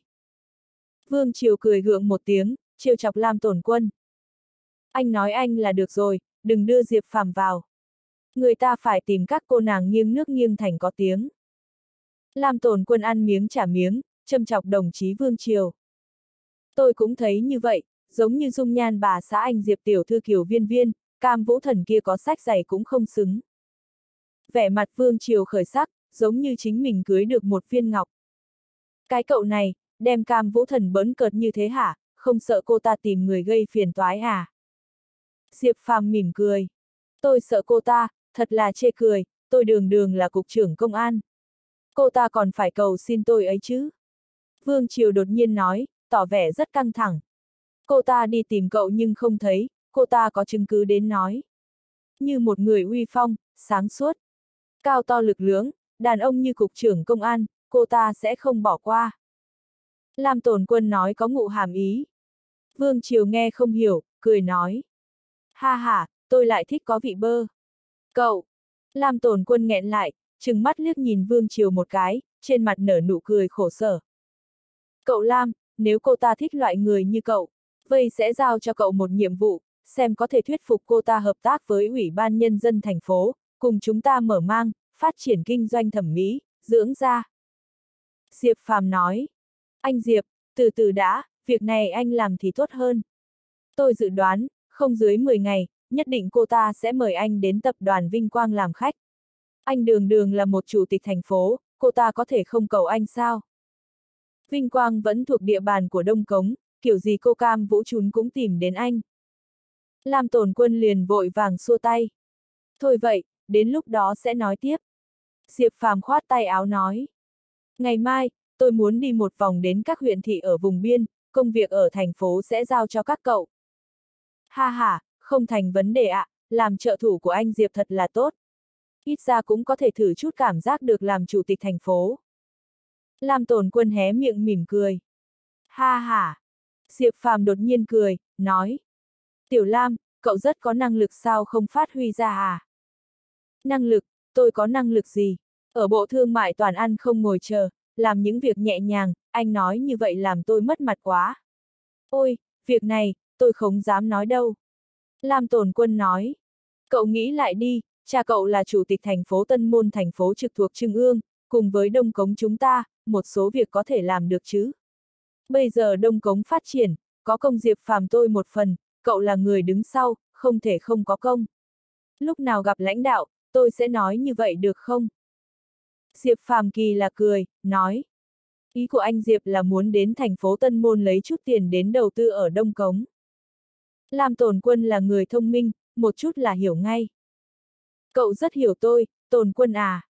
Diệp Phàm giơ ngón tay cái lên, liếc nhìn Lam Tồn Quân một cái, nói. Tuy nhiên, cậu đừng nói khó nghe vậy, cái gì mà kêu là sách tiền, chỉ có thể nói là trợ giúp thôi, các bên cùng có lợi đúng không? Thành phố Tân Môn giàu nứt khố đổ vách, họ chỉ cần vứt một mẩu vụn thôi chúng ta cũng có thể gặm được một hồi. Đến lúc đó, chúng ta được lơi, họ được nổi tiếng, cớ sao mà không làm. Này, không phải tôi không nghĩ tới, khi họp anh phân công cho tôi nhiệm vụ xây dựng hai đường phố, nếu không dựa vào thành phố Tân Môn làm sao có thể hoàn thành chứ? Lam Tồn Quân cũng rất xảo quyệt, lập tức đã ngăn được miệng của Diệp Phàm. Cái này, đó là ngoài mức quy định, hai khu phố với đồng chí đã từng lăn lộn ở bộ thương mại chắc là sẽ không khó khăn gì cả. Chúng ta cần được thành phố Tân Môn ủng hộ mọi mặt. Ví dụ như, chúng ta có thể xây dựng một trụ sở làm việc kiểu ủy ban nhân dân thành phố, hoặc có thể xây dựng một tòa nhà hiện đại có sân thể dục ở Đông Cống chúng ta. Ít nhất Đông Cống chúng ta cũng phải có lấy một hướng gì đó để làm mục tiêu xây dựng đúng không? Con mẹ nó, hay là đặt tên cho tòa nhà 8 tầng kia là tòa nhà thông thiên có được không? Diệp Phàm không kìm nổi phát ra lời thô tục. chương 1853, anh là người rất vô liêm sỉ. Anh Diệp, khẩu vị của anh thật là không phải bình thường. Một tòa trụ sở làm việc hiện đại, không có mấy ngàn vạn thì không thể thực hiện được. Còn làm mới sân thể dục thì càng không bàn nữa, không có mấy trăm triệu vứt vào đó sao. Cho dù là tân môn dầu nứt khố đổ vách, nhưng tiền là của người khác. Đào ra đâu vài trăm triệu, điều đó không thực tế đúng không? Đồng chí Lam Tồn Quân mãi mới chống đỡ được Diệp Phàm, thiếu chút nữa nghẹn không nói thành lời, anh ta khiến Diệp Phàm dạn dày kinh nghiệm hoàn toàn kinh ngạc. Ha ha, đồng chí Tồn Quân làm tất cả đều để cống hiến cho Đông Cống thôi. Diệp Phàm cười gượng, không để ý đến bộ dạng, liếc nhìn Lam Tồn Quân một cái, lại nói. Hơn nữa, cậu ở bộ thương mại có thể bị người khác đè đầu cưới cổ. Nhưng bây giờ là ở Đông Cống, đến lão già đinh trí trung kia không có chỗ để đi còn ở đây được. Ở Đông Cống chúng ta đều là người có máu mặt đúng không, chẳng lẽ lời nói lại không có trọng lượng. Anh Diệp nói rất đúng. Đồng chí Tiểu Lam lập tức đáp lại, liếc nhìn Diệp Phàm một cái, như cười như không nói. Đồng chí Yến Xuân Lai tin tưởng anh Diệp, đồng chí Diệp Phàm và tôi cho dù đến địa phương nào, đều có thể thể hiện được mình. Còn đồng chí Vương Triều, bây giờ cũng mắt nhìn mũi người. Hai người đều đen đủi, lúc này mà cùng nhau hợp tác, chắc chắn bản thân sẽ gặp xui xẻo. Tất nhiên là Tiểu Lam rồi. Chúng ta là người một nhà mà. Cậu có trách nhiệm làm việc với cha của cậu, để đông cống chúng ta trở thành thành thị hỗ bang. Tất nhiên, nói là hỗ bang thì có phần nói hơi quá. Chủ yếu vẫn là Tây Môn giúp đỡ thành phố nhỏ Đông Công đúng không? Diệp Phàm nói. Anh Diệp thì sao? Lam tổn quân chăm chú nhìn rồi hỏi. Rất đơn giản, để Thủy Châu giúp chúng ta một lần. Tôi nghĩ, Diệp Phàm tôi phải tính toán. Vẻ mặt Diệp Phàm nghiêm chỉnh nói. Xong thủ tục rồi. Mặt Lam Tồn Quân xe lại, nói. Tốt. Diệp Phàm gật gật đầu, liếc nhìn Lam Tồn Quân một cái, nói. Nếu có khả năng đến một nơi khác, nếu Diệp Phàm tôi có cơ hội được đề bạt vào một vị trí khác. Tôi đi rồi, vị trí chủ tịch thành phố Đông Cống sẽ giữ lại cho Tiểu Lam. Amen, tôi phải khấn cầu trời xanh, nhanh làm cho anh Diệp tiến cao thêm một bước. Lam tồn quân thản nhiên cười cười, làm động tác cây thập tự. Tôi cũng mong được như vậy. Hai mắt Diệp Phàm hướng ra ngoài cửa sổ nhìn sao trời, ánh mắt rất thâm thúy. Đồng chí Vương Triều liền nhìn trộm Diệp Phàm một cái, ánh mắt hiện lên một chút kinh ngạc. Ánh mắt đó thật đáng sợ, giống như có thể ăn tươi nuốt sống tâm trạng của người bình thường. Chẳng nhẽ đây là ánh mắt của cao thủ cửu đẳng. Hôm nay lão vệ tâm khí không bình thường, không chừng về nhà còn sinh hờn dỗi. Trưởng ban thư ký thành ủy Lý Tinh Tinh nhíu mày, liếc nhìn Y Cao Vân một cái, rồi dần giãn ra. Lớp trẻ bây giờ, quả thực chính là một khối sú thạch gàn bướng đặc biệt cứng rắn. Trên mặt đồng chí phó chủ tịch thành phố lưu chuyển kim hiện lên sự phẫn nộ, giống như vừa bị đánh một trận, dừng một chút rồi nói. Tôi cảm thấy người như thế này rất dễ đối phó. Lúc này, ngồi đối diện ghế của bí thư thành phố Dương Xuân là đồng chí Trung Cường không cùng chung quan điểm.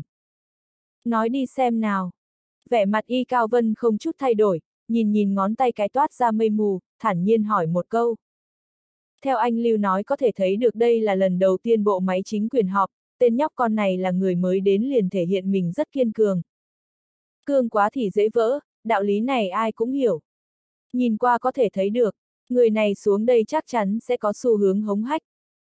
Cho dù hôm nay đến đây cậu không chịu cho mượn 60 triệu kia, nếu là ta cũng sẽ phải ba mặt một lời với các đồng chí ở đây một tiếng đúng không? Cho dù các đồng chí biết đồng chí chủ tịch thành phố gạt người, ít nhất, trong lòng cũng cảm thấy dễ chịu hơn một chút. Cậu nhìn xem anh ta nói đã mất thăng bằng, khoản tiền này mọi người không cần phải suy nghĩ và đắn đo. Việc này đắc tội với đại bộ phận các đồng chí trong bộ máy ủy ban nhân dân thành phố. Thấy 60 triệu kia, ai chẳng đỏ mắt chứ? Ai ăn mảnh, ai bình tĩnh đều bị mọi người ghen ghét. Đồng chí Trung Cường lý luận nhưng thật ra lại khiến Lưu Chuyển Kim và Lý Tinh đều cảm thấy có phần hơi đạo lý. Hai vị đồng chí đều hơi gật gật đầu. Bí thư y, 60 triệu kia chúng ta có buộc hắn lấy ra nữa không? Lý Tị Tinh hỏi. Đương nhiên phải ép rồi. Y Cao Vân Hừ nói liếc mắt nhìn mấy người một cái, nói. Người khác không lấy được ra, chúng ta có thể buộc hắn phải lấy ra, giải thích rõ như vậy. Các anh đóng góp một chút ý kiến đi. Tùy theo nguyện vọng của mọi người. Đới Trung Cường cười nói. Đúng thế, cứ như vậy đi, danh tiếng bí thư y sẽ tiến thêm một bước thật sự vững chắc. Mà sẽ có rất nhiều cán bộ của thành phố gia nhập đội ngũ thiên lôi của bí thư y.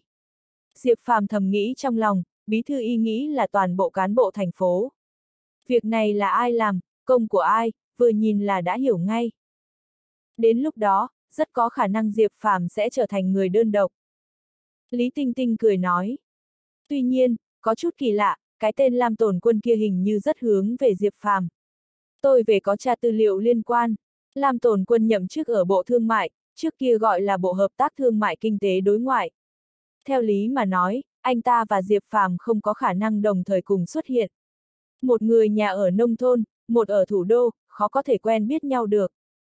Huống chi, thế lực nhà Lam gia cũng không phải ít, làm sao có thể vừa ý người như Diệp Phàm chứ? Mà Diệp Phàm cũng là bị biếm cán bộ công nhân viên chức, làm tổn quân làm sao có thể chọn kiểu người như thế để kết giao.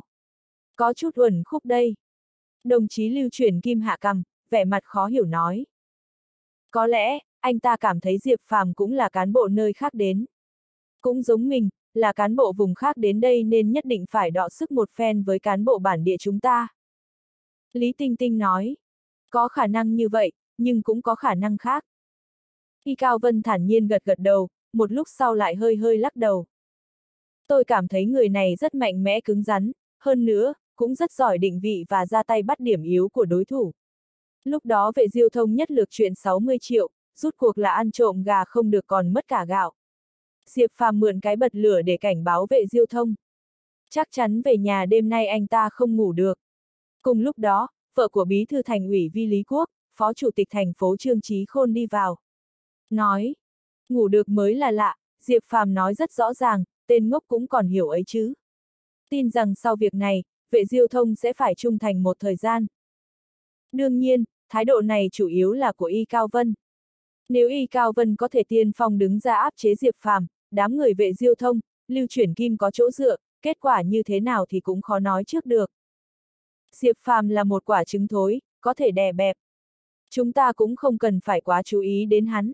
Diệp Phàm còn có thể lo lắng một chút, tuy ở hội nghị thường vụ hắn phải thua cuộc, nhưng, ít nhất cũng muốn thể hiện là người kiên cường có sức mạnh, chúng ta có thể xem xét có nên giúp đỡ hắn hay không. Lúc này, ngồi bên cạnh trưởng ban tổ chức cán bộ đồng chí Cam Thủy Hưng liếc nhìn Vi Lý Quốc một cái, nói. Ha ha, Diệp Phàm thật không đơn giản, tôi đã nghiên cứu rất kỹ lý lịch của anh ta, đúng là không đơn giản. Bộ giao thông tranh cãi, Sương Hùng Sương Bá bắt mở đường liên ba tỉnh thông qua núi Thiên Sa, đại án ngư đồng đã từng được Thủ tướng chỉ đích danh khen ngợi, giữa sự kiện thanh nghiêu bí thư phí nhất hoàn chỉ đích danh nói, đồng chí Diệp Phàm là một đồng chí tốt, đủ cho mọi người nghĩ đến cái gì đó. Vi Lý Quốc nói, trên mặt có vẻ như đang cười. Nghĩ đến cái quái gì? Cam Thủy Hưng không kìm nổi hỏi. Người này, phỏng Trừng đã tiến vào cấp cao trung ương. Tuy nói thủ tướng đã lui ra, nhưng hiện tại bí thư phí nhất hoàn là một trong số cửu đẳng. Yến Xuân Lai không để ý đến cấp trên, đem Diệp Phàm từ Hải Đông tới Đông Cống. Tôi nghĩ, Yến Xuân Lai cùng Diệp Phàm khẳng định không hề giàn xếp. Bằng không, Yến Xuân Lai giỏi đến mức nào cũng sẽ không dám mạo hiểm đắc tội với lãnh đạo trung ương mà làm ra chuyện này rồi tự lừa dối mình, không lừa dối được người. Tuy nhiên, nguyên nhân chính là có người đứng phía sau Yến Xuân Lai.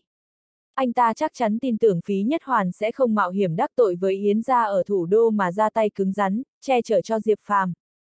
Dù sao, việc khích lệ là một chuyện, thật sự ra tay giúp đỡ lại là một việc khác. Tuy nhiên, mặc kệ chuyện thế nào, ít nhất, Diệp Phàm đã làm phí nhất hoàn thốt ra tên một lần. Vi Lý Quốc được một phen nói ra đạo lý lớn. Bí thư Vi, chắc không lâu nữa Y Cao Vân sẽ báo mở hội nghị thường vụ. Đến lúc đó, chúng ta không biết phải nghiêng về phía Diệp Phàm hay ai nữa. Cam Thủy Hưng nhìn Vi Lý Quốc, hỏi. Việc này còn phải hỏi sao, chắc chắn là ủng hộ Diệp Phàm rồi. Hoặc là bỏ phiếu trắng, dù sao cũng không thể để Y Cao Vân đắc ý được. Trưởng ban tuyên giáo Y Thanh Liên chu mồm lên nói. Cao Vân khiến tôi quá thất vọng, làm phó bí thư thành ủy bao lâu, không vì dân, chỉ làm lung tung lộn xộn lên. Nay chủ trì công tác của thành ủy, hoàn toàn phải loại bỏ anh ta ra, tận dụng thời cơ điều khiển toàn bộ cán bộ cấp dưới. Cậu phải khống chế việc này, lấy tư cách thành ủy cũng không sao cả. Cậu chớ nên nhìn nhầm người, thật sự người có khả năng mà cậu làm như không thấy, các cậu xem, anh ta lên liền điều chỉnh nhân sự, hoàn toàn là hồ đồ. Nói đến đây, Vi Lý Quốc không ngừng ho khan, cảm giác rất đau đớn. Bí thư Vi, đừng tự làm khổ mình, hiện tại việc nghỉ ngơi là quan trọng nhất, đừng nóng vội. Y Thanh Liên ở bên cạnh vội vàng khuyên nhủ. Buổi sáng ngày hôm sau, Diệp Phàm bắt đầu tuần tra hai huyện một thị của thành phố Đông Cống. Làm chủ tịch thành phố, nắm giữ trực tiếp toàn bộ tư liệu bản thị trọng yếu. Bằng không, sẽ trở thành chỉ huy mù. Diệp Phàm muốn xem tận mắt kinh tế và các chỉ tiêu luôn xếp hạng nhất của Dương Xuân. Dương Xuân chẳng những các chỉ tiêu xếp vị trí đầu tiên, mà còn từng là khu vực hành chính của tỉnh. Nghe Lam Tồn Quân nói nội thành Dương Xuân xây dựng và phát triển so với khu vực hành chính của Đông Cống còn nhanh hơn. Xây dựng được nhưng còn muốn phải tốt, thật ra có thể tham khảo một số kinh nghiệm của họ. Từ khi chuyển trung tâm hành chính từ Dương Xuân đến Đông Cống tới nay, thì việc Đông Cống là thành phố trung tâm luôn luôn được nhân dân bàn luận đến.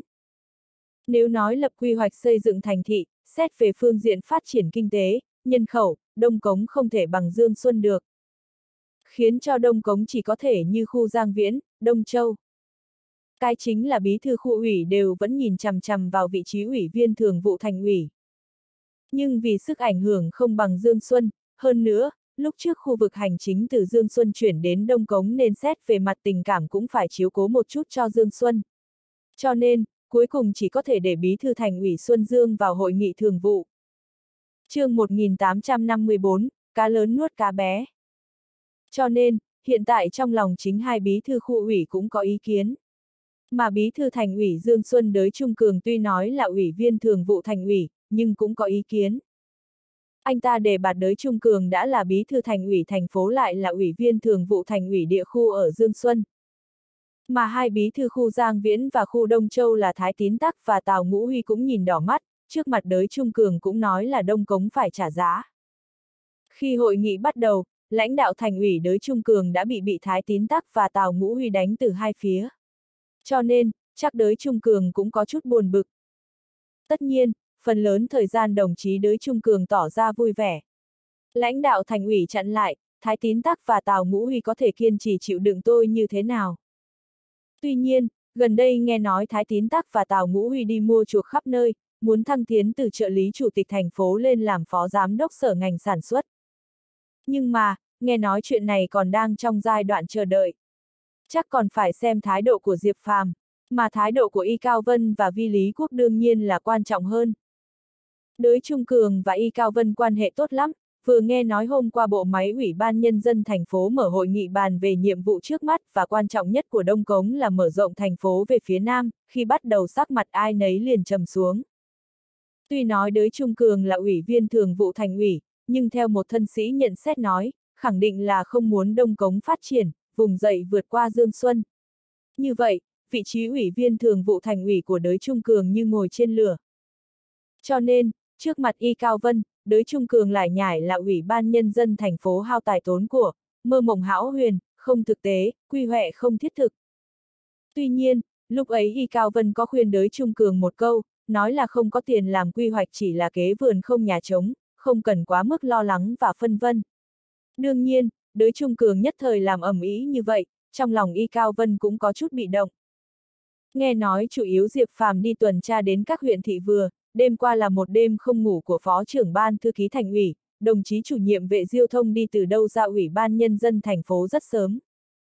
Tôi muốn đi tuần tra một lúc, cậu ở lại ủy ban nhân dân thành phố xử lý công việc hàng ngày. Đồng chí Giang Khải đi theo giúp tôi là được. Diệp Phàm thản nhiên liếc mắt một cái nhìn vệ diêu thông, hừ một tiếng. Vệ diêu thông vừa nghe xong, sắc mặt liền có vẻ thay đổi. Đành phải ngượng cười gật gật đầu, tuy nhiên một số ít cán bộ ủy ban nhân dân thành phố đều nhìn vệ diêu thông với ánh mắt đầy thương hại. Bởi vì, tất cả mọi người đều hiểu được, ngày hôm qua đồng chí vệ diêu thông gây ra chuyện lớn với Diệp Phàm rồi, chắc là, người này sắp gặp xui xẻo. Hôm nay Chủ tịch thành phố Diệp Phàm làm như vậy là chết rồi, đây chính là giai đoạn bắt đầu khởi đầu giai đoạn làm lạnh. Một khi bị mất quyền lực, vị trí tránh văn phòng ủy ban nhân dân thành phố của vệ diêu thông cũng chỉ như dám thôi. Còn đồng chí Giang Khải, tuy nói là bình tĩnh, nhưng đã sớm mở cờ trong bụng. Hơn nữa, lại còn có vẻ hơi đắc ý liếc mắt nhìn vệ diêu thông vẻ mặt khiêm tốn nói. Này, anh vệ, ngại quá, tôi vốn có một chút chuyện nên chủ tịch thành phố bảo tôi đi xuống. Đành phải làm phiền anh một chút. Ha ha, lãnh đạo, nhưng phải phục vụ rất nhiều. Bằng không, ha ha. Vệ diêu thông ra vẻ đang cười, còn hơi hơi lắc đầu. Thực ra là muốn châm chọc đồng chí Giang Khải đừng vui quá hóa buồn. Gần vua như gần cọp, bạn của lãnh đạo cũng không khác gì làm bạn với hổ. Chỉ cần làm lãnh đạo mất hứng, phỏng trưng, mũ trên đầu bay lúc nào khó mà nói trước được. Yên tâm đi, tôi và anh ta trời sinh ra là để hầu hạ nhân loại. Không ngờ Giang Khải nghiêm mặt, đặt chính mình vào vị trí một hoạn quan. Tuy nhiên, lời nói vừa rồi thu được rất nhiều hiệu quả rõ rệt. Ít nhất, vẻ mặt đồng chí vệ diêu thông lập tức trầm nặng, hừ lạnh một tiếng nhẹ nhàng, rõ ràng không coi đồng chí Giang Khải ra gì. Trên đường đi, Diệp Phàm phát hiện ra ở Đông Cống có rất nhiều mía. Có chút giống như tư thế của một cánh đồng xanh tươi cao nguyên hoàng thổ.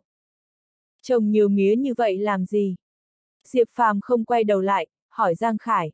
Bởi vì, Diệp Phàm hoan hỉ ngồi trước phó tránh văn phòng ủy ban nhân dân Giang Khải, có vẻ có chút chẳng ra gì cả. Đa số mọi người đi vào trong nhà máy đường ở Dương Xuân. Giang Khải vẻ mặt cung kính nói. Hiệu quả và lợi ích cũng không tệ lắm đúng không? Diệp Phàm hỏi. Không được tốt cho lắm ạ. À? Giang Khải thành thật trả lời. Sao lại không được tốt lắm? Diệp Phàm quay đầu lại liếc nhìn Giang Khải một cái, hỏi. Nhà máy đường của Dương Xuân chúng ta đã cũ kỹ lắm rồi, được xây dựng từ những năm 80. Đến nay đã được 20 năm rồi. Không chỉ thiết bị bị hỏng, mà công nhân nà máy ngày càng nhiều. Cuối cùng, chỗ nào cũng kín người, hết chỗ. Tiền lương lúc có lúc không, đừng nói là có tiền làm phúc lợi. Bởi vì hiệu quả và lợi ích của nhà máy đường đem lại không được tốt. Mọi người chỉ có thể chế biến sơ qua cây mía sau đó chuyển ra bên ngoài để bán. Nên việc tiêu thụ không được tốt cho lắm. Nhà máy đường không thu mua mía, làm thiệt hại đến các hộ nông dân trồng mía. Năm trước còn có chuyện đem mía ra để đốt. Giang Khải nói, đem mía ra đốt, chẳng lẽ là không mang mía đi bán mà thiêu hủy. Diệp Phàm có chút kinh ngạc. Đúng vậy, nhiều lắm, bọn trẻ con tử đồ ăn còn phát sợ. Anh đưa cho nó ăn, nó còn trên này trên nọ, chê mía của người này không ngọt lắm. Mà nhà máy đường không thu mua được mía, thứ này lại không thể làm cơm ăn, cuối cùng một loạt các hộ nông dân đem mía ra phơi nắng làm củi đốt. Anh xem, năm nay diện tích trồng mía so với năm ngoái ít hơn nhiều, ít nhất cũng phải ít hơn một nửa. Giang Khải thở dài, nói. Nhà máy đường Dương Xuân là xí nghiệp quốc doanh. Diệp Phàm nói. Đúng vậy, nhà máy đường vẫn tương đối to, không thuộc quản lý của Dương Xuân, là thuộc quyền sở hữu nhà nước của Đông Cống. Quản đốc của nhà máy đường Dương Xuân cũng tương đương với phó chủ tịch thành phố Dương Xuân. Giang Khải nói. Việc đó cũng bình thường thôi, nếu đúng là thuộc doanh nghiệp nhà nước. Tôi chắc là bí thư đảng ủy nhà máy đường Dương Xuân cũng có thể là cán bộ cấp cục trưởng. Trong túi người ta có tiền đương nhiên là làm việc sẽ hiệu quả, khí thế và đem lại lợi ích tốt hơn. Diệp Phàm suy đoán nói. Chủ tịch nghĩ sai rồi ạ. À? Lúc này, lái xe lý sư phó không nhịn được buột miệng nói ra. Sai rồi, như thế nào mà sai rồi? Diệp Phàm quay đầu nhìn nhìn lý sư phó. Vâng, chủ tịch, tôi không dám nói đâu ạ. À. Lý sư phó sợ tới mức run rẩy, không dám nói tiếp. Không sao cả, cậu cứ nói đi. Diệp Phàm nói. Bí thư đảng ủy nhà máy đường Dương Xuân là cán bộ cấp giám đốc sở. Lý sư phó kiên trì nói. Làm sao có thể như thế được? Diệp Phàm có chút kinh ngạc, nhìn chằm chằm Lý Sư Phó. Chủ tịch, hiện tại đồng chí bí thư đảng ủy nhà máy đường Lý Khê Mãn là cán bộ cấp giám đốc sở. Lúc trước, nhà máy đường xây dựng nhà máy là do Ủy ban Kinh tế Thương mại tỉnh cấp tiền, mà địa ủy Đông Cống cũng cho một ít tiền. Xem như tỉnh và địa phương hợp tác xây dựng. Tuy nhiên, trên tỉnh cho là chủ yếu, cho nên, quyền chủ động là của Ủy ban Kinh tế Thương mại tỉnh. Những năm trước, nhà máy đường Dương Xuân còn thuộc về xí nghiệp của Ủy ban Kinh tế Thương mại tỉnh. Mà bí thư đảng ủy nhà máy đường còn kiêm cả chức phó chủ nhiệm Ủy ban Kinh tế Thương mại tỉnh. Vì vậy, cho dù nói là phó chủ tịch thành phố Dương Xuân, hay là chủ tịch thành phố Dương Xuân chắc họ cũng không để ý tới. Cái thời điểm làm việc hiệu quả và hưng thịnh, khi lãnh đạo nhà máy đường đi ra ngoài tất cả đều là đại gia. Nghe nói lúc ấy chỉ cần chạy vào chức quản đốc thôi cũng phải là một người rất giàu có, có rất nhiều tiền. Chỉ cần một câu được rất nhiều tiền, thật sự là dọa người. Thời điểm đấy, tiền lương một tháng của công nhân cũng đã mấy trăm tiền, có thể cho công nhân thềm bao nhiêu là tùy khả năng. Giang Khải có chút giận dữ, nói. Khó trách bây giờ xí nghiệp phá sản. Diệp Phàm nhíu mày gật gật đầu, nói. Lúc đó, địa khu Đông Cống và nhà máy đường Dương Xuân không có chút quyền quản lý nào sao? Đúng là như vậy. Giang Khải gật gật đầu, liếc nhìn Diệp Phàm một cái, nói. Tuy nhiên, về sau lại như thế. Biến. Diệp Phàm nhìn Giang Khải nói một câu. Sau này, hiệu quả sản xuất của nhà máy đường không tốt. Hàng năm thua lỗ, ngay cả tiền lương của công nhân cũng không có phát. Hàng năm, trên tỉnh còn phải trợ cấp cho nhà máy đường mấy trăm ngàn vạn. Cho dù như vậy, nhưng gánh nặng trên lưng nhà máy đường càng ngày càng lớn, càng ngày càng suy sụp. Hơn nữa, công nhân nhà máy đường tương đối nhiều, tính cả già trẻ lớn bé chắc không dưới 5.000 người, hơn nữa cả gia đình con cái của họ phải lên mấy vạn người, đó là một gánh nặng rất lớn. Động một tí là các công nhân lại gây rối, mấy lần còn chạy đến Ủy ban Kinh tế Thương mại tỉnh để biểu tình, cuối cùng còn đến cả Ủy ban Nhân dân tỉnh biểu tình. Lãnh đạo Ủy ban Kinh tế Thương mại tương đối đau đầu. Cuối cùng đành cắn răng, tuyên bố cải cách doanh nghiệp nhà nước, mà lúc ấy, đất của nhà máy đường đều là của địa khu Đông Cống, mà địa khu Đông Cống cũng góp vốn.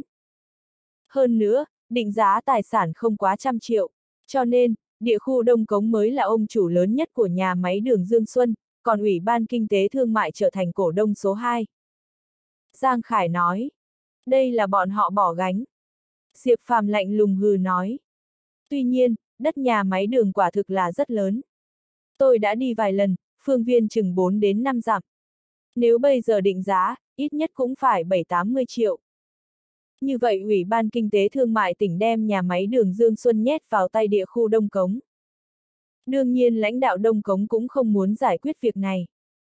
Khi nhà máy đường có lợi nhuận cao thì ở trên tỉnh nhận quản lý, lúc cục diện hỗn loạn thì họ muốn ném đi. Đương nhiên, vì thế mà lãnh đạo thành ủy Đông Cống đã vài lần dùng thủ đoạn với Ủy ban Kinh tế Thương mại tỉnh. Trung quy lại là tất cả đều muốn phủi tay. Chủ nhiệm Ủy ban Kinh tế Thương mại gọi nhờ Y Kiệt Minh một lần. Người này rất lợi hại, không lâu nữa sẽ nhậm chức Phó Chủ tịch tỉnh Tây Lâm chúng ta. Đối mặt với áp lực Phó Chủ tịch tỉnh, lãnh đạo địa khu Đông Cống phải dương mắt nhìn, nuốt quả đắng, tiếp nhận quyền quản lý nhà máy đường Dương Xuân. Tuy nhiên, lúc ấy việc tiếp nhận quản lý cũng tương đối cứng nhắc. Trên tỉnh suy xét đến tình hình thực tế của Đông Cống, cũng không dám cứng rắn đàn áp xuống. Cho nên, chỉ dám kêu gọi địa ủy Đông Cống quản lý nhà máy đường Dương Xuân. Quyền sở hữu của nhà máy đường Dương Xuân tương đối loạn, Ủy ban Kinh tế Thương mại tỉnh nói thuộc sở hữu của Đông Cống, còn Đông Cống lại nói là Ủy ban Kinh tế Thương mại mới là bố mẹ đẻ, dù sao cũng đang lung tung lộn xộn, đến hiện cũng không rõ ràng được. Tuy nhiên, từ nay về sau, Ủy ban Kinh tế Thương mại tỉnh sẽ không quản lý, sau một năm Đông Cống tiếp quản, gánh nặng trên lưng nhà máy đường Dương Xuân càng lúc càng lớn, thật sự là không chịu nổi gánh nặng. Kết quả là cá lớn lại nuốt cá bé. Thành ủy Đông Cống quyết định đem nhà máy đường Dương Xuân bàn chuyển cho thành ủy Dương Xuân quản lý. Tự nhiên đồng chí đới Trung Cường phải cực lực chống đỡ. Tuy nhiên, cũng là chuyện thường, cũng chỉ là phủi trách nhiệm thôi.